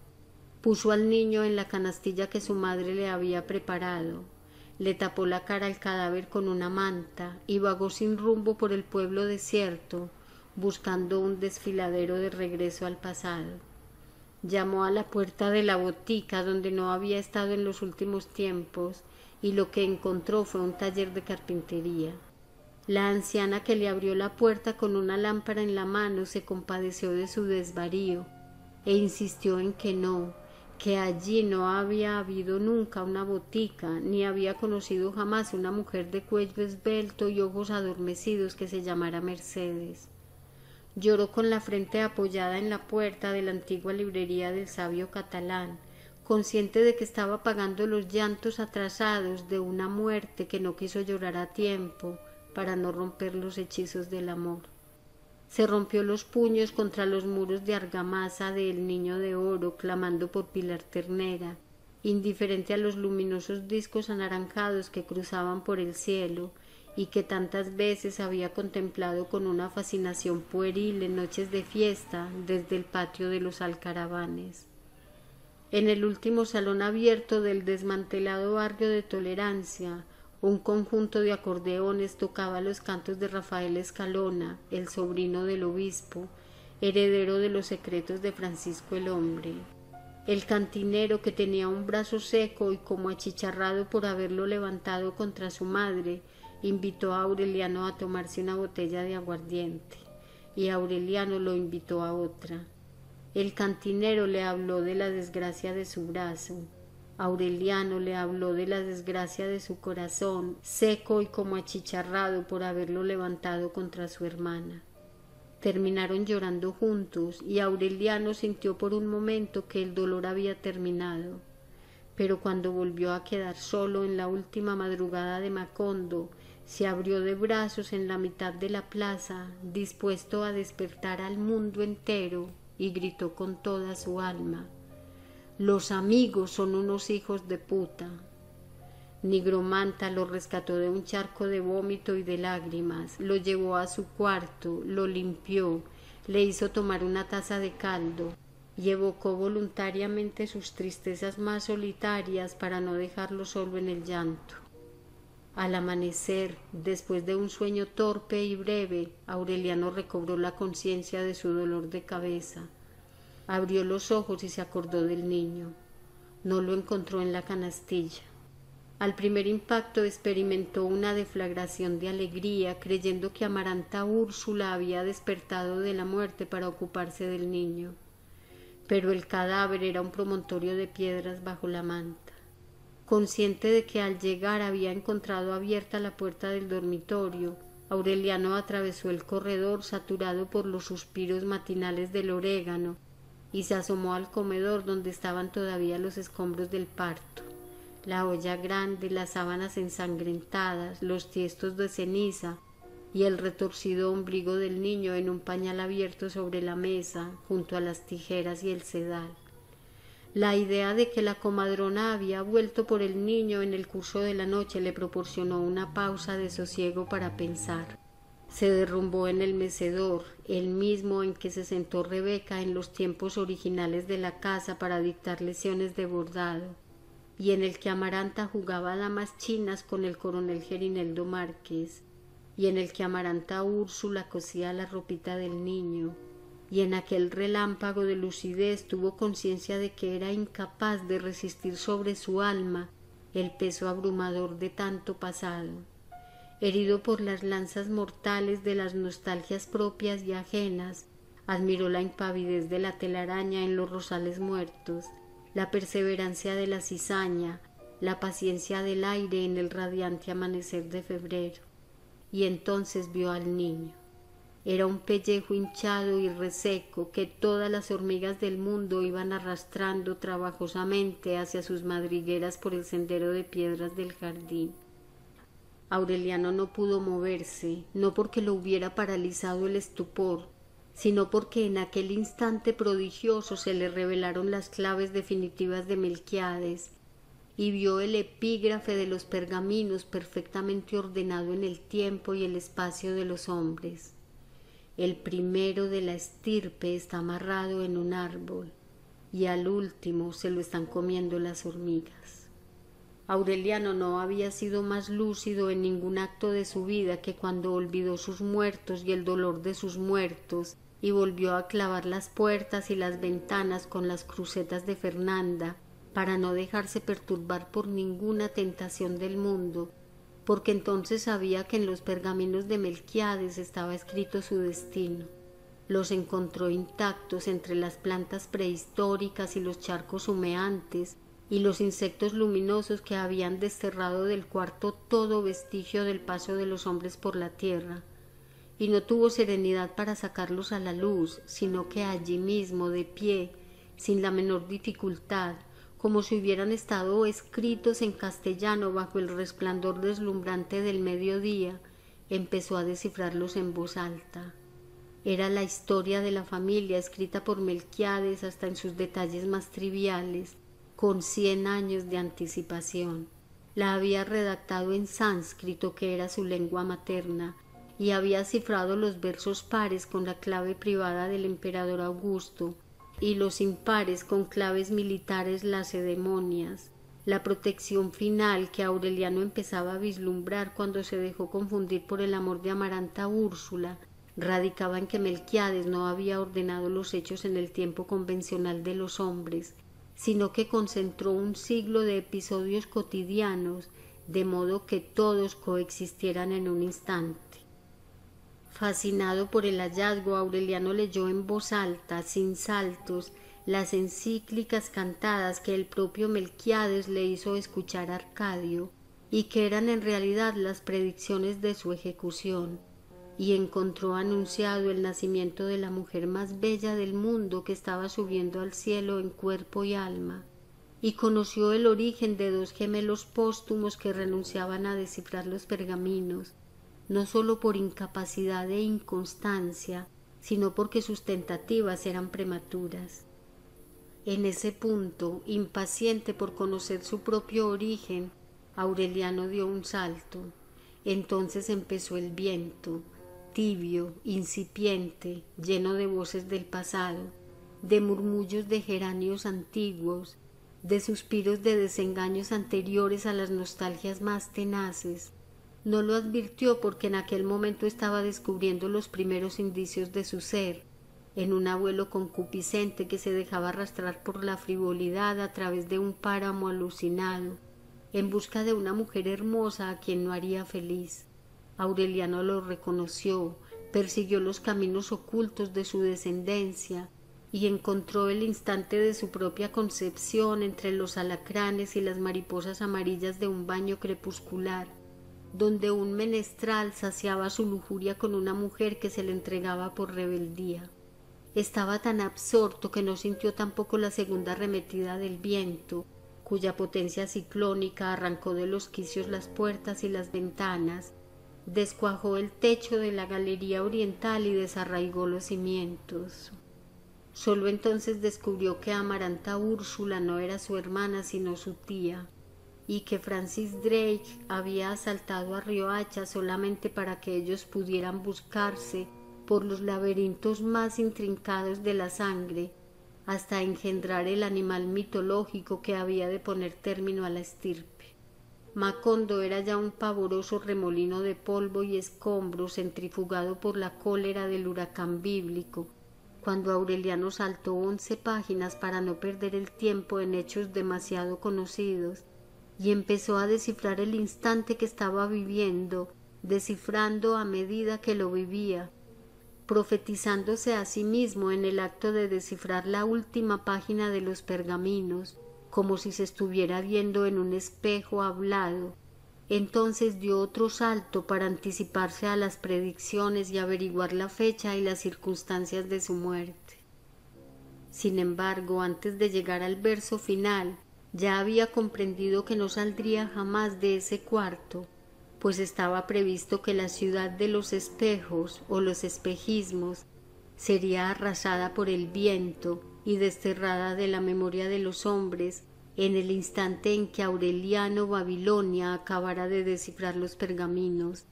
y que todo lo escrito en ellos era irrepetible desde siempre y para siempre,